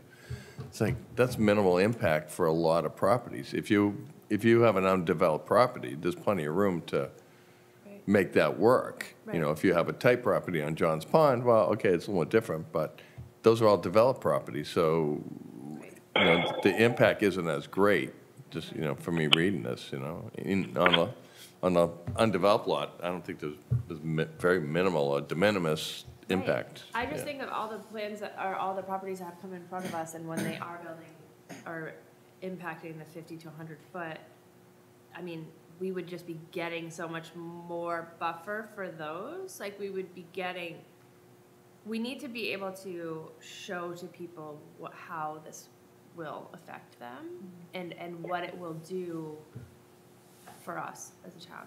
I I think you're right. Maybe the top five reasons. Well, right now, my mind is not, I know that this will shock you. It's not as sharp as it always is at seven in the morning. So, but I mean, I think over the next week or so, we might be able to, and I'd certainly be willing to share by email, those top five to seven points, why uh, you should not only take note of these warrants, but you, you should vote for it. You should get your fanny, you know, out of the house and down to, vote. this is why it's important to you, the property values and everything that we've talked about tonight, and so many others. If we do pass these along, I, I, I agree, we have a lot of outreach to do Yeah. between now and May. We have to sell our wares. Yeah. Okay. Do we need a vote on that? Are you good? Yes, I need a vote on each article. Um, So I'll entertain a motion on the first article, which is 172-2. And uh, in your motion, would you include, first of all, if you're moving to forward this article and for which town meeting? I'll make a motion that for article, the first article, chapter one seventy-two two, that we, um, are putting it forward for May twenty May twenty-three. 2023. Okay, thank you. Is there a second to moving this forward for May? Second. Thank you, Aaron. Any discussion on that one before I call for a vote? Hearing none? Brian? Yes. Thank you. Alex? Yes. Marjorie? Yes. Aaron? Yes. Steve? Yes. Charlie? No, I believe it should go to October. Okay, thank you. And I vote yes as well. Motion carries. I'll now entertain a motion for the draft article for Chapter 172-7A1. Somebody had that tonight in their discussion. They had all the Yeah. letters memorized and I everything. gave her a round of applause. But it's 172-7A1, permits, determinations, and conditions. No, no, no, Motion? Thank you, Brian. Second. Thank you, Aaron. And that motion is for, I'm assuming May, Correct. okay? Any discussion on that? I'd still like to see the citizens petitioner articles, because I think, back to my point, you know, if we're all gonna get together and we have one shot at this, I mean, I guess talking to the other groups, like, would they be willing to pull their citizens petitioner article if we put one article forward? I just feel like we're just putting multiple articles forward. Why Right. reopen it? Aren't they, wasn't there the, I thought, did I misunderstand? I thought that they had it drafted and ready to go. If we didn't. If, e- if. That- That's what I'm confused If the selectmen pulled it, pulled back our article, or however they maneuver it. So if we put it that's- forward, the selectmen don't have to put it forward, right? Right. What we're doing is we're moving this to the select board. Right. And then there has to be a majority vote of the select board to approve that article to put it onto the Yeah. warrant. I They mean, we might should just do it not. anyways, because the select board's gonna decide whether the citi- citizens petition moves forward anyway, so if They they see can't. multiple. So Citizen but if they petition turn us goes. down, That's a citizen Right. petition, they're that gonna goes. be in the queue, isn't that what she said? Yeah. So If they the turn selectmen ours don't- down. If So the they're the selectmen don't put it backup forward, then, then the, s- the petitioner article goes. Yeah, that's why I think I was trying to get us to support the citizens petitioner article, because that will definitely move forward, but, I mean, I it don't doesn't think- hurt to try, so. Right. Can we just call the vote? It's a win-win either way. Yeah. I haven't seen the language on the citizens petition, but I've been told it's identical to the Have you figures that seen we it have. We'll see how the select board. Yes, Right. yes. Well, Um, don't it is, share things? it had a couple of points that just weren't in there, that weren't related to the one that Drew drew up. Um, Um, so I do know Drew was in contact with them. Um, the discussion they had, I'm not too sure. From what I heard tonight, I would assume it went well and they are ready to back whatever happens. Why did, why did of our- Evan want us to do it in October? I- He, His- he was worried about a failed vote. Yeah, he, Is what he's he worried felt as though there was not enough time to mount a- an educational outreach to the community Who? to support it. Town planner. Oh, that's interesting. Yeah. Right, and then, but we've had that in the past where we It's held it and waited and then nothing. And it still doesn't. And he's, he was concerned because then it would have to wait for two years before it's even touched again. Yeah. So that's why he was concerned about it, because he wants it to, he just wanted to make sure we didn't have to wait to two years if something happened. Wh- When, it- when, when are the local officers up for election, May or October? May. In May, see, that's gonna be a bigger turnout. Hmm. And have better opportunity and better likelihood that we're gonna get passage. Yeah, the Because people are is gonna wanna go anyway. town All the meeting first and candidates then the election. We just need to, uh, we just need to make sure that the people that show up are. They're very 100%. close to it.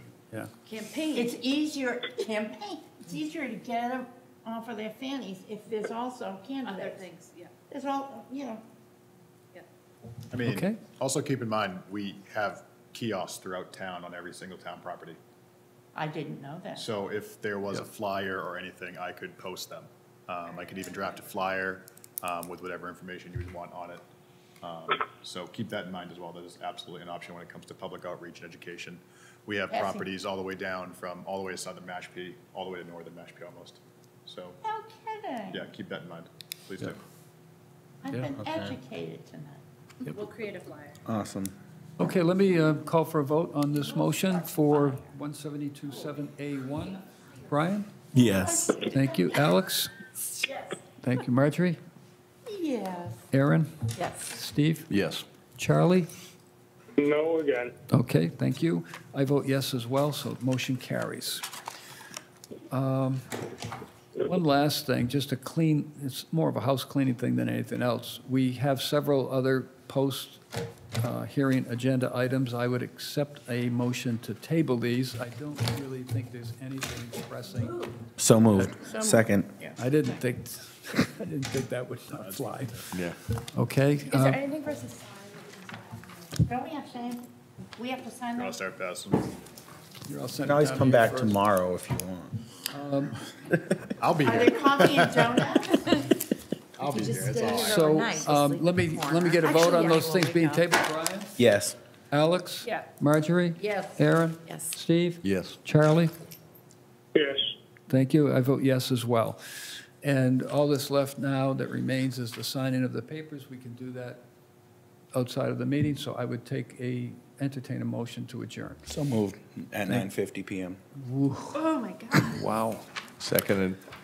Thank you. Uh, Brian, you're okay with that? Yes. Thank you. Alex? Yep. Marjorie? Yes. Aaron? Yes. Steve? Yes. Charlie? Yes. And sadly, I vote yes as well. I'm a glutton for punishment. What's the record? I think you just saw it. Did we just make the I record? don't think I want to know. I don't think I've been to one that's Listen, the next This time I